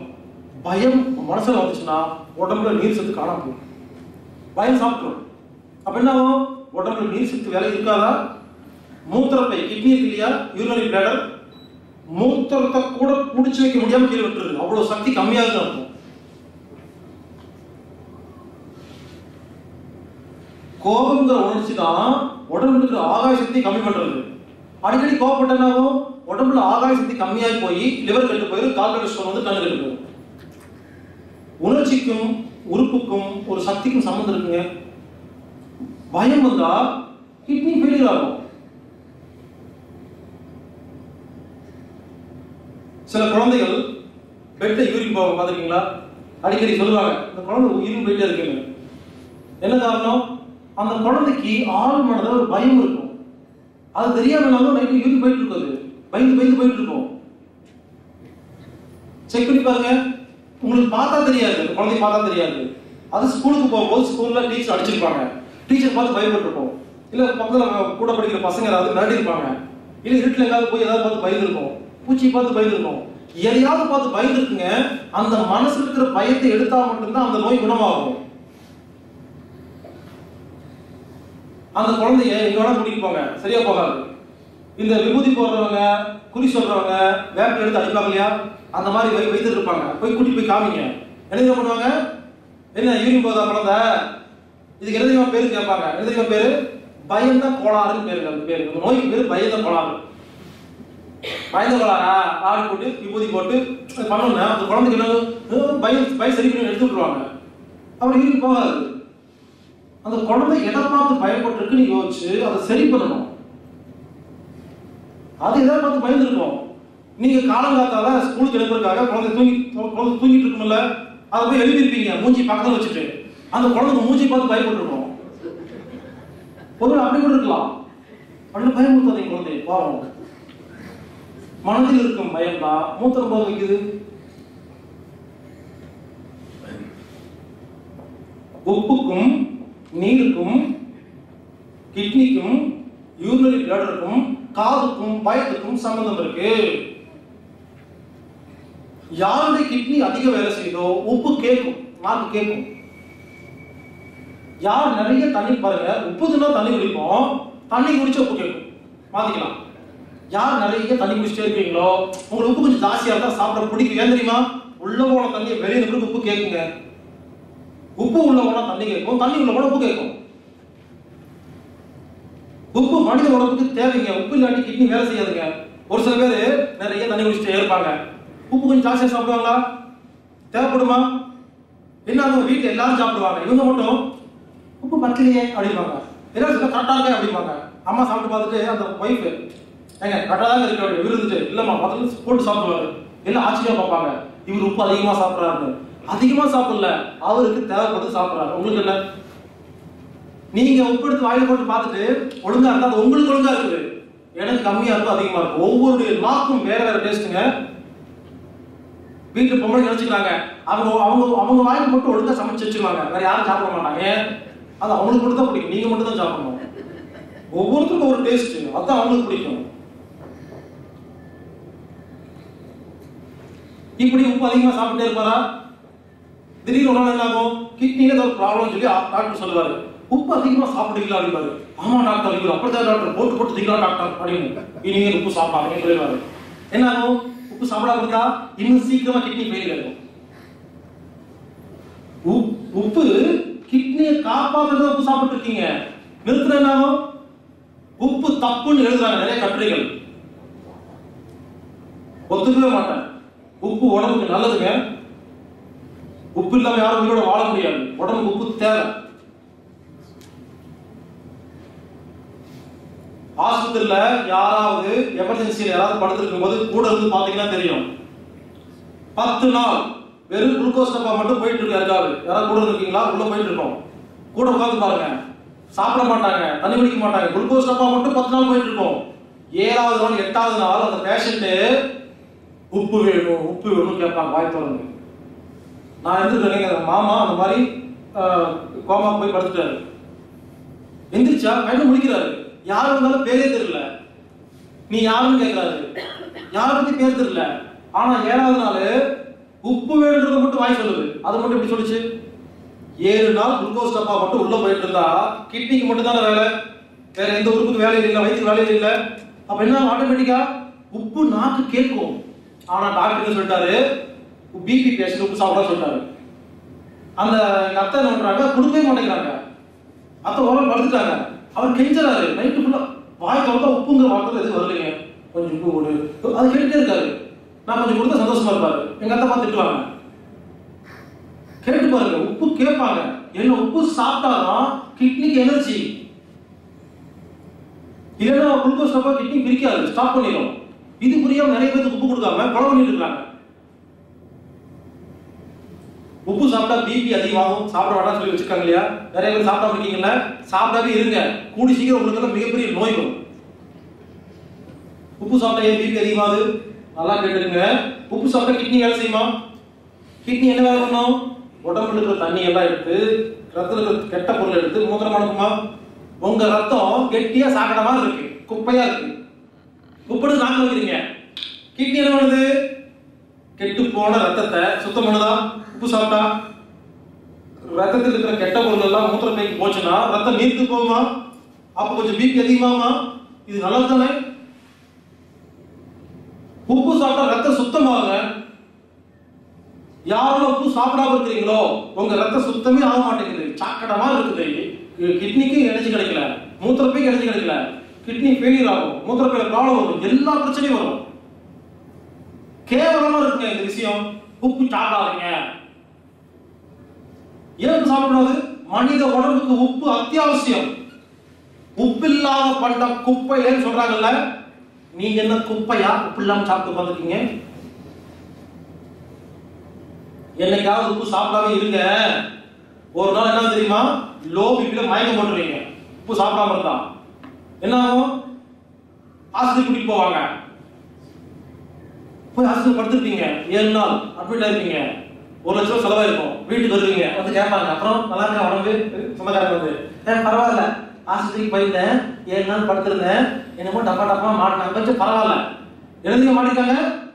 லோ பிபியில் யாராவது ரொம்ப வருஷம் உப்பு சாப்பிடாம என்னைக்காவது மயக்கம் போட்டு உழுந்து ஆஸ்பத்திரிக்கு போனீங்கன்னா உங்களுக்கு பாட்டுற டப்பாக்கு பேரு. எல்லாரும் வெள்ளை கலர் டப்பா மாட்டினா அது குளுக்கோஸ் டப்பான்னே நினைச்சிட்டு இருக்கீங்க. அதுக்கு பேரு சோடியம் குளோரைடு. தமிழ்ல சொன்னா உப்பு. ஏழு பாட்டில் உப்பு போட்டு அனுப்பிச்சுட்டு இருப்பாங்க. வந்து கலந்து பரவாயில்ல கொஞ்சம் நல்லா இருக்குது. என்ன? உப்பு போட்டு அனுப்பிச்சுட்டு இருக்காங்க அவங்கள. ஒழுங்கா சோப்பு உப்பு போட்டு சாப்பிட்டாங்க போக வேண்டிய வேலையை வந்திருக்காரு யோசிச்சு பாருங்க. அப்போ ஆஸ்பத்திரி இருக்கும்போது மட்டும் உப்பு கொண்டு கொட்டு கொண்டு கொட்டு வாங்கலாமா குளுக்கோஸ் எடுத்து ஊத்து ஊத்து ஊத்து வாங்கலாமா நீங்களா சர்க்கரை அதிகப்பட்டா நோயாமா? நீங்களா உப்பு சாப்பிட்டா நோயாமா? அவங்க போடணும். முதல்ல பரவாயில்லைங்க இந்தியால வெளிநாட்டு உப்பு போட்டிருந்தாங்க உப்புல கூட வெளிநாட்டு உப்பு. இப்பதான் கொஞ்சம் டெவலப் ஆகி சோடியம் குளோரைடு ஐபி போடுறாங்க. ஐபி என்ன? இந்தியன் ஃபார்மா இதுக்கு முன்னால அமெரிக்கன் ஃபார்மா பாருங்க உப்பு கூட வெளிநாட்டுல வந்து போட்டு போவாங்க. நம்ம உப்பு சாப்பிடக்கூடாது. பிங்க் சால்ட்னு ஏதோ சொல்றாங்க. பிங்க் சாப்பிட்டுங்களா ஹிமாலயன் பிங்க் சால்ட்னு ஏதோ இல்ல அதெல்லாம் தேவையில்லைங்க. பத்தி சொல்றேன். அதாவது இந்த ராக் சால்ட் இந்து உப்பு இப்படிலாம் சொல்லுவாங்க. அதெல்லாம் தேவையில்லை. அது உப்புன்னா கல்லுப்பு அவ்வளோதாங்க உப்புக்கு நிகர் வேற ஒண்ணுமே கிடையாது. இந்த ராக் சால்ட் பிங்க் சால்ட் என்னன்னா பூமிக்கு அடியில பாறையில சில பாறையில வந்து உப்பு நிறைய இருக்கும். அதை உடச்சி எடுத்து பொடி பண்ணி கொடுப்பாங்க. இது உடம்புக்கு நல்லது கிடையாது. ஏன் தெரியுங்களா? ஒவ்வொரு பாறையிலையும் வேற வேற உப்பு இருக்கும். தெரியாது. எந்த ஊர்ல எப்ப எடுத்த பாறை என்ன இருக்குதுன்னு தெரியாது. அவங்க என்ன கம்பெனி யார் உடைச்சு போட்டா ஒண்ணு எடுக்க எடுக்க மாறிட்டே இருக்கும். லேயர் லேயர் மாறும். ஆனா கல்லுப்புனா ஒரே பிராண்ட் தான். இன்டர்நேஷனல் லெவல்ல கடல் தண்ணி எடுத்து தேக்கி வச்சா கல்லுப்பு. இது இன்டர்நேஷனல்ல ஒரே உப்பு தான். வேற ஒன்றும் மாத்த கலப்படம் பண்ண முடியாது. பட் இந்த மத்த டப்பா உப்பு அது எல்லாமே என்னன்னா அது பாறை உப்பு. ஒரு சில நேரத்தில் டேஞ்சராக போகலாம் தெரியாது. என்னைக்கு பேக் பண்ணாங்க என்னைக்கு எடுத்தாங்க நிலத்துக்கு கீழே பிராணம் இருந்துச்சா இல்லையா? அதில் என்ன கெமிக்கல் இருக்கு ஒன்றும் தெரியாது. ஒரு சின்ன சாம்பிள் மட்டும் ஆராய்ச்சி பண்ணிட்டு ஓ, இந்த இடத்துல இருக்குன்னு வெட்டி வெட்டி வெட்டி வெட்டி எடுத்து எடுத்து பேக் பண்ணி அனுப்பிச்சிட்டே இருப்பாங்க.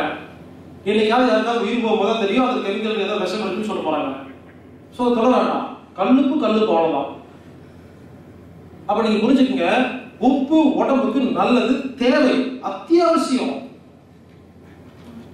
உப்பு சாப்பிடாம இருந்தாலும் நோய் அதிகமாக சாப்பிட்டாலும் நோய் எவ்வளவு சாப்பிடணும்? உங்க நாக்கு எவ்வளவு கேட்குதோ அவ்வளவு சாப்பிடணும் அவ்வளவுதாங்க. அது அவங்களுக்கு மாறிட்டே இருக்கும். நீங்க செக் பண்ணி பாருங்க. நீங்க எடுத்து உணவு சாப்பிடுங்க. உப்பு கரெக்டா இருக்கு சொல்றீங்களா? இன்னொருத்தர் சாப்பிட்டு கம்மியா இருக்கு சொல்றாரா? இன்னொருத்தர் சாப்பிட்டு அதிகமா இருக்கு சொல்றாரா? அப்போ ஒவ்வொரு நாக்குக்கும் சுவை அதுவே சொல்லுது இல்ல? அதனால பிபி பேஷண்ட் தயவு செய்து யாரும் உப்பு சாப்பிடாதீங்க. சாப்பிடாம இருங்க. அப்பதான் சோடியம் குளோரைடு டப்பா வியாபாரம் நடக்கும். உப்பு போட்டு சாப்பிடுங்க. இது என்ன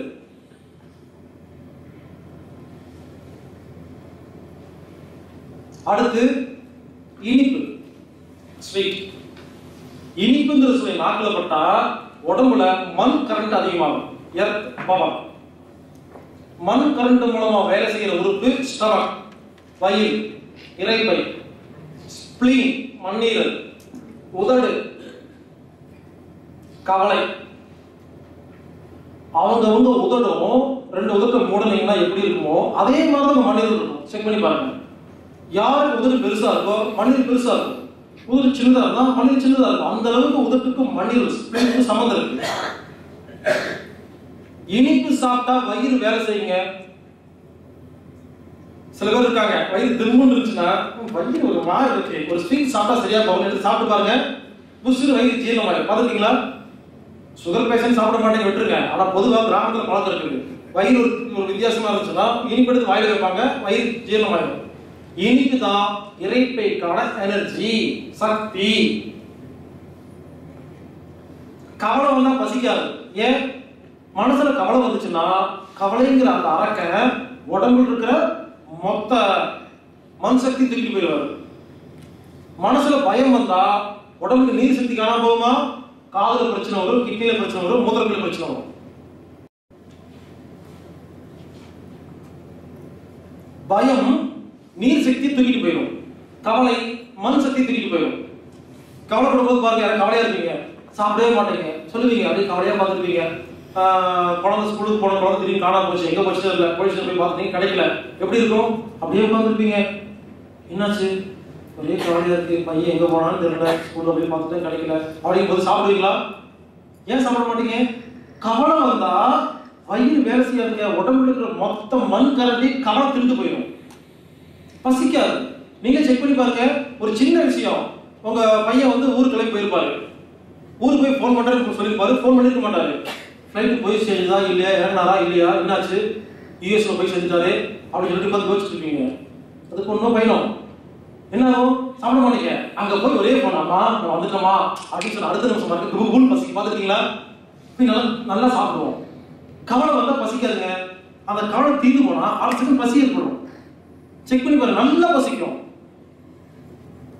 மனதில் நிம்மதி இருந்தால் மட்டும் தான் பசிக்கும் கவலை இருந்தால் பசிக்காதுங்க. ஏன்னா மொத்த கவலையும் அந்த மொத்த மண் சக்தி சாப்பிட்டு போயிடுங்க யாராவது கவலையா இருக்கும் உட்கார்ந்து இருப்பாங்க நீங்க என்ன பண்ணுவீங்க? கவலையா சாப்பிட்டு சாப்பிட்டு கம்பல் பண்ணுவீங்களா? அவங்க சாப்பிட மாட்டாங்க. இப்படி கம்பல் பண்ணி சாப்பிட்டு நீ அப்படின்னு நாம அக்கறையோட என்ன பண்ணுவோம் கவலையா இருக்கிற ஒருத்தருக்கு சோத்தை கொடுத்துருவோம். அவங்க நீ திட்டுறீங்க வழி இல்லாம திம்பாங்க. என்ன தெரியுமா? கவலை இன்னும் அதிகமாயிடும். ஏற்கனவே வயிற்றுல தெம்புல சாப்பாடு உள்ள போட்டா என்ன ஆகும்? ஜீரணமாகாது இன்னொன்று இந்த சாப்பாடு போய் மண் சக்தியை கொடுக்குமா கவலை கொடுக்குமா ரெண்டு சண்டை வந்துடும். கவலை ரொம்ப அதிகமாயிடும். கவலையா இருக்கும்போது சாப்பிடக்கூடாது. எப்ப சாப்பிடணும்? சாப்பிடவே கூடாது. கவலை தீர்ந்ததுக்கு அப்புறம் தான் சாப்பிடணும். கவலை எப்ப தீரும்? அந்த பிரச்சனை தீர்ந்தா தீர்ந்து நினைக்கிறீங்களா? கிடையாது. செக் பண்ணி பாருங்க. கவலை வந்துருச்சா? சாப்பிடாது தண்ணி மட்டும் குடிச்சிட்டு உட்காந்துட்டே இருங்க. திடீர்னு என்ன தெரியுமா? நல்லா கவலமாக பசிக்கும். பசி எடுக்கும் போது கவலை இருக்காருங்க யாருக்காவது மனதில் கவலை வரக்கூடாதுன்னு நினைச்சீங்கன்னா பசி எடுத்து சாப்பிட்டு பாருங்க. பசி வயிற்றில் இருக்கும் பொழுது ஒரு மனிதனுக்கு கவலை இருக்கவே இருக்காது. எல்லாத்துக்கும் ஏன் கவலை இருக்கு தெரியுமா? யார வேணா கேட்டு பாருங்க? கவலை நிறைய இருக்கா? ஏன் தெரியுமா? வயிற்று சும்மா வச்சுக்கிறதே இல்லை. கொட்டிக்கிட்டே இருக்க வேண்டியது. கவலை இருந்துகிட்டே தான் இருக்கும். பசி எடுத்தா மட்டும்தான் கவலையை மறக்குங்க அதனால பசி எடுத்து சாப்பிட்டு பாருங்க. வாழ்க்கையில கவலையே இருக்காது. இனிப்பு சர்க்கரை நோயாளிகள் சாப்பிடக்கூடாது அப்படின்னு சொல்றாங்களா? நிறைய பேர் சாப்பிடாம இருக்கீங்களா ஸ்வீட்டு சாப்பிடாம இருங்க. கூடி சீக்கிரம் உங்களுக்கு மிகப்பெரிய நோய் வரும். நமது தெரப்பியில சர்க்கரை நோயாளிகள் இனிப்பு நீர் உள்ளவங்க இனிப்பு சாப்பிட்டா மட்டும்தான் குணமாகும். இல்லைன்னா குணமே ஆகாது. நான் லெட்டர் ஹெட்ல போட்டோ ஒட்டி என் சீல் வச்சு கையெழுத்து போட்டு கொடுத்துருங்க இனிப்புக்கும் சர்க்கரை நோய்க்கும் சம்பந்தமே கிடையாது. ஒரு காமெடியான விஷயம் நம்பிக்கை இல்லையா? ஒரு சின்ன உதாரணம். இட்லி தோசை பொங்கல் சாப்பிடுறீங்க. இட்லியில் சர்க்கரை இருக்கா இல்லையா? இருக்கு. சர்க்கரைங்கிறது என்ன? ஒரு பொருள். குளுக்கோஸ். இட்லி இனிக்குதா? இல்ல.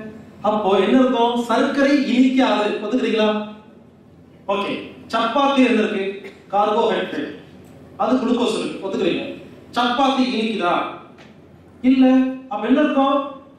சர்க்கரைங்கிறது பொருள். ஸ்வீட்டுங்கிறது சூட்சம பொருள். அது பொருள் இல்ல. அது ஒரு உணர்ச்சி ஒரு ஒரு சூட்சமம். கண்ணுக்கு தெரியாது. இனிப்பு வாயில ஜீரணமாகும் சர்க்கரை வயிற்றுல ஜீரணமாகும் புரிஞ்சுங்களா? இனிப்பு வயிற்றுல ஜீரணமாகாது சர்க்கரை வாயில ஜீரணமாகாது. சர்க்கரைங்கிறது வேற இனிப்புங்கிறது வேற சுகருங்கிறது வேற ஸ்வீட்டுங்கிறது வேற. இது ரெண்டு டிஃபரன்ஷியேட் பண்ணி பார்த்துட்டாவே எல்லாமே புரிஞ்சு போயிடும். நான் கேட்கிறேன் இட்லி தோசை பொங்கல் சாப்பிட்டீங்கன்னா அதுல தாங்க இருக்கிறது அதிக குளுக்கோஸ் இருக்கு. உருளைக்கிழங்கு போண்டா இதுல தான் அதிக குளுக்கோஸ் இருக்கு. உருளைக்கிழங்கு போண்டா இனிக்குதா? கணக்கு போட்டு பாருங்க. இட்லி தோசை பொங்கல் உருளைக்கிழங்கு சாப்பிட்டா நிறைய சர்க்கரை இருக்கு இல்லையா? சுகர் ஏறணும் இல்ல ஏறுதா? ஏற மாட்டேங்குது. ஆனா ஒரு மைசூர் பால் ஜிலேபி ஜாங்கிரி சாப்பிட்டா மட்டும் குப்புடு சுகர் ஏறுதா? என்ன? அதுக்கு பயந்து நீங்க சாப்பிடாம இருக்கீங்க? ஒரு விஷயம் புரிஞ்சுக்கங்க. இது மட்டும் புரிஞ்சிச்சுன்னா இப்ப இருந்து இனிப்பு சாப்பிடுவீங்க. ஒன்னும் ஆகாது. வாழ்க்கை ஃபுல்லா சாப்பிடலாம். முப்பது வருஷம் சர்க்கரை சாப்பிடாம இனிப்பு சாப்பிடாம இருக்கிற ஒருத்தர் இப்ப ஆரம்பிக்கலாங்க. ஒண்ணு ஆகாது. நல்லா தாங்க இருப்பீங்க நல்லா கவனமா கேட்டுக்கங்க. இட்லி தோசை பொங்கல் சாப்பிட்டீங்க. அதுல குளுக்கோஸ் நிறைய இருக்கு. அது வயிற்றுல போய் உட்காந்துச்சு இன்னும் ஜீரணம் ஆகல. வயிற்றுல நடக்குது ஒரு மணி நேரம் ஆச்சு. ஏன் வயிறு அப்படியே கிடக்குது? வயிற்றுக்கான சக்தி இனிப்பு. இனிப்பு நீங்க சாப்பிடல. வயிறு என்ன பண்ணும்? வச்சுட்டு வேலை பார்த்துருக்கோம் ஜீரணம் பண்ணாது. இனிப்பு சாப்பிட்டா மட்டும்தான் வயிறு வேலை செய்யும். அப்புறம் ஒரு மணி நேரம் கழிச்சு ஒரு ஜிலேபி எடுத்து வாயில போடுவீங்க. ஒரு சாக்லேட் எடுத்து வாயில போடுவீங்க. இனிப்பு என்னாகும் அந்த இனிப்பை ரசிச்ச உடனே ஸ்வீட் அப்படிங்கிற இனிப்பு நாக்கில் பட்டு டேஸ்ட் பட்ஸ் என்ன பண்ணும்? மண் கரண்டா மாத்தி உடம்புல சப்ளை பண்ணுமா? இனிப்பு சர்க்கரை லெவல அதிகம் பண்ணாது. புரிஞ்சுக்கங்க? இனிப்பு நேரடியா போய் சுகர் லெவல பிளட் லெவல் இன்க்ரீஸ் பண்ணாது. இனிப்பு சாப்பிட்டா அது மண் கரண்டா மாத்தி வயிற்றை வேலை செய்ய வைக்கும். அவ்வளவுதான் அவர் சப்ஜெக்ட் வயிறு வேலை செய்ய வைக்கணும்னா வயிற்றுக்குள்ள நீங்க உதட்டு பிரிச்சு ஆ, ம், சொல்லு. சாப்பிட்டுட்டீங்களா தப்பு தப்பா இந்த தப்பா ஜீரணமான சர்க்கரை உள்ள கிடக்குது இல்லை இனிப்பு சாப்பிட்டோன்னே ஒழுங்கா ஜீரணமாகாத சர்க்கரைய வயிறு என்ன இட்லி பொங்கல் இருக்கிற சர்க்கரையை எடுத்து ரத்தத்துல கலந்து விட்டுருது. இது உள்ள போய் இன்சுலின் கிடைக்காதனால இது மூத்திரமா போகுது செல்லுக்குள்ள போய் பிரச்சனை பண்ணி உண்டு பண்ணிட்டு இருக்கா இப்ப சொல்லுங்க சக்கரை நோய் காரணம் என்ன? ஒழுங்கா ஜீரணம் ஆகாதான் சக்கரை நோய் காரணமே தவிர இனிப்பு சாப்பிட்டது கிடையாது. இனிப்பு சாப்பிட்டாதான் சக்கரை நோய் குணப்படுத்த முடியும். யாரெல்லாம் இனிப்பு சாப்பிடாம இருக்கீங்க என்ன தெரியுமா? நிறைய சாப்பிடுவீங்க. இனிப்பே சாப்பிடலையா? ரொம்ப வருஷமா? சாப்பிட்டதெல்லாம் வயிற்றுக்குள்ள போய் மனமாவே போயிட்டு இருக்கு சு- சர்க்கரையா மாறவே இல்லை. ஒரே ஒரு இட்லி கூட இனிப்பு வச்சு சாப்பிட்டு பாருங்க சுகர் கண்ணா பண்ணா ஏறும். பத்து இட்லியை சாப்பிட்டு இனிப்பே தொடாம பாருங்க சுகரே ஏறாது. பத்து இட்லி என்னாச்சு? பத்து இட்லி சுகர் எங்க போச்சு? எல்லாம் மனமா போச்சு. ஏங்க சாப்பிட்டா மலம் பண்றதுக்கு சாப்பிடுறீங்களா? ரத்தம் பண்றதுக்கு சாப்பிடுறீங்களா? இனிப்பு சாப்பிட்டா மட்டும் தான் ரத்தமாக மாறும் இனிப்பு சாப்பிடலன்னா மலமா தான் இனிப்பு சாப்பிடக்கூடாதுன்னு சொல்லுவாங்களாமா? உட்கார்ந்து கேட்கணுமா நம்ம? அந்த காலத்துல தாத்தா பாட்டி கேட்டு பாருங்க. யாராவது ரோட்ல நடந்து போறாங்க இல்லையா? கிராமத்துல ஒரு திரு வந்து உட்காருவாங்க. சும்மா ரோட்ல யாருமே தெரியாது. ஓ வழிபோக்கர் வந்து உட்காருவாங்க. ஒருத்தர் திண்ணையில வந்து உட்கார்ந்தாவே இவ்வளவு பெரிய பணங்கள் பெட்டி வெள்ளத்தை கொண்டு போய் வச்சுட்டு ஒரு சொம்பு தண்ணி வைப்பாங்க. அவங்க அதை கடிச்சு சாப்பிட்டு தண்ணி குடிச்சிட்டு அடுத்த ஊருக்கு நடந்து போயிடுவாங்க. கேட்டு பாருங்க. அந்த காலத்துல நம்ம தாத்தா பாட்டி சாப்பிட்டது அத்தனையும் வெள்ளம் பணங்கள் பெட்டி இனிப்பு மட்டும்தாங்க சாப்பிட்டுருந்தாங்க. அப்பெல்லாம் சுகர் வரல. இப்ப மட்டும் ஏன் வந்துச்சு? இனிப்பு சாப்பிடாட்டி தான் சுகர் வரும். எந்த சயின்டிஸ்டால எங்க பேச சொல்லுவாங்களா சுகர்னா என்ன? இனிப்புனா என்ன? சர்க்கரைனா என்ன? கிளைகோஜன் ஒன்றும் தெரியாது. ஆனா சுகர் ஸ்பெஷலிஸ்ட் எல்லாத்துக்கும் மாத்திரை கொடுக்க வேண்டியது. மாத்திரை கொடுக்க மட்டும்தான் தெரியும். ஒன்றும் தெரியாதுங்க. இனிப்புங்கிறது வேற சர்க்கரைங்கிறது வேறங்க சம்மந்தமே கிடையாதுங்க. அதனால இனிமேல் இனிப்பை தைரியமா சாப்பிடுங்க. ஒண்ணும் ஆகாது. பசி எடுக்கும் பொழுது நம்ம சாப்பிடுற சாப்பாட்டுல என்ன சாப்பிடுறீங்க? இனிப்பு சேர்த்து சாப்பிடுங்க. ஒண்ணும் ஆகாது. பிரச்சனை இனிப்புல இல்ல. ஜீவத்துல தான் இருக்கு.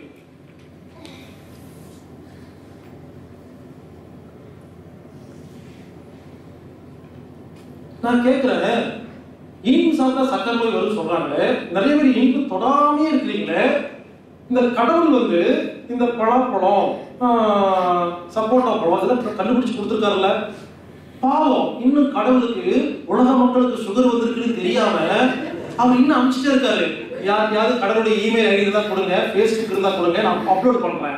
ஐயா இங்க உலகத்துல சக்கரை நோய் வந்திருக்கு இனிமேல் சப்போட்டா பழம் பலாப்பழம் அனுப்பாதீங்கன்னு. கடவுள் லூசா? அறிவில்ல கடவுளுக்கு? எல்லா பழங்களும் இனிப்பு இருக்குல்ல? அவர் அறிவில்லாம சுகர் நோய்க்கு தெரியாம அனுப்பிச்சிருப்பாரு. இறைவன் படைச்ச சப்போட்டா பழத்தையும் பலாப்பழத்தையும் வாழைப்பழத்தையும் சாப்பிட வேண்டாம்னு சொன்னா எவ்வளவு பெரிய முட்டாள்தனம்?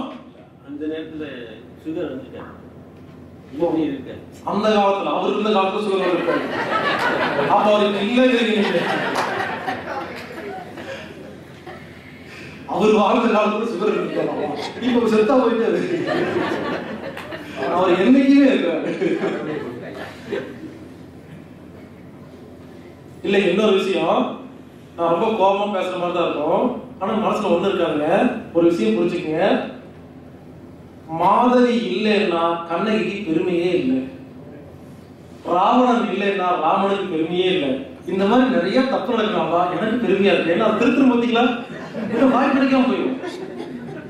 கெட்ட விஷயம் நல்ல விஷயம் இருக்கணும். அப்பதான் அது காம்ப்ரமைஸ் ஆகி போயிட்டே இருக்கும். அப்போ நான் பேசும்போது நான் ஒன்றும் கோவப்பட்டு உலக திருத்தம் அக்கறையில ரொம்பலாம் ஆர்வமா அப்படிலாம் பேச மாட்டேன். ஒரு யதார்த்தமா கேஷுவலா தான் பேசிட்டு இருப்பேன். மனசுக்குள்ள ஒன்றும் இருக்காது. அந்த வார்த்தை மட்டும் தான் அப்படி இருக்கும். ஒரு விஷயம் புரிஞ்சுக்கங்க. உலகத்தை திருத்தவும் முடியாது கெடுக்கவும் முடியாது. அதை புரிஞ்சுக்கிட்டா போதும். நம்மளால முடிஞ்ச வரைக்கும் நம்ம வேலையை செய்யணும். பிராப்தம் இருக்கிறவங்க அட்டன் பண்ண முடியும். எல்லாரும் அட்டன் பண்ணி எல்லாரும் ஈக்குவலா சாப்பிட முடியாது. இனிப்புக்கும் மண்ணுக்கும் ஸ்டமக்குக்கும் ஸ்பிளீனுக்கும் உதட்டுக்கும் கவலைக்கும் சம்பந்தம் இருக்கு. கவலையா இருக்கும்போது இனிப்பு சாப்பிட்டு பாருங்க கவலை ஓடி போயிடும். இப்படி லிங்க் பண்ணி நீங்களே யோசிக்கலாங்க. இது வந்து சின்ன க்ளூ தான். இதுக்கப்புறம் நீங்களே யோசிச்சு பாருங்க எல்லாமே புரியும். யாருக்காவது உதட்டுல புண்ணு வரும் இல்லையா? இந்த இடத்துல எச்சில் புண்ணு உதட்டுல நோய் இல்லை. வயிறு கெட்டு போனா மட்டும்தான் உதட்டுல புண்ணு வரும். மண்ணீரல் கெட்டு போனா மட்டும்தான் உதட்டுல புண்ணு வரும். நீங்க இங்க போய் லோசம் தடவி மருந்து குணமாகாது. வயிற்று சுத்தம் பண்ணி பாருங்க கிளியர் ஆகும் சில பேருக்கு வாயில பேட் ஸ்மெல் அடிக்குதுன்னு சொன்னாங்க இல்லைங்களா? எங்க வாயில கெட்ட வாசம் அடிக்கிறீங்க வாயில எல்லாம் வாசம் இல்ல. கெட்ட வாசம் கிடையவே கிடையாது. வயிற்றுல கெட்டு போன பொருள் தான் வாய் வழியா வரும் இங்கதான் சுத்தம் பண்ணணும். இங்க சுத்தம் பண்ணக்கூடாது இங்க என்ன பண்ணுவாங்க? அதை இது ஊத்தி கொப்பிடிச்சு கொப்பிடிச்சு என்ன பண்ண போறீங்க? உள்ளுக்கு வந்துட்டே தான் இருக்கும். இங்க கிளீன் பண்ணா இங்க கிளீன் ஆகுங்க அடுத்தது காரம். காரங்கிற சுவை நாக்கில் பட்டா உடம்புக்குள்ள காற்று சக்தி அதிகமாகும். ஏர் எனர்ஜி காற்று சக்தி மூலமா வேலை செய்யற உறுப்பு லங்ஸ் லார்ஜ் இன்டஸ்டைன் நுரையீரல் பெருங்குடல். மூக்கு துக்கம். இதெல்லாம் சம்மந்தப்பட்டது உங்க மூக்கை பெருசு பண்ணி பாருங்க லங்ஸ் மாதிரி இருக்கும். லங்ஸை குட்டி பண்ணி பாருங்க மூக்கு மாதிரி இருக்கும். அவ்வளவு சம்மந்தம் இருக்கு.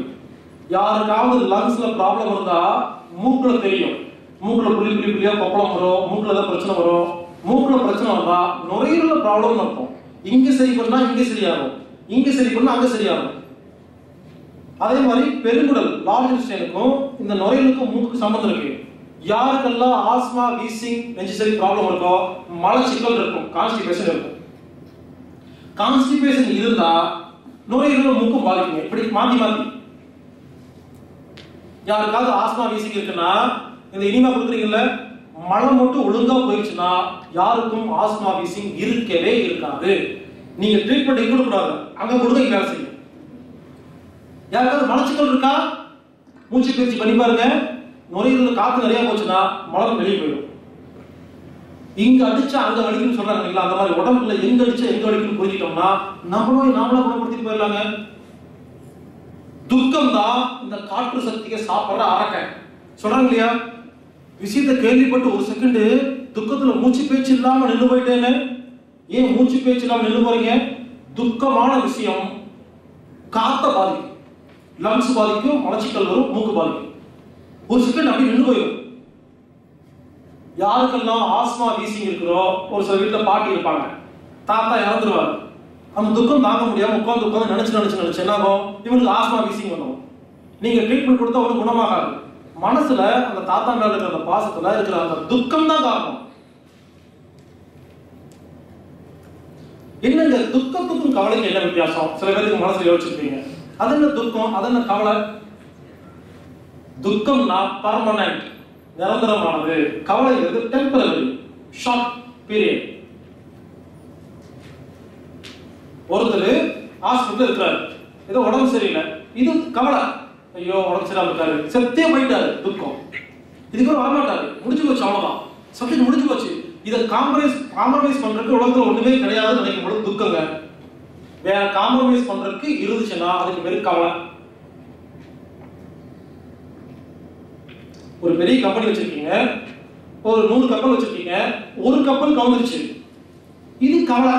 ஒரு கப்பல் நோம்பு வச்சு உட்காந்துருக்கீங்க நூறு கப்பல் நோம்பு போச்சு துக்கம் அவ்வளோ முடிஞ்சு போச்சு ஸோ துக்கம்ங்கிறது பர்மனன்ட் கவலைங்கிறது டெம்பரரி அவ்வளோதான் இந்த பர்மனண்டான விஷயங்களை பற்றி ஸ்ட்ரக் ஆகும் பொழுது நமக்கு இந்த நோயில் சம்மந்தப்பட்ட எல்லா பிரச்சனையும் வரும் அப்போ மனதில் இருக்கும் துக்கத்தை சரி பண்ணா நோயில் சம்பந்தப்பட்ட நோய்களை குணப்படுத்தலாம் இன்னொன்னு நோய்களை எனர்ஜி பண்ணா துக்கம் கல காணாமல் ஓடி போயிடும் அப்ப இந்த மூச்சு பயிற்சிகள் தியானம் எல்லாம் பண்ணி மூக்கு நிறைய சுவாசம் எல்லாம் எடுத்து லங்ஸ் ஸ்ட்ராங் பண்ண என்னாகும்? மனதில் இருக்கும் துக்கங்கள் தானா போயிடும். கவலைப்பட மாட்டோம். ஓகே இறந்துட்டாரு அவ்வளவுதானே. அப்படின்ட்டு அந்த மனசு என்ன பண்ணும்? சரி பண்ணி துக்கத்துக்கு வெளியே வந்துருங்க. ஒவ்வொரு உணர்ச்சிக்கும் ஒரு பயிற்சி பண்ணா போதும். அது மாதிரி வேலை செய்யும். காலத்துக்கும் காற்றுக்கும் நுரையீரலுக்கும் பெருங்குடலுக்கும் மூக்குக்கும் துக்கத்துக்கும் சம்பந்தம் இருக்கு. ஆஸ்மா வீசிங் பேசுறதுலாம் கேட்டு பாருங்க. காரம் சாப்பிடுறது பிடிக்கும். இந்த காற்றுக்கும் தோலுக்கும் சம்பந்தம் இருக்கு. காரத்துக்கும் காற்றுக்கும் நுரையீரலுக்கும் விரடலுக்கும் மூக்கு துக்கத்துக்கும் தோலுக்கும் ஸ்கின்னுக்கு சம்மந்தம் இருக்கு. இது இங்க பாதிச்ச ஸ்கின் பாதிக்குங்க இந்த ஆஸ்மா வீசிங் பேசுறதுலாம் பாருங்க. அவங்களுக்கு காரம் சாப்பிடுறது பிடிக்கும். யாருக்கெல்லாம் ஆஸ்மா வீசிங் இருக்கோ மலச்சிக்கல் இருக்கோ குழம்பு சாப்பிடும் போது பிடிக்காது. ரசம் சாப்பிடும் போது பிடிக்கும் பாருங்க. டேஸ்டா இருக்கும். சுவையா இன்னும் ரசம் ஊற்றி சாப்பிடுவீங்க ஏன் தெரியுமா? உங்க உடம்பு காரத்தை கேட்குது அந்த மிளகு போட்டுருக்கு. ரசத்துல அதெல்லாம் கேட்குது செக் பண்ணி பாருங்க. அதிகமா பேசணும் பாத்தீங்களா? டீச்சர் சொற்பொழிவாளர்கள் பேச்சாளர்கள் சாமியார்கள் இவங்களுக்கெல்லாம் காரம் ரொம்ப பிடிக்கும். எனக்கு ரசம் அப்படி பிடிக்குங்க ஏன் அவ்வளவு பேச்சு பேசிட்டு இருக்கேன்? எனக்கு என்ன பிரச்சனை? எனக்கு வார்த்தை மட்டும் தானே எவ்வளவு எவ்வளவு பேச்சு பேசுறேன். அப்ப நுரையில் பாதிக்குமா? அப்ப என்ன ஆகும் எனக்கு காரம் கேட்கும். காரம் கொடு காரம் கொடு கேட்கும். நான் காரமா சாப்பிட்டா மட்டும் சந்தோஷமா இருப்பேங்க. நீங்க வேற எது வேணாலும் கொடுங்க எனக்கு ஒண்ணுமே இருக்காது. ஒரு நாள் உள்ள பேசுறதுல நைட் ஒன்பது மணிக்கு எல்லா மீட்டிங் முடிச்ச உடனே ஒரு மிளகா கொடுங்க நாலு மிளகா கொடுங்க வாயில் போட்டு சாப்பிடுவேன் எனக்கு காரம் தெரியாது. உடம்பு காரம் கேட்குது ஸோ மற்றவங்க ஒரு ஒரு சுவை அதிகமாக சாப்பிடும்போது யாரும் பயப்படாதீங்க. அவங்களுக்கு தேவை சாப்பிட்றாங்க. உங்களுக்கு தேவையில்லைங்கிறதுக்காக அவங்களுக்கு தேவையில்லை சொல்ல முடியுமா? நீங்க உப்பு அதிகம் போட்டு சாப்பிடுவீங்க. ஒருத்தர் காரம் சாப்பிடுவாரு. அவங்கவங்க நாக்கு அவங்கவங்க உடம்பு அவங்கவங்க வேலையை பொறுத்து மாறும். சுவைகள் எல்லாத்துக்கும் ஒரே மாதிரி இருக்காதுன்னு புரிஞ்சுக்கிட்டா போதுங்க அப்ப யாருக்காவது ஆஸ்மா வீசிங் வந்துச்சுன்னா நீங்க செய்ய வேண்டியது என்ன தோல் நோய் ஸ்கின் டிசீஸ் சொரியாசிஸ் எல்லாரும் காரம் சாப்பிட்டா தான் சரியா போகும். ஆனா டாக்டர் சொல்லுவாங்க தோல் நோய் வந்தோடனே காரம் சாப்பிடாதீங்கன்றாங்க. காரம் சாப்பிடாம இருந்தா நோய் நல்லா பெருசாகும்.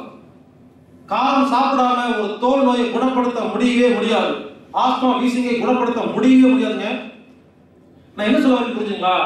அவரு நுரையீரலுக்கு அதிக வேலை கொடுத்துடலாம் நான் என்ன பண்ணுவேன்? எனக்கு ஊறுகாய் வச்சு வச்சு சாப்பிடுவேன்.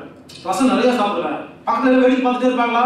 இவன் என்ன எப்ப பார்த்தாலும் காரமா சாப்பிடறான்னு யோசிப்பாங்களா? எனக்கு காரம் தூக்குலாக தான் பிடிக்கும்.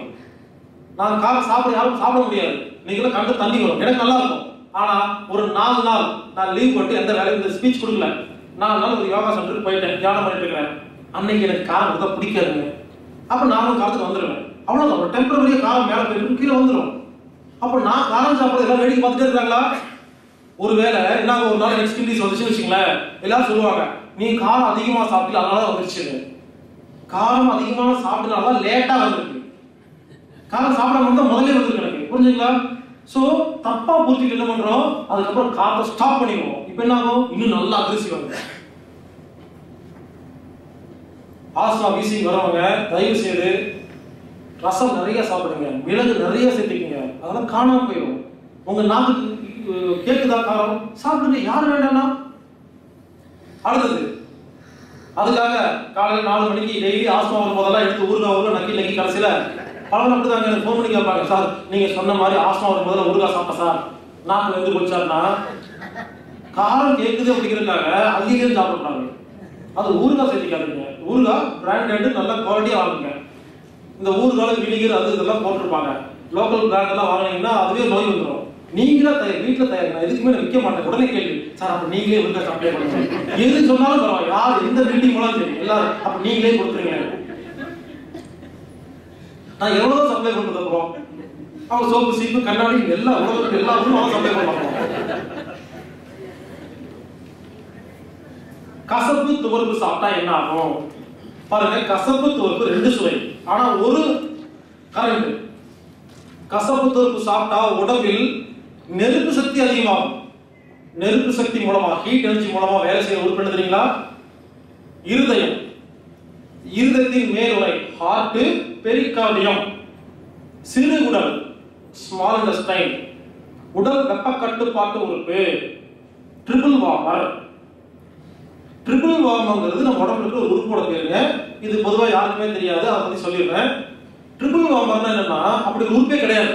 அது ஒரு சிஸ்டம் நமது உடம்புல பிராணன் அபானன் சமானன் மூணு வாய் இருக்கும்.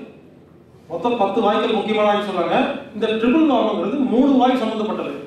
மேல பிராணன் கீழே அபானன் நடுவுல ரெண்டையும் சமப்படுத்துற சமானன் இருக்கும் உடம்புல.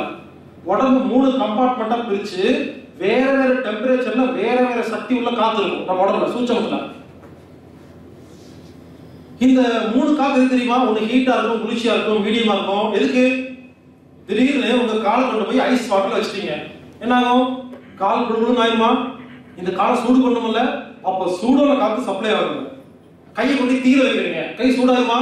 அப்ப குளிச்சிருந்தால் கால் சப்ளை குளிர்ச்சி எப்படி? இப்படி நமது உடம்பில் இருக்கிற வெப்பநிலையை சமநிலைப்படுத்துறதுக்காக நமது உடம்பில் மூணு விதமான வாய்க்கள் இருக்கு. இதுக்கு பேரு ட்ரிபிள் வார்மர்னு பேரு.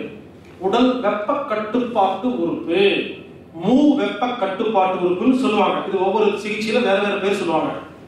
இதெல்லாம் இந்த நெருப்பு சம்பந்தப்பட்ட ஆர்கன் இதுக்கான வெளியுறுப்பு நாக்கு. இதுக்கான உணர்ச்சி சந்தோஷம். திடீர்னு உங்களை கூப்பிட யாராவது ஒருத்தர் வாங்க மேடையில் நின்று மைக் பிடிச்சி பேச என்ன நீங்க.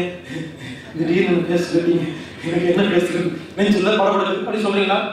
இப்போ என்ன பண்ணிட்டாங்க உங்களை மைக்கு பிடிச்சி பேசுங்கன்னு சொன்னா நெஞ்சு படப்படுத்துமா ஏன் படப்படுச்சு நெஞ்சு இது ஏன் வீக்கா போச்சு? புரிஞ்சுக்கங்க. சந்தோஷம் வந்துச்சுன்னா அளவுக்கு அதிகமான சந்தோஷம் வந்துச்சுன்னா உடம்புல இருக்கிற நெருப்பு சக்தியை சாப்பிட்டு போயிருங்க. அப்ப என்ன ஆகும் நெஞ்சு அப்படியே இறுதியும் துடிக்கும். ஏன்? உடம்புல நெருப்பு சக்தி காலியாச்சுன்னு அர்த்தம். சில பேர் பாருங்க சந்தோஷம் செத்து போயிருவாங்க பாத்தீங்களா? அளவுக்கு சந்தோஷம் வந்து ஹார்ட் அட்டாக் செத்து போயிருவாங்க. சந்தோஷம் கூட அளவா தான் இருக்கணும்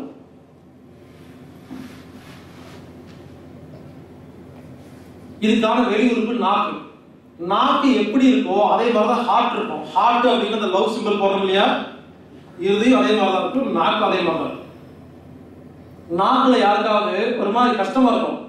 என்னமோ பிரச்சனை? நாக்கு நாக்கு டிஸ்டர்பன்ஸ் இருந்தா என்ன தெரியுமா? இருதயம் வீக்கா இருக்குன்னு அர்த்தம். உடம்புல நெருப்பு சக்தி கம்மியா இருக்குன்னு அர்த்தம். சம் ப்ராப்ளம் ட்ரிபிள் வாங்க இங்க ப்ராப்ளம் இருக்கும் பிபி பேஷண்ட் அத்தனை பேருக்கு நாக்கு ஒரு மாதிரி தடிப்பா இருக்கும். எப்ப பார்த்தாலும் நாக்கு நினைச்சிட்டே இருப்பாங்க. அது என்னமோ பண்ணும் நாக்கு. என்ன இருக்கும்?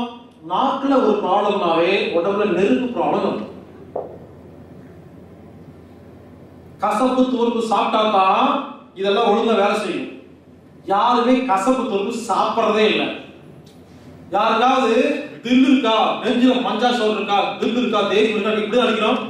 இங்க தில் தில்லுக்கு இப்படி எப்படி வந்துச்சு தைரியம் தன்னம்பிக்கை தில்லு இப்படி தான் சொல்றோம். ஏன் இருதயம் ஸ்ட்ராங்கா இருந்தா தைரியமா இருக்குன்னு அர்த்தம். யாருமே தைரியமா இல்லை தெரியுமா? நல்ல காரியம் மட்டும் தைரியம் இல்லை. திருட வந்து மிரட்டினா எல்லா இடத்துக்கு போ எல்லா இடத்துக்கு போ. என்ன உயிர் விட்டா போதும். ஏன்? பயம். தைரியம் இல்லை. என்னாச்சு?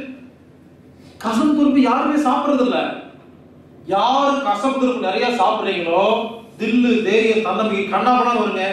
இவ்வளவு பார்த்து மிரண்டு ஓடி போவாங்க. யாருமே கசப்பு துருப்பு சாப்பிடுறதே இல்லை. சில பாட்டி இருப்பாங்க பாத்தீங்களா? வெத்தலை போட்டுருப்போம் பாத்தீங்களா? கிராமத்துல. வெத்தலை போட்டு போட்டு அது நிறைய கசப்பு தோறுப்பு இருக்கும். சாப்பிட்டு சாப்பிட்டு சாப்பிட்டு என்ன இறுதியை ஸ்ட்ராங் பண்ணி வச்சிருப்பாங்க. இந்த வெத்தலை பாக்கு போய் இதை பேசி ஜெயிச்சுட்டு வரலாம் ஒன்றே முடியாது. ஓடி துரத்தி விட்டுரும். வாடா அப்படின்னு. மதிக்காது யாரையும் தில்ல சுத்திட்டு இருக்கு. பாத்தீங்களா ஆண்பராக்கெல்லாம் சாப்பிடக்கூடாது. அதெல்லாம் போய். அதெல்லாம் போதை பொருள். வெத்தலை பாக்கு நல்லது சொல்லுங்க. அடுத்து வரேன். இப்படி வெத்தலை பாக்கு சாப்பிட்டு சாப்பிட்டு சாப்பிட்டு இறுதிக்கு ஸ்ட்ராங் பண்ணி மத்த எல்லாருக்குமே நோய் இருக்கும். இறுதி மட்டும் ஸ்ட்ராங்கா இருக்கும். இது என்ன ஆகும்? இந்த இந்த பாட்டி காய்ச்சலே வராதுங்க. அடுத்த படிக்கையா போகாது. எந்த பிரச்சனை வேலை செய்யும் வேலை செய்யும்? என்ன தெரியுங்களா? முதல்ல சாப்பிடும் போது ஒரு விதத்தில் சாப்பிட்டா அந்த பவர் வேலை செய்யும். ரெண்டாவது மூணு நாலு அதிகமாயிட்டே போகும். டோஸ் அதிகமாக போகும். மாத்திரை அதிகமாக மாதிரி இந்த கசப்பு அதிகமாக சாப்பிட்டா அன்னைக்கு உயிரோட வாழ முடியாது அந்த பாட்டி. போக போக வெத்தலை பாக்கு அதிகமாக போயிட்டே இருக்கும். ஒரு குறிப்பிட்ட என்ன தெரியுமா? இதுக்கு மேலேயும் கசப்பு துருப்பு சேர்க்க முடியாதுங்கிற கண்டிஷன் வந்தோடனே ஹார்ட் ஸ்ட்ரக் ஆகும் இந்த பாட்டிக்கு வேற எந்த சுகர் பிபி ஆஸ்மா எந்த நோய் வராது. வந்தா ஒன்னு ஹார்ட் அட்டாக் இல்ல கோமா அவ்வளவு தான் வரும். திடீர்னு படுத்துருவாங்க. அவ்வளவுதான். கோமாக்கு போயிடுவாங்க முடிஞ்சு போச்சு. கோமாவுக்கு போகும்போது யாராவது ஆசை தூக்கிட்டு போங்க. அப்ப சோடியம் குளோரைடு தான் மாட்டுவாங்க. பார்த்துருக்குங்களா? பிபிக்கு யாரெல்லாம் உப்பு சாப்பிடாம இருந்து ரொம்ப வருஷமா கோமாக்கு போயிட்டாங்களோ ஆஸ்பத்திரி போய் பாருங்க. நான் வந்து சும்மா சொல்லிங்க ஒவ்வொன்றையும் உட்காந்து ஆராய்ச்சி பண்ணியிருக்கேன். ஆஸ்பத்திரி உட்கார்ந்துருக்கேன் நான். சோடியம் குளோரைடு தான் மாட்டுவாங்க. என்ன உயிர் போயிடும் பத்து நாள். படத்துல உயிர் இப்ப ஏன்? கசப்பு அதிகமா சாப்பிட்டாலும் நோய்னு சொல்றேன் நான் கம்மியா சாப்பிட்டாலும் நோய். அளவா சாப்பிடணும். சில பேர் சொல்லுவாங்க சுகர் பேஷண்ட் காலையில பாவக்காவை மிக்சியில போட்டு ஜூஸ் அடிச்சு கட கட அப்படியே கசப்பா குடிச்சிட்டா சுகர் குணமாக சொல்றாங்களா? சுகர் குணமாகாதுங்க. இந்த பாவக்காவோட கசப்பு உடம்புக்குள்ள போனவங்க உங்களுக்கு கசப்பு சக்தி ரொம்ப கம்மியா இருக்கா? அப்ப கசப்பு சக்தி கிடைச்சோம்னா இருதயம் ஸ்ட்ராங்கா வேலை செய்யுமா? சிறுகுடல் வேலை செய்யுமா? சிறுகுடல் சுகர் அப்சர்வ் பண்ண ஆரம்பிச்சிடும் நல்லா ஜீரணம் பண்ண ஆரம்பிச்சிடும் ஸோ சுகர் கண்ட்ரோல் ஒத்துக்கிறேன் ஆனா அளவுக்கு அதிக கசப்பு ஒரு நாள் ரெண்டு நாள் சாப்பிட்டா மருந்து. ஏதோ மாசத்துல ஒரு நாள் சாப்பிட்டா மருந்து. டெய்லி கசப்பு நல்லது கசப்பு நல்லதுன்னு டெய்லி அடிச்சு அடிச்சு அடிச்சு குடிச்சிருந்தாலும் தெரியுமா? ஒரு நாள் ஹார்ட் அட்டாக் வந்துடும் மிகிலும் குறையிலும் போய் செய்யும். நான் எதுவுமே அளவுக்கு அதிகமாக சாப்பிடுங்கன்னு சொல்லல. கம்மியாக சாப்பிடுங்கன்னு சொல்லல. வேண்டாம்னு சொல்லல. அளவா சாப்பிடுங்க அப்படிங்கிறேன் எல்லாத்துலயுமே அளவுங்க. எல்லாத்துலயுமே. எதுவுமே அதிகம் இருக்கக்கூடாது குறைவாக இருக்கக்கூடாது. அதை புரிஞ்சுக்கிட்டா அளவா இருக்கும். சோ அளவுக்கு தான் பேசிட்டு இருக்கேன். அப்ப கசப்பு உடம்புக்கு தேவை. அது அளவா சாப்பிட்டா ஆரோக்கியம். கம்மியான அதிகமான நோய். பாம்பு கடிச்சா என்ன ஆகும் பாம்பு கடிச்சா அடுத்த செகண்ட் விஷம் எல்லா செல்லுக்குள்ளயும் போயிருமா? நம்ம ஏற்கனவே பார்த்தோம். ஒரு செல்லுக்கு நோய் வந்து என்ன பண்ணும்? பிபி கேட்கும் சுகர் கேட்கும் ஆக்சிஜன் கேட்கும் பார்த்தோமா பாம்பு விஷம் ஒரு செல்லுக்குள்ள போனா சும்மாவா இருக்கும்? எவ்வளவு பிபி கேட்கும்? இறுதி என்ன பண்ணும்? கண்ணாமலாம் பிபி கொடுக்குமா? எல்லாரும் பாம்பு கடிச்சோம் எதிர்க்க செத்து போறாங்க? பாம்பு கடிச்ச விஷத்தை தூக்கி வீசுற அளவுக்கு உடம்புக்கு தெம்பு இருக்குங்க. அதுக்கே தெரியும். அது வந்து ஒரு சாதாரண விஷயம் தான் ஆனா அந்த அளவுக்கு பிபி இருந்தா தான் விஷம் முறியடிக்க முடியும். நம்ம கசப்பு சாப்பிடாம சாப்பிடாம இறுதிக்கு தெம்பே இல்லையா? பிபி ஒரு குறிப்பிட்ட லெவல் போனோடனே செல்கள் நிறைய கேட்கும். அந்த அளவு கொடுக்க முடியும் ஸ்ட்ரக் ஆகிடும் கசப்பு திரும்ப நிறைய சாப்பிட்டு யாரோட உடம்புல ஸ்ட்ரென்த் வச்சிருக்கீங்களோ பிபி கண்ணாமலாம் அதிகமாகும். உங்களுக்கு ஒன்றும் ஆகாது. விஷம் முறிஞ்சு வெளியே போயிடும் பிபி நார்மலுக்கு வந்துடும் பாம்பு கடிச்சா ஒரு மூலிகை தருவாங்க கேள்விப்பட்டிருக்கீங்களா? சிரியா நங்கா பெரியா நங்கா? சிரியா நங்கை பெரியா நங்கை. அது என்னது? கசப்பா இருக்கும். இப்ப எல்லாத்துக்கும் கொடுக்குறேங்க. எல்லாரும் வாயில போட்டு சாப்பிட்டு பாருங்க. கசக்கும். சாப்பிடவே முடியாது. ஆனா பாம்பு கடிச்ச அடுத்த செகண்ட் அந்த சிரியா நங்கா எடுத்து வாயில போட்டு மெல்லுங்க. கசப்பே தெரியாது. ஏன் தெரியாது? நம்ம உடம்புக்கு எந்த சுவை வேணுமோ அந்த சுவை நாக்குல தெரியாது. அப்போ அவங்ககிட்ட பதினஞ்சு விலை கொடுங்க. அப்படியே அள்ளி அள்ளி. க- க- வேப்பம் வேப்பம் கொழுந்து வேப்ப இலை. இதெல்லாம் வாயில கொடுங்க. அப்படி சொல்லி சாப்பிடுவாங்க. இவ்வளவு கருவேப்பிலை எடுத்து வாயில போட்டு மென்னாலும் பாம்பு விஷம் உள்ள இருக்கும் பொழுது கருவேப்பிலை காசுக்கு தெரியவே தெரியாது. தெரியல அர்த்தம்? உடம்புக்கு தேவையான அர்த்தம். இப்படி என்ன பண்ணணும்? வேப்பிலை வாயில போட்டு சாப்பிடணும். சரியானங்க பெரியானங்க பாவக்காய் கசப்பான பொருள் வாயில போட்டு மென்று மென்று மென்று சாப்பிடணும். என்ன தெரியுமா? ஒரு அஞ்சு நிமிஷம் பத்து நிமிஷம் கடிச்சு கடிச்சு சாப்பிட்டே இருந்தீங்கன்னா திடீர்னு கசக்கும். அப்ப என்ன அர்த்தம்? விஷம் முடிஞ்சிருச்சு நான் அவ்வளவுதாங்க நாக்கு அவ்வளவு தெளிவா இருக்குங்க. வேணும்னா கேட்கும். சுவையை காட்டாது. எப்ப தகட்டுதோ எப்ப சாப்பிட முடியலையோ அப்ப உடம்புக்கு வேண்டாம்னு அர்த்தம்? யாராவது பாவக்காய் எடுத்து கடிச்சு பாருங்க. பிடிச்சிருக்கா சாப்பிடுங்க. உங்க உடம்புக்கு தேவைன்னு அர்த்தம்? பாவக்காய் கடிக்கும் பொழுது கசப்பா இருக்கு சாப்பிட முடியலையா? தேவையில்லைன்னு அர்த்தம் முடிஞ்சு போச்சு. எதுக்கு மத்தவங்க போய் கேக்குறீங்க? இதை சாப்பிடலாமா? அதை சாப்பிடலாமா? என்ன சாப்பிடலாம்? யாருகிட்டையும் கேட்க வேண்டாங்க. முயல் ஆடு மாடு கோழி போய் கேட்டாருது யோசிச்சு பாருங்க. முயல் என்ன சாப்பிடுது அதுக்கு பிரியாணி கொடுத்து பாருங்க சாப்பிடுமா அது? கத்திரிக்காய் கூட்டு வச்சு கொடுங்க சாப்பிட்டா பாருங்க சாப்பிடுமா அது? அது கேரட்டு முட்டைக்கோசு கொடுத்தா சாப்பிடுதா? ஸோ ஒவ்வொரு உயிருக்கும் என்ன வேணும் அதுவே முடிவு பண்ணுது. நாம தான் மற்றவர்கிட்ட போயிட்டு ப்ளீஸ் சொல்லுங்க அப்படின்னு புக்கெல்லாம் படிச்சுட்டு உட்காந்துருக்கோம் எதையெல்லாம் படிக்கலாம் வேண்டாம். சில விஷயங்கள் புரிஞ்சா இனிமேல் யார்கிட்ட கேள்வியெல்லாம் கேட்க மாட்டாங்க. நாமளும் டிசைட் பண்ணிக்குவோம்.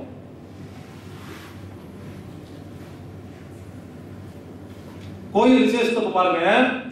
தீச்சிட்டு எடுத்து ஆடுவாங்க பார்த்தீங்களா விசேஷத்துல? அவங்க பாருங்க வேப்பிலை அப்படியே வாயில ஓட்டு அப்படியே கடிச்சு சாப்பிடுவாங்க. பாத்துக்கீங்களா எலுமிச்சம்பழம் அஞ்சு கொடுங்க அப்படியே கடிச்சு சாப்பிட்டு ஆடி ஓடி போயிட்டு இருப்பாங்க. ஏன் வர்றாங்க அந்த உடம்புல அவங்களுக்கு பக்தி வந்துருச்சு இல்லைங்களா? ஆடு ஆடு ஆடும்போது உடம்புக்கு எவ்வளவு வேலை கொடுக்குறாங்க? பிபி அதிகமா தேவைப்படுதா?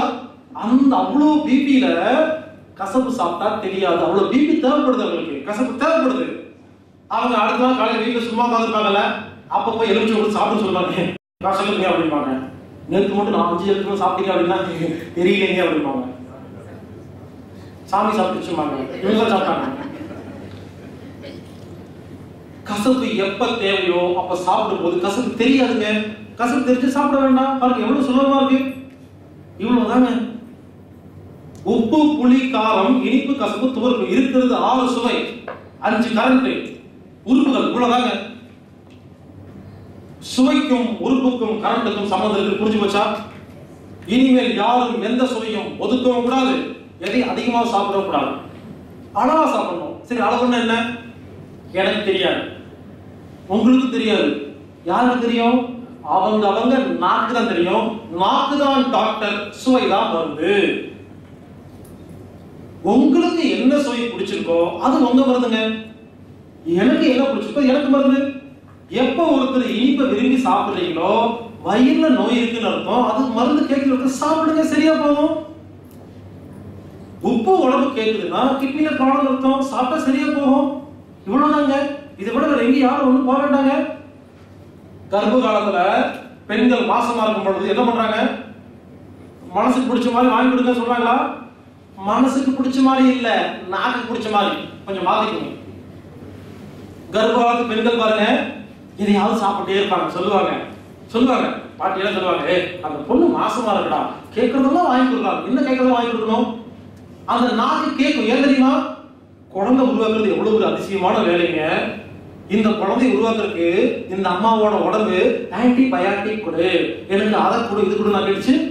சுவையை கொடுன்னு கேட்குதுங்க இந்த அம்மா என்ன பண்ணுவாங்க இன்னைக்கு சாப்பிடணும் போல கேட்டு பாருங்க அப்படியே நான் இன்னைக்கு சாப்பிடணும் சொல்லுவாங்க. ஏங்க இனிப்பு சாப்பிடணும் போல இருக்குன்னு சொல்லுவாங்க. இவர் உடனே காடி எடுத்துட்டு போயிட்டு என்ன பண்ணுவாரு? அதெல்லாம் எடுத்து கொடுப்பாரு. ஒரு பீஸ் எடுத்து ஒரு கிலோ வாங்கி கொடுப்பாரு. ஒரு பீஸ் சாப்பிடுவாங்க. இனிப்பு தகிட்டிடுமா? இவங்க சாப்பிட மாட்டாங்க. அடுத்து நம்ம கசப்பு சாப்பிடுவாங்க. இந்த அவருக்கு ஹஸ்பண்ட் கோபம் வந்துடும் என்ன?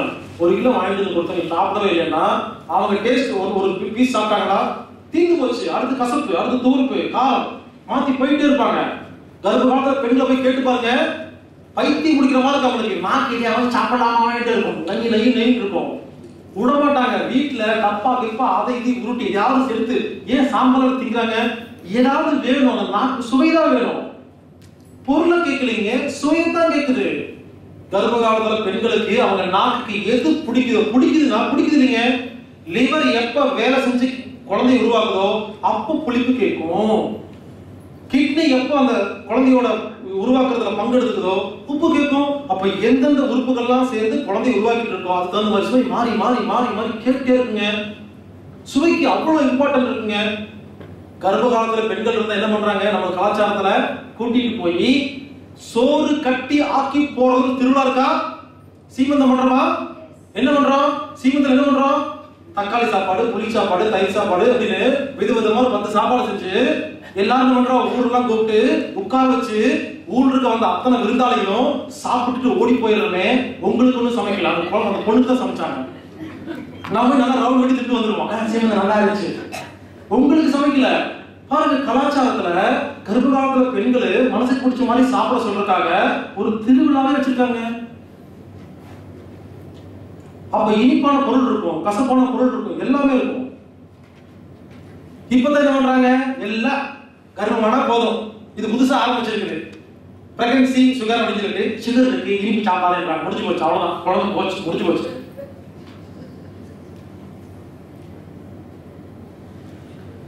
அத்தனையும் ஏமாற்று வேலை எவ்வளவு சுலபமா இருக்கு பாருங்க. அரை மணி நேரம் ஆச்சா? ஒரு விஷயத்தை புரிவிக்கிறதுக்கு அரை மணி நேரம் தான் இருக்குது.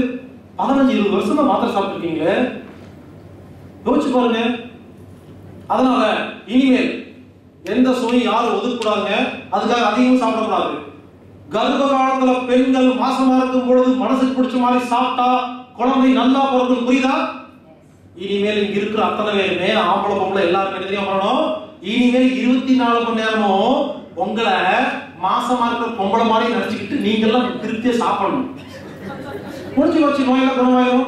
இருபத்தி நாலு மணி மாசமா இருக்கணும்னு நினைச்சுக்க வேண்டியதான் மனசு பிடிச்ச மாதிரி சாப்பிட்டு சுத்த வேண்டியதான் எல்லாமே குணமாயிரும். சௌக்கியமா சந்தோஷமா இருப்பாங்க. நோய் குணமான மாதிரி இருக்கும் மனசு திருப்தியா இருக்குங்க. கசப்பு துருப்பு நாமளே சாப்பிடுறது இல்லை எடுத்து குப்பையில் போட்டுருங்க இனிப்பு சாப்பிட்டா சக்கரம் இருக்கும் சாப்பிடாதீங்க. உப்பு சாப்பிட்டா தீப்பு அதிகமாயிடும். புளி செஞ்சுக்கிட்டு மூட்டு மனதால் வலிக்கும். சாப்பிடாதீங்க. காரம் செஞ்சுட்டு தோல்ல நோய் வரும். கசப்பு துருப்பு நாமளே சாப்பிடுறது இல்லை யோசிச்சு பாருங்க. இருக்கிறது ஆறு சுவை. ஆறு சுவையை ஒவ்வொரு காரணம் சொல்லி சாப்பிட வேண்டாம் சொல்றாங்க வேற எதை சாப்பிடுறது அப்புறம் இனிமேல் யாராவது நான் இந்த சுவையை சாப்பிட மாட்டேன்னு சொன்னீங்கன்னா உங்களுக்கு மிகப்பெரிய நோய் வரப்போது ஒருத்தங்க அவ்வளவுதான். இருக்கிறது ஆறு சுவை தாங்க. கடவுள் நமக்காக கண்டுபிடிச்சது ஆறு சுவை. ஒரு சுவை யாரும் ஒதுக்கூடாது அதுக்காக அதிகமாகவும் சாப்பிடக்கூடாது கம்மியாகவும் சாப்பிடக்கூடாது. உங்களுக்கு என்ன பிடிச்சதோ சாப்பிடுங்க அவ்வளவுதாங்க. ரொம்ப சிம்பிளா சொல்லுங்க. வீட்டில் சாப்பாடு வைக்கிறாங்களா? உப்பு நிறைய பண்ற உப்பு அள்ளி போட்டு கலக்கி வச்சுட்டேன். இன்னைக்கு மத்தியானத்துக்கு. என்ன பண்ணுவீங்க? வாயில் நீங்க உப்பு அதிகமாக இருக்கு, சாப்பிட போயிருவீங்களா? அப்ப சாப்பிடக்கூடாது அர்த்தமா ஆனா உப்பே போடாம கொஞ்சம் உப்பு போட்டு வைக்கிறேன். என்ன பண்ணுவீங்க? எல்லாம் சாப்பிட்டு போயிடுறீங்கல்ல? ஏன்? உப்பு கம்மியா இருக்கு யாராவது கேட்டீங்களா? உப்பு அதிகமா இருந்தா மட்டும் சாப்பிடாம போறீங்க. உப்பு கம்மியா தான் சாப்பிட்டு போயிருவீங்க. அப்படியே இருக்கக்கூடாது. உப்பு அதிகமாக இருந்தா இப்படி சாப்பிடாம போறோம். அதே மாதிரி உப்பு கம்மியா இருந்தா உப்பு எடுத்து போட்டு சாப்பிடணும். அந்த காலத்துல இலைய போட்டு முதல்ல உப்பு இனிப்பு ஏற்றி வைக்கிறாங்க. உனக்கு வேணுமோ நீ போட்டுக்கோ வைக்கிறாங்க உப்பு. நாம உப்பு வச்சுக்கிறதே இல்லை. எது இருக்கோ சரி அப்படியே எடுத்து அள்ளி போட்டு போயிட்டே இருக்க வேண்டியது. அதை கரெக்ஷன் பண்றதே இல்லை. எப்ப சாப்பிட்டாலும் உப்பு கொஞ்சமா ஓரத்தில் இருக்கணுங்க. எதுக்கு? ஒரு வாய் எடுத்து வாயில் போடணும். சாப்பிட்டு பார்க்கணும். உப்பு அதிகமா இருக்கா? தண்ணி ஊத்துங்க. உப்பு கம்மியா இருக்கா? கொஞ்சம் போட்டுக்கோங்க. இனிமேல் ஒவ்வொரு வாய் சாப்பாட்டுலயும் உங்க நாக்கு எவ்வளவு உப்பு கேட்குதோ அதை கரெக்டா போட்டு பாருங்க. உங்க உடம்புல நீர் சம்பந்தப்பட்ட கிட்னி சம்பந்தப்பட்ட மூத்திரத்தை சம்பந்தப்பட்ட எந்த நோய் வரவே வராது கிட்னி ஃபெயிலியர் ஆகவே ஆகாது. வாழ்க்கையில். இதுல வேற கிட்னி ஃபெயிலியர் இருக்காது ஆயிடுச்சுன்னா டாக்டர் சொல்ற பேச்சு உப்பு சாப்பிடாதீங்கன்னு சொல்றாங்க. நல்லா கட்டு போகுங்க அப்படிலாம் பண்ணக்கூடாது. சால்ட் உப்பு சேர்த்திக்காதீங்க. பொடி உப்பு. பொடி உப்பு இல்லைங்களா? தூள் உப்பு அது விஷம் சேர்த்திக்கூடாது. கல்லுப்பு தான் இருக்கிறதே ரொம்ப ரொம்ப நல்லது. இந்த இந்து உப்பு அந்த உப்பு அதெல்லாம் எதுவுமே வேண்டாம். கல்லுப்பு கிறிஸ்டல் சால்ட் அதை வாங்கிட்டு வந்து அரைச்சு பயன்படுத்துங்க. கல்லுப்பை வறுத்து பயன்படுத்தினா அதில் இருக்கிற தோஷங்கள் நீங்கும். கெட்ட பொருள் ஆவியாகி போயிடும். கல்லுப்பு வாங்கி வச்சுக்கணும். டெய்லி என்ன பண்ணணும்? ஒரு கைப்பிடி எடுத்து ஒரு சட்டியில போட்டு வறுக்கணும். வறுத்து ஒரு டப்பால போட்டுக்கணும். அன்னைக்கு அந்த உப்பு தான் பயன்படுத்தணும் சமையலுக்கு. நாளைக்கு மறுபடியும் அந்த உப்பு வறுக்கணும். டெய்லி காலையில் வறுத்துட்டீங்கன்னா நைட் வரைக்கும் அதில் தோஷம் இருக்காது. கல்லுப்பை வறுத்து பயன்படுத்தினா நீங்கள் சாப்பிட்ட ஆரோக்கியமாக இருப்பீங்க. அதே மாதிரி புளியை சுட்டு பயன்படுத்தணும். புளி இல்லைங்களா? அதை என்ன பண்ணணும்? இடிக்கல எடுத்துக்கணும். நெருப்புல காமி நெருப்பு எரியுதா? கொஞ்சம் தூரம் மேல வச்சு நெருப்புல காமிங்க. சுடணும். இந்த சிக்கன் நல்லா சொல்றீங்க இல்லையா? தந்தூரி சிக்கன் கிரில் சிக்கன் அந்த மாதிரி சுடணும். சுட்டு அதுக்கப்புறம் புளியை பயன்படுத்துங்க. சொல்லுவாங்க புளி பயன்படுத்தாதீங்க. உடம்பு நோய் வரும் சொல்றாங்க புளியில நோயெல்லாம் ஒண்ணும் இல்ல. புளியை சுட்டு பயன்படுத்தினா நோய் வராது. உப்பை வறுத்து பயன்படுத்தினா நோய் வராது. அதனால இனிமேல் யாரும் எந்த ஒரு சுவையும் அவாய்ட் பண்ணாதீங்க. அதுக்காக எந்த சுவையும் அதிகமா சாப்பிடாதீங்க. எவ்வளவு சாப்பிடணும்? அளவா சாப்பிடணும். எப்படி சாப்பிடணும்? உங்க நாக்கு தான் டாக்டர் சுவைதா மருந்து. உங்க நாக்கு எவ்வளவு கேட்குதோ அது கரெக்டா சாப்பிட்டா போதும். நாக்கு தெளிவா சொல்லும். ஆனா இது ஒரு சிக்கல் சில பேர் இருக்காங்க. நாக்கு பிடிச்சது சாப்பிடுங்க சொல்லிட்டாங்க இல்லையா? உடனே கடையில் கடையில போயிட்டு அதை இதையும் வாங்கி சாப்பிட்டுருப்பாங்க. இந்த டெக்னிக் கடையில் விற்கிற பொருளுக்கும் பேக்கடு பொருளுக்கும் டப்பால விற்கிற பொருளுக்கும் சேசேல விற்கிற பொருளுக்கும் பொருந்தாது. ஏன் தெரியுமா? இந்த எல்லா பொருளையும் ஒரு கெமிக்கல் கலந்துருப்பாங்க பாத்துருக்கீங்களா இந்த கம்பெனி என்ன பண்றது இந்த லேஸ் குறுக்குறை இந்த மாதிரி பொருள் வச்சிருக்கீங்களா ஏன் நல்லா சேல்ஸ் ஆகுது. அந்த லேஸ்ல அந்த பொருள் எல்லாம் ஒரு கெமிக்கல் தூவிருப்பாங்க இருப்பாங்க. தெரியுமா? இந்த சுவையை பத்தி ஆராய்ச்சி பண்ணி அரை மணி நேரத்தில் உங்களுக்கு தெளிவுபடுத்தலாம் அவங்க இதே ஆராய்ச்சி பண்ணி நாக்கை எப்படி ஏமாத்துறதுன்னு ஒரு கெமிக்கல் தடவி விட்டுருவாங்க. அதை சாப்பிட்டா இந்த நாக்கு ஏமாத்தி மறுபடியும் மறுபடியும் வேணும் வேணும்னு கேட்கும். சாப்பிட சாப்பிட்ட தூண்டும் சொல்லிடுவாங்க ஏமாத்துறாங்க கெமிக்கல் போட்டு நான் சொல்றது இயற்கை உணவுக்கும் நம்ம வீட்டில் சமைக்கிற உணவுக்கும் தான் பொருந்தோம் நீங்க கடையில் வாங்கி சாப்பிட்ற பொருள்ல அந்த சுவை ஏமாத்துற பொருள் இருக்கிறதுனால எவ்வளவு சாப்பிட்டாலும் நான் கேட்டுக்கிட்டே இருக்கும். அப்படின்னா அளவு அதிகமாக சாப்பிடுறீங்க டேஞ்சர் சில பேர் கேட்பாங்க எங்க மனசுக்கு பிடிச்சதெல்லாம் சாப்பிட சொல்றீங்க? எனக்கு தண்ணி அடிச்சா குடிக்கிறீங்க? டெய்லி பத்து தண்ணி அடிச்சுட்டு அதெல்லாம் போதைப் பொருள் தொடக்கூடாது. உணவுக்கும் போதைப் பொருள் வித்தியாசம் இருக்கா இல்லையா? உணவுக்கும் போதைப் பொருளுக்கும் என்ன வித்தியாசம்? ஒரு பொருள் உணவா போதைப் பொருளா? எப்படி கண்டுபிடிக்கிறது? ரொம்ப சிம்பிள் உங்களை ஒரு ஜெயிலுக்குள்ள அடைச்சாச்சு. ஒரு ரூம்ல அடைச்சாச்சு. டெய்லி நீங்க கேட்கும் போதெல்லாம் உருளைக்கிழங்கு போண்டா கொடுப்பேன்னு சொல்லியாச்சு. வேற எந்த உணவும் கிடையாது. நீங்க கேட்டா உருளைக்கிழங்கு கூட எவ்வளவு தருவோம். என்ன ஆகும் உயிரோடு இருப்பீங்க இருக்க மாட்டீங்களா? பசிக்கும் போதெல்லாம் உருளைக்கிழங்கு போண்டா மட்டும் சாப்பிட்டு உயிரோடு இருக்க முடியுமா? உருளைக்கிழங்கு போண்டா உணவு. இன்னொருத்தர் பக்கத்தில் போட்டுட்டு பசிக்கும் போதெல்லாம் பால் கொடுப்போம் சொல்லியாச்சு. பசிக்கும் போதெல்லாம் பால் மட்டும் சாப்பிடலாரு ஆரோக்கியமா இருப்பாரு நல்லா இருப்பாரு உயிரோடு இருப்பாரு. பால் உணவு. இன்னொரு பக்கத்துல பசிக்கும் போதெல்லாம் பீடி கொடுப்பேன் அப்படின்னா அடிச்சா செத்து போயிடுவாரா? அது போதைப் பொருள். மூணு நேரமும் தண்ணி அடிக்கிறது மட்டும் கொடுக்கணும். வேற எதுவும் சாப்பிட கூடாது உயிரோட இருக்க முடியுமா? அப்ப சாராயம் போதைப் பொருள். நீங்க புரிஞ்சுக்கங்க பான் கிராக் போதைப் பொருள். அதாவது எந்த ஒரு பொருளை மூணு நேரமும் சாப்பிட்டு உயிரோட இருக்க முடியாதோ இதெல்லாம் போதைப் பொருளுங்க. எந்த ஒரு பொருளை மூணு நேரம் சாப்பிட்டு உயிரோட இருக்க முடியுமோ இதெல்லாம் உணவு. மூணு நேரம் மீன் சாப்பிட்டு உயிரோட இருக்கலாம். மீன் உணவு. சிக்கன் சாப்பிட்டு உயிரோட இருக்கலாம். சிக்கன் உணவு. ஆனா இந்த சிகரெட் பால் பாக்கு தண்ணி இதெல்லாம் கஞ்சா இதெல்லாம் போதைப் பொருள். அதை மட்டும் சாப்பிட்டு இருக்க முடியாது. ரெண்டுக்கு என்ன வித்தியாசம் தெரியுமா? உணவு என்ன பண்ணும்னா உணவு உள்ள போய் இயக்க சக்திக்கு சக்தியை கொடுத்துட்டு மிச்சம் இருக்கிறது சேமிச்சு வைக்கும் போதைப் பொருள் தெரியுமா பண்ணோம்? போதைப் பொருள் உள்ள போய் போதைப் பொருள் சக்தியே கிடையாதுங்க. போதைப் பொருள் உள்ள போய் என்ன பண்ணும்? ஏற்கனவே சேமிச்சு வைக்கப்பட்ட கால்சியம் அயன் சோடியம் குளுக்கோஸ் எல்லாம் இருக்கு இல்லையா? உடம்புல ஸ்டாக் இருக்கு இல்லையா? போதைப் பொருளோட வேலை என்னன்னா உடம்புல இருக்கிற ஸ்டாக் எடுத்து செலவு பண்ணிட்டு போயிடும். அப்போ நம்ம உடம்புல ஸ்டாக் கம்மியாக கம்மியாக தீர்ந்து கூட செத்து போயிருமா?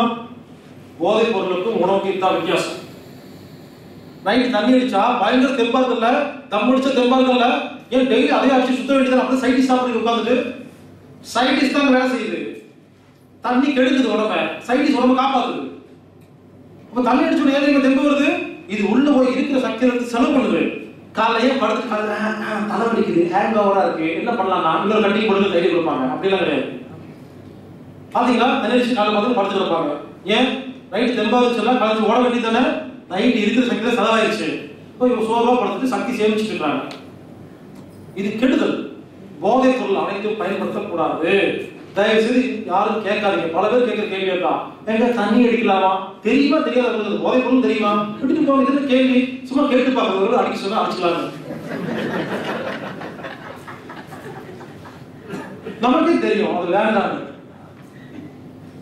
அதனால இனிமேல் யாரும் எந்த சுவையை ஒதுக்காதீங்க உங்களுக்கு எது பிடிச்சிருக்கோ சாப்பிடுங்க. இனிப்புங்க. இங்க இருக்கிற அத்தனை பேருக்கு என்ன பண்ண போறோம்னா பத்து பேரிச்சம்பளம் தரப்போறேன் எல்லாரும் சாப்பிடுங்க. எனக்கு பத்து பேரிச்சம்பழம் கொடுத்துட்டாங்க எல்லாரும் என்ன பண்ணுவீங்க? பத்து பேர் சாப்பிட்டு முடிச்சிருவீங்க. நான் என்ன பண்ணுவேன்? ஒரு பேரிச்சம்பழம் சாப்பிடுவேன். மிச்சம் ஒன்பது அங்கேயே தான் இருக்கும். சாப்பிட மாட்டேன். ஏன் தெரியுமா? நல்லா கேட்டுக்கங்க. நான் ஒரு பேரிச்சம்பழத்தை வாயில போட்டோன்னே நல்லா மென்னு பாருங்க. உதட்ட மூடி மென்னு சுவையை ரசிச்சு ருச்சி சாப்பிடுறேன்னா ஒரு பேரிச்சம்பழத்துல இருக்கிற இனிப்பு இன்னைக்கு இந்த நிமிஷத்துக்கு எனக்கு நாக்குக்கு போதும்.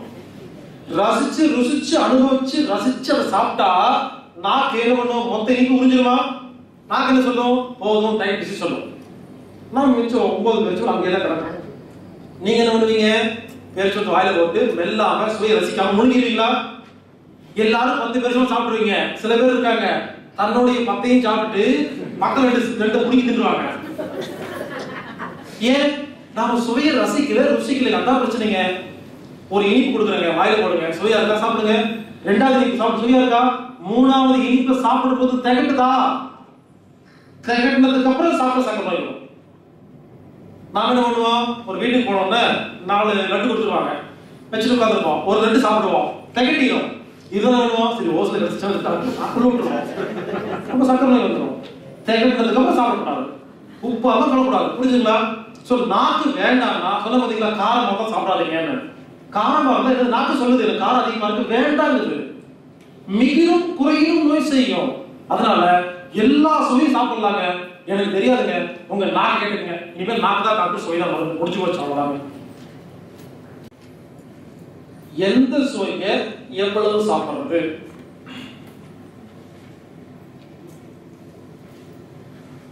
நமக்கெல்லாம் ஜீரணம் ஏன் தெரியுமா ஆக மாட்டேங்குது?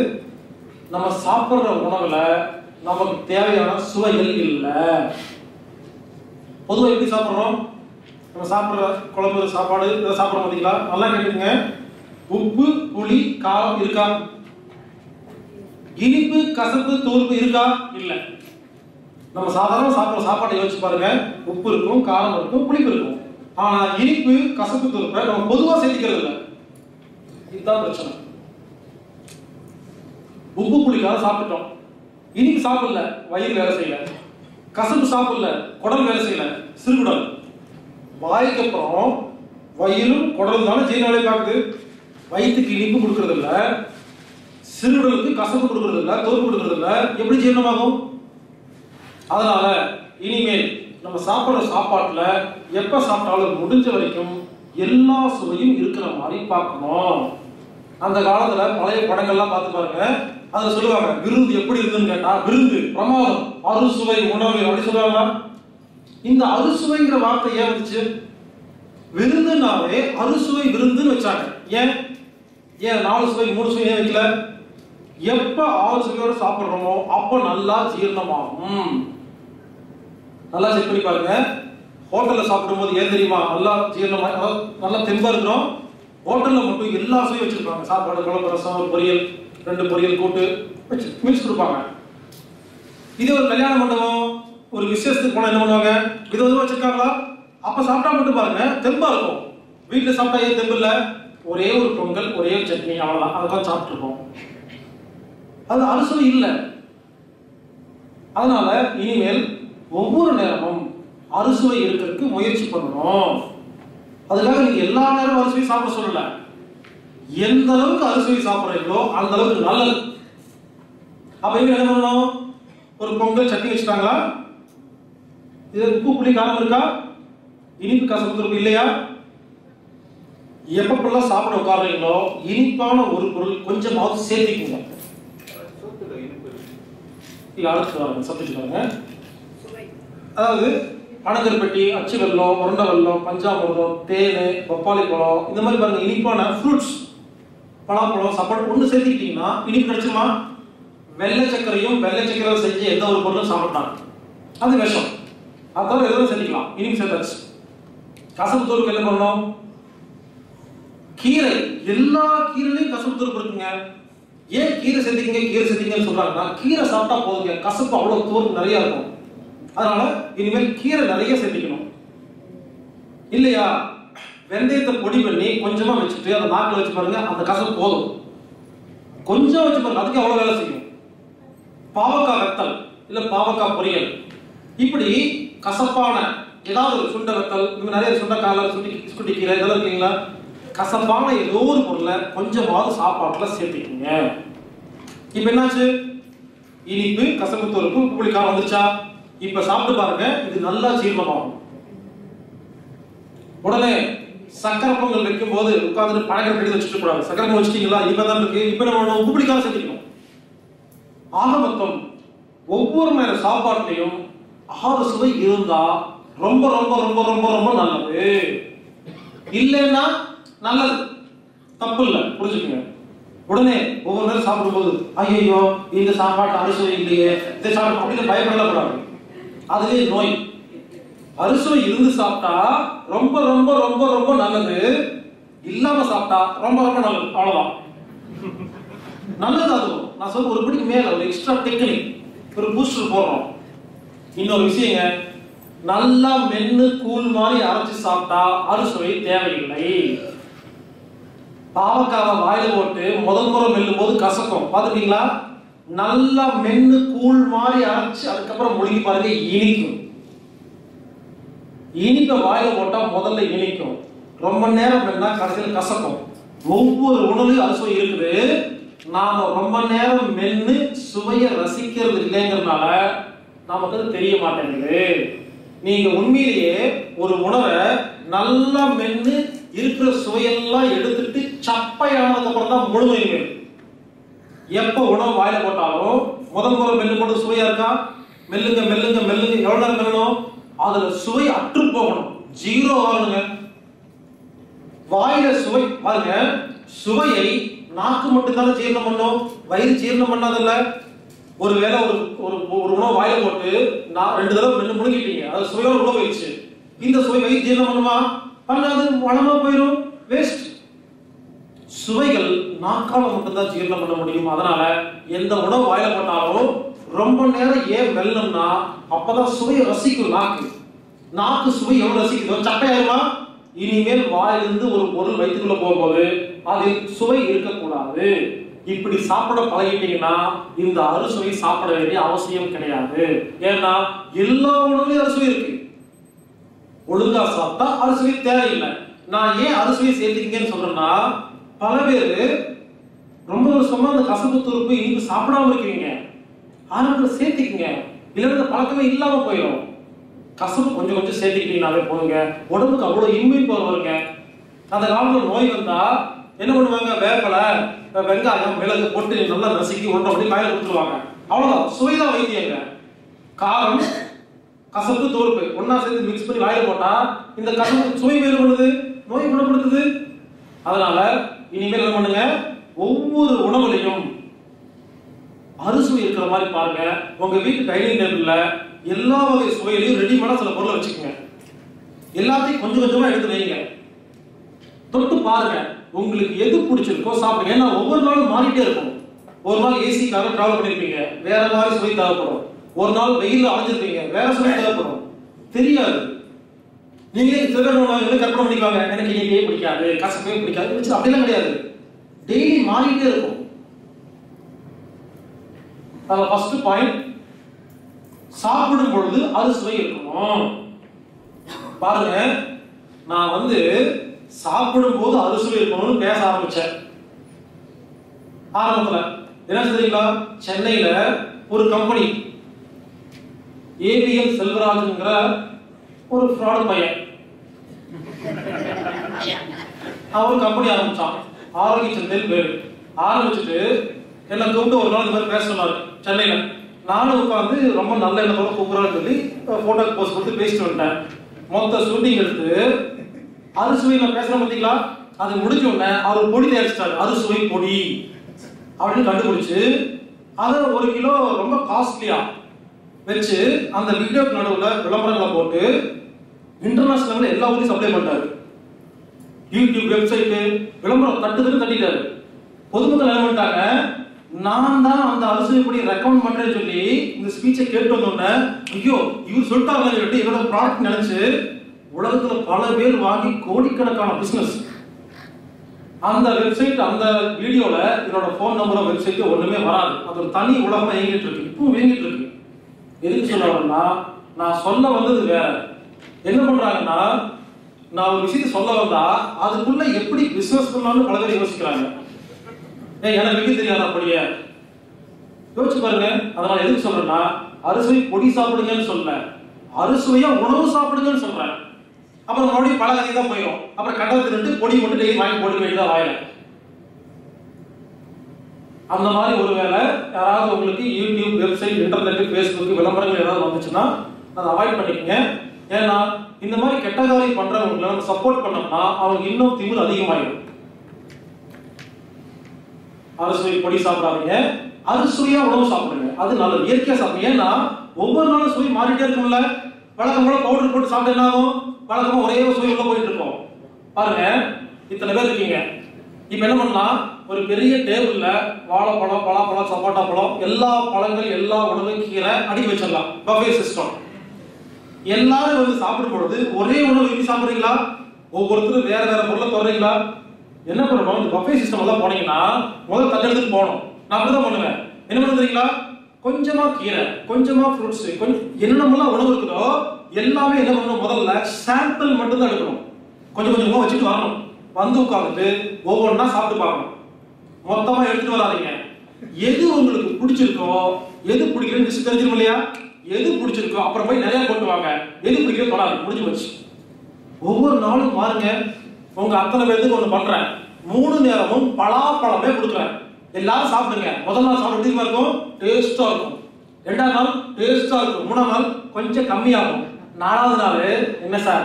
மூணு நேரம் பலாப்பழமே கொடுத்துருக்கீங்க பிடிக்கலன்னு வெளி நேரத்தை வெளியே ஒடுக்கி சாப்பிடுறீங்களா? இப்பவே பழத்தை பேர் வெளியே ஒடுக்கி சாப்பிடுறீங்க. ஏன்? பலாப்பழம் ஏன் பிடிக்காம போச்சு? நல்லா கேட்டுங்க முதல் முறை ஒரு உணவு உங்களுக்கு பிடிச்சதுன்னா என்ன அர்த்தம்?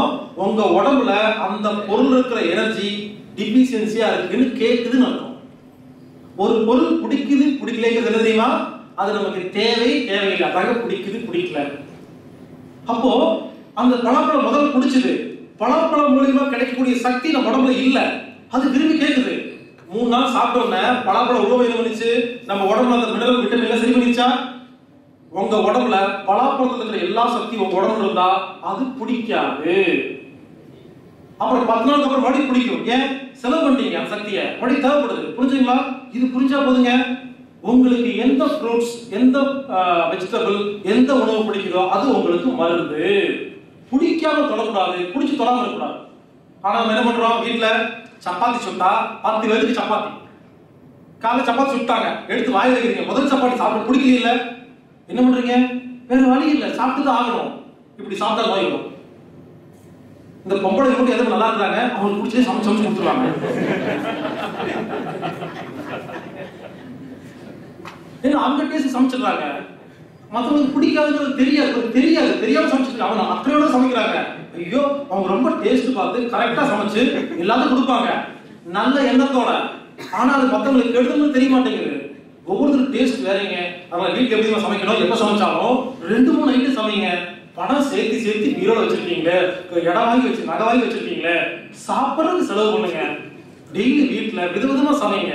மிச்சம் இருந்தால் நாய்க்கு போடுங்க குப்பையில கொடுங்க யாருக்காவது கொடுங்க. பரவாயில்லைங்க ஒன்றும் ஆகாதுங்க விதவிதமா சமைக்கணும்.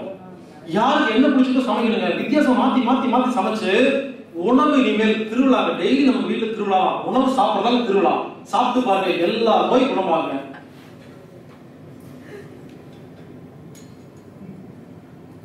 எது பிடிச்சிருக்கோ அது நமக்கு தேவை அர்த்தம். சில விஷயங்கள் சொன்னால் நம்ப மாட்டீங்க. ஒருத்தருக்கு இப்ப பொண்ணு பார்க்க போகும்போது போட்டோ பார்க்குறோம் நேரில் இல்லை பார்க்குறீங்க ஏன் ஒரு பொண்ணு மட்டும் பிடிச்சிருக்கு? ஒரு பையனுக்கு ஒரு பொண்ணு மட்டும் பிடிக்கும். ஒரு பொண்ணுக்கு ஒரு பையனை மட்டும் பிடிக்கும். ஏன் தெரியுமா? சொன்னால் நம்ப மாட்டீங்க. இதுதான் உண்மை.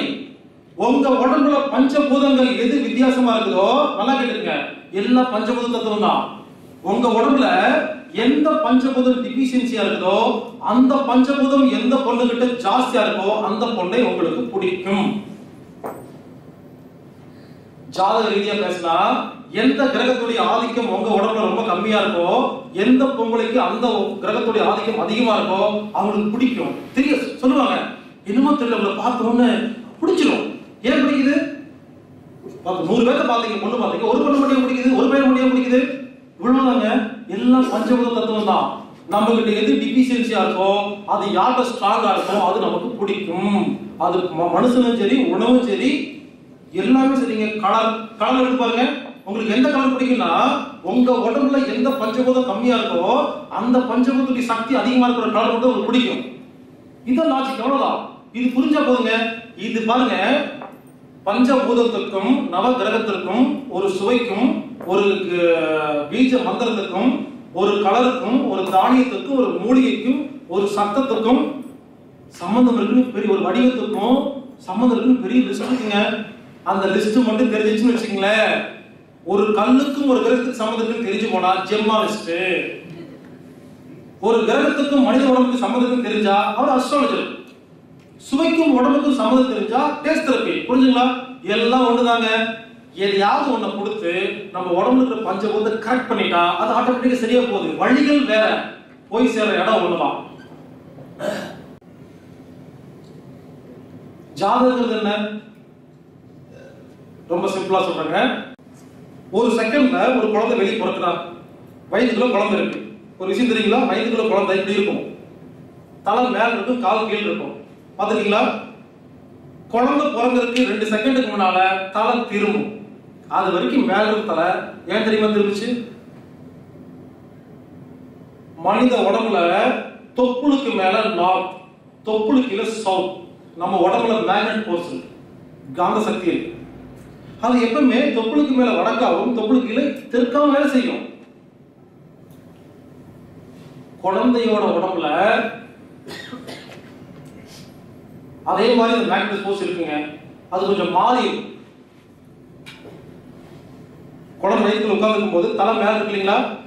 தலைப்பகுதி தெற்கா இருக்கும் தொப்புளு கீழே வடக்கா இருக்கும்.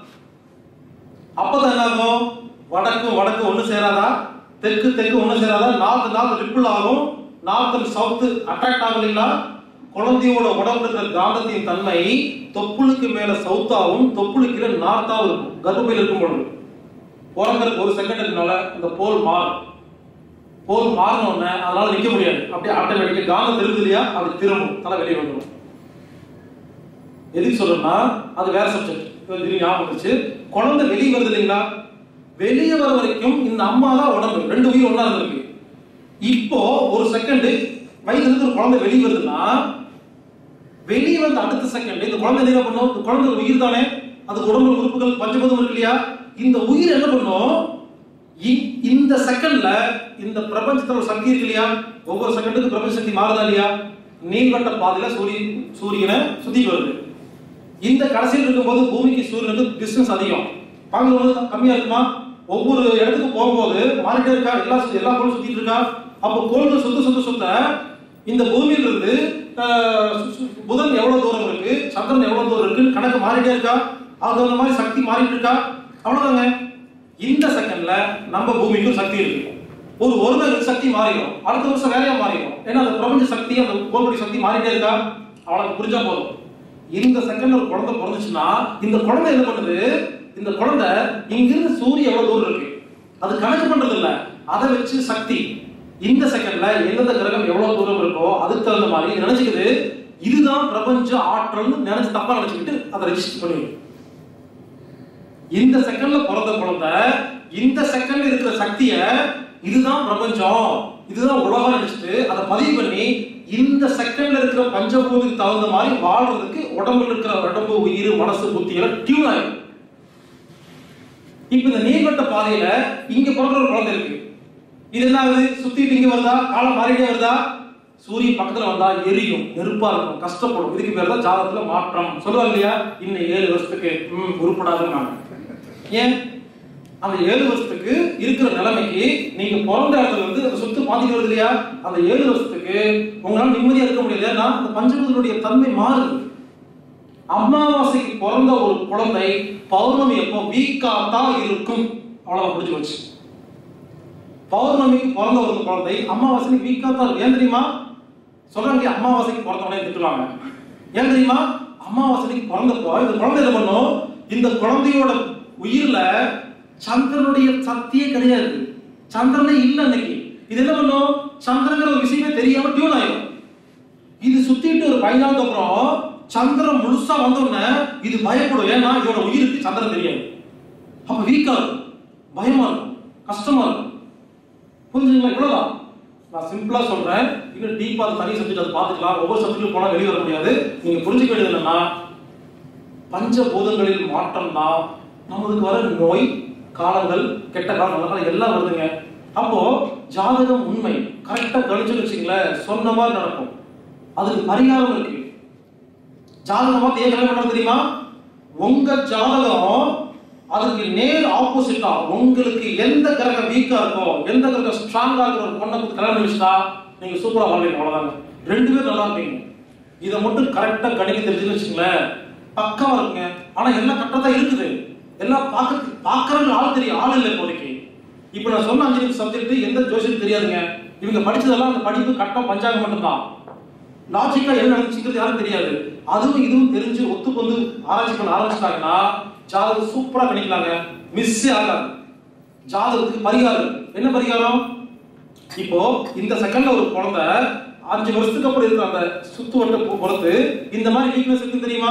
உங்க உடம்புல புதன் வீக்கா இருந்தா புத்தி கெட்டு போகும் நஷ்டமாக சொல்லுவாங்க. இப்படி எது வீக்கா இருக்கோ அதுக்கு தகுந்த மாதிரி தன்மை மாறுமா? லிவர் வீக் ஆச்சுன்னா கோவம் சொன்ன பார்த்தீங்களா அப்போ ஒரு கிரகம் வீக் ஆச்சுன்னா என்ன வரும் தெரியுமா? என்ன வந்தா பிசினஸ் பாதிக்கும் குடும்பம் பாதிக்கும் இப்படி ஒரு லிஸ்ட் அவ்வளவுதான் இதை வச்சு என்ன பண்றாங்க? கணக்கு போட்டு அழகா சொல்லிடுறாங்க. உங்களுக்கு இந்த மாதிரி பிரச்சனை வரும். இப்படி சமாளிச்சுக்கங்க. பரிகாரம் என்ன? அந்த பஞ்சபூதத்தை ஒழுங்குபடுத்துறது பரிகாரம். என்ன சொல்லுவாங்க? இந்த கோயிலுக்கு போயிட்டு வாங்க. அந்த கோயிலுக்கு போயிட்டு வாங்க. இந்த ட்ரெஸ் போடுங்க. இந்த மந்திர சொல்லுங்க சொன்னாங்களா மந்திரத்தின் மூலமா பரிகாரம் பண்ணலாம். உங்க உடம்புல எந்த பஞ்சபூதம் வீக்கா இருக்கோ அந்த பஞ்சபூதத்தை அதிகம் பண்றதுக்கு மந்திரம் இருக்கு. மந்திரங்களை திரும்ப திரும்ப சொல்லும்போது என்ன அந்த பஞ்சபூதம் அதிகமாயிருமா? உங்க பரிகாரம் தீர்ந்து போச்சு. ஒரு கோயிலுக்கு ஏன் சொல்றாங்க? ராகு கோயில் கேது கோயில் சனி கோயில் பேர் வச்சிருக்காங்களா? உங்களுக்கு சனி கிரகம் வீக்கா இருந்தா சனி கிரகம் இருக்கிற கோயிலுக்கு போனோம்னா சும்மா போயிட்டு வருதுன்னா அப்படியே டூர் போட்டு நேரம் காடி கட்டி நிறுத்தி உள்ள போய் அப்படின்னு ஓடி வரலாம் இல்ல அப்படி நான் தான் தங்கணும். பிரபஞ்சத்துல எந்த இடத்துல எந்த பஞ்சபூத சக்தி அதிகமா இருக்குன்னு கண்டுபிடிச்சு சனியுடைய சக்தி அதிகமா இருக்கிற இடத்துல சனி கோயில் கட்டுவாங்க. எந்த பஞ்சபூதம் எந்த இடத்துல இடத்துக்கு தகுந்த மாதிரி மாறிட்டே இருக்குங்க இதெல்லாம் கண்டுபிடிச்சு கோயில் கட்டி வச்சிருக்காங்க அப்ப என்ன பண்ணணும்? அந்த கோயிலுக்கு பத்து நாள் தங்கணும். தங்கினா என்ன ஆகும்? உடம்புக்கு பவர் அதிகமாயிடும். வீட்டுக்கு வந்து ஒரு வருஷம் தாங்கும். ஸோ இந்த மாதிரி ஒரு செடி வீட்டுக்கு சொல்லுவாங்க. ஏன்? அந்த செடி தான் உங்க பஞ்சபூதத்துக்கு மேட்ச் பண்ற செடி. இந்த மூலிகை சாப்பிடுங்க இந்த கல்லை போடுங்க. இது எல்லாமே சயின்ஸுங்க இதெல்லாம் ஆராய்ச்சி பண்ண ஆச்சரியமா இருக்கும். எல்லாமே உண்மை எல்லாமே சயின்ஸ் சரியா பார்க்கறதுக்கு அவர் இல்ல. நான் எதுக்கு இந்த கதையை உங்களுக்கு சொல்றேன்னா ஜாதகத்துல குறைபாடுன்னு யாரும் கவலைப்பட்டு எங்கேயும் பரிகாரம் பண்ண வேண்டாம். நான் ஆராய்ச்சி பண்ணி பார்த்துட்டேன். டேஸ்ட் தெரப்பி சொன்ன பார்த்தீங்களா மனசுக்கு பிடிச்ச மாதிரி சாப்பிட்டீங்கன்னா ஜாதகம் ஒன்றும் பண்ணாதாங்க அவ்வளோ உங்க உடம்புல எந்த பஞ்சபூதம் கம்மியா இருக்கோ அதுக்கு ஒரு கோயிலுக்கு போறதை விட அதை சுவை சாப்பிட்டு போலாம்ல ஏதோ ஒரு வழியில் உங்க பஞ்சமும் சரி பண்ணணும். நான் யோசிச்சு பார்த்தேங்க கல் மாட்டலாம்னு யோசிச்சேன். அப்புறம் கல் மாட்டினா என்ன ஆகும் நான் ஜெர்மலிஸ்ட் ஆயிடுவேன். இல்லை கல் வாய்ப்பு வேலையாக போயிடும். கல் மாத்திட்டே இருக்கும். இந்த அஞ்சு வருஷத்துக்கு வேற கல் ஆறு வருஷத்துக்கு வேற கல் கல் மாத்தி மாத்தி போகணும் ஒரே கல் போடக்கூடாது. கோயிலுக்கு மாத்தி மாத்தி போகணும் செடி மாத்தி மாத்தி வைக்கணும். யோசிச்சு பார்த்தேன். எல்லாத்தையும் ஆராய்ச்சி பண்ணி பார்த்தேன். எல்லாமே ரொம்ப டிஃபிகல்ட்டா இருக்குது. ஆனா சுவை சாப்பிடுறது மட்டும் ரொம்ப சிம்பிளா இருக்கு. எவ்வளவு சுலபமா இருக்கு? மனசு பிடிச்சோ சாப்பிடணும் முடிஞ்சு வச்சா ஒவ்வொரு செகண்டும் ஜாதகத்துக்கு பரிகாரம் பரிகாரம் பண்ணிட்டே போவோம். டெய்லி பரிகாரம் தான். எப்பப்பெல்லாம் மனசு பிடிச்ச மாதிரி சாப்பிடுறீங்களோ பரிகாரம் பண்றீங்க முடிஞ்சு போச்சுங்க அதனால இனிமேல் சுவையை மட்டும் கரெக்டா பார்த்துங்க நாக்கு என்ன கேட்குதோ கொடுத்து பாருங்க. எல்லா பிரச்சனையும் தீர்ந்து போதுங்க. நோய் மட்டும் இல்ல மனசு அமைதியா இருக்கும் புத்தி தெளிவா இருக்கும். ஜாதகத்துல குறைபாடுகள் நீங்க போகுங்க. முடிச்சு போச்சுங்க. அதனால சுவை எது சாப்பிடணும் எவ்வளவு சாப்பிடணும் யாரும் கிட்ட கேட்காதீங்க. எனக்கு தெரியாது உங்களுக்கு தெரியாது. நான் என்ன சாப்பிடணும் எனக்கே தெரியாது. அப்படின்னு சொல்ல முடியாது. எது உங்களுக்கு பிடிச்சிருக்கோ அது உங்களுக்கு டெஃபிசியன்சி சில விஷயங்கள் ரகசியங்கள் சொல்றாங்க. ஒரு சில பேர் கல்யாணம் பண்ணிப்பாங்க ஒரு மூணு வருஷம் அவர் சொன்னா இருப்பாங்க. திடீர்னு பிடிக்காம போய் ஏன் தெரியுங்களா? நினைச்சிட்டு இருக்காங்க. தப்பு. முதல்ல அந்த பஞ்சபூதம் வீக்காகும் அவங்க ஒன்று சேர்ந்த உடனே பஞ்சபூதம் கிளியர் ஆயிடும். நினைச்சுக்கிறாங்க. அதுக்கப்புறம் இவங்க பிசினஸ் பண்ணி சம்பாரிச்சு அது பெரிய இருப்பாங்க. இவங்க நினைச்சுக்கிறாங்க கூட இருக்கிறதுனால தான் இவங்க நல்லா இருக்காங்கன்னு தெரியாம இவங்களுக்கு பழகி போறோம். தெரியாது. ஹம், அப்படின்ட்டு விட்டுட்டு போயிடுவாங்க. விட்டுட்டு போய் பாருங்க எல்லாம் ஊத்திக்கும். கடைசியில் உட்காந்துருவாங்க. பிசினஸ் லாஸ் ஆகி. அந்த பொம்பளை போடுறதுனால தான் நல்லா இருக்காங்கன்னு தெரியாம போயிருங்க.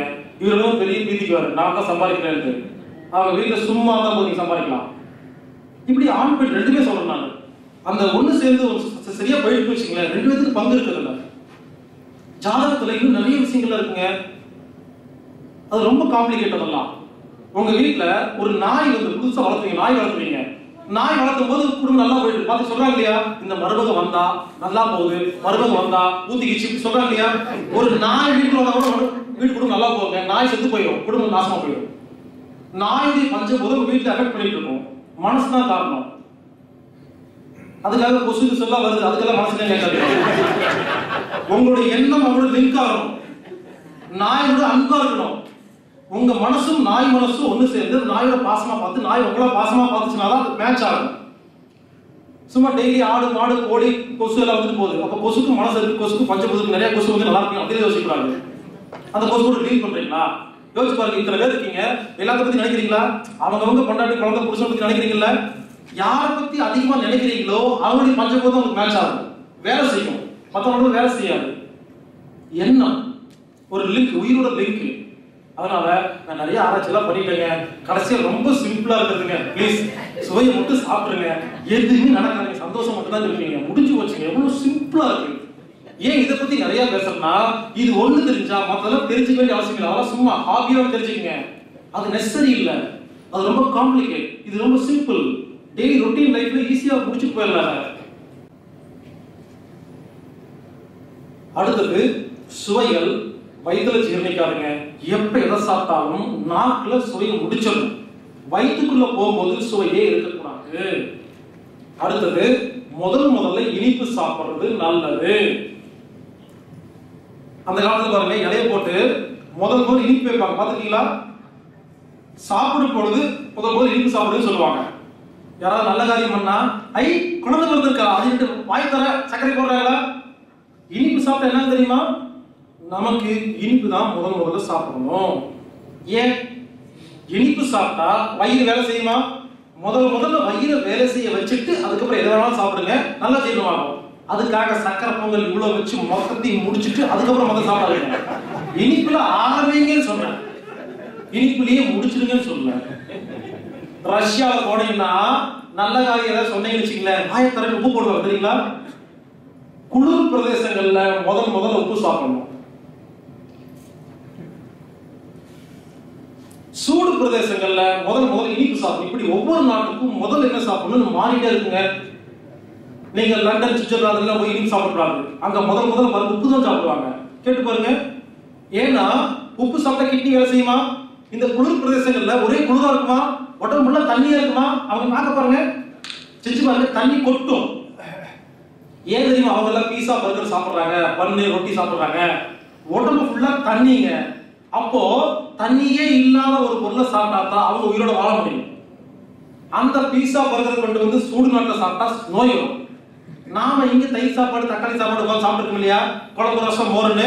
நீங்க சுவிட்சர்லாந்து போய் குழம்பு ரசம் மோரு சாப்பிடுங்க நாலு நாளைக்கு உயிர் போயிடும் ஆகவே அப்படி சாப்பிடக்கூடாது. ஆகவே பண்ணு பருக்கிறது சாப்பிடணும். புரிஞ்சுங்களா? அப்போ பஞ்சபூதம் தகுந்த மாதிரி கலாச்சாரம் மதம் எல்லாம் மாறி கிடக்கு முஸ்லிம்கள் அத்தனை பேரும் எங்கிருந்து வந்தாங்க? சூடு ஹாட் கண்ட்ரிஸ் அவருடைய கலாச்சாரம் எல்லாம் சூடு நாட்டுக்கு தகுந்த மாதிரி இருக்கும். கிறிஸ்டின்ஸ் அத்தனை பேரும் குளிர் கண்ட்ரிஸ் அவங்க கலாச்சாரம் குளிருக்கு மேட்ச் ஆகும். மித வெப்பம். இந்த சைனீஸ் ஹிந்து எல்லாம் பாருங்க. இதெல்லாம் மிதவெப்பம் நீங்க சுவிட்சர்லாந்துல போய் அண்டார்டிகால போய் உங்க ஊர்ல கோயிலுக்குள்ள போகும்போது செருப்பு கட்டி தானே போவீங்க? இல்லைன்னா செருப்பு போட்டு கோயிலுக்கு போக மாட்டீங்கல்ல? அண்டார்டிகால போய் கோயில் கட்டுங்க செருப்பு போடா உள்ள போங்க. அப்படி உடஞ்சு நின்றுருவீங்க அவங்க உங்களை சாமி கும்பிட்டுருப்பாங்க எல்லாரும் அங்க போய் ஷூ போட்டு தான் போகணும். இது கலாச்சாரம். அவங்க இங்க வந்து சர்ச்சுல ஷூ போட்டு போனா என்ன இவங்க அப்படி சூ உடச்சு கோயிலுக்குள்ள போறாங்க. ஆனா வந்து பார்க்குற இல்லையா? அவங்க நாட்டுல அந்த மாதிரி போனாதான் போக முடியும். அதை கொண்டு வந்து இன்னொரு நாட்டுல அப்ளை பண்ணும்போது அது பிரச்சனையா வருது. நான் எல்லாம் யோசிச்சு இருக்கேன். மதம்ங்கிறது ஒண்ணு இல்லைங்க. ஒரு கலாச்சாரம். ஒவ்வொரு நாட்டில் இருக்கும் பொழுதும் அந்த நாட்டில் வாழ்றதுக்கான வழிமுறைகளை எல்லாம் லிஸ்ட் போட்டு எழுதி ஒருத்தர் ஃபாலோ பண்ண ஆரம்பிச்சோன்னே அது மற்ற நாட்டுக்கு போய் மதமா மாறிட்டு இருக்கு. ஒரு நாட்டுடைய கலாச்சாரம் இன்னொரு நாட்டுக்கு போகும்பொழுது ஒத்து வராது மாத்தணும்.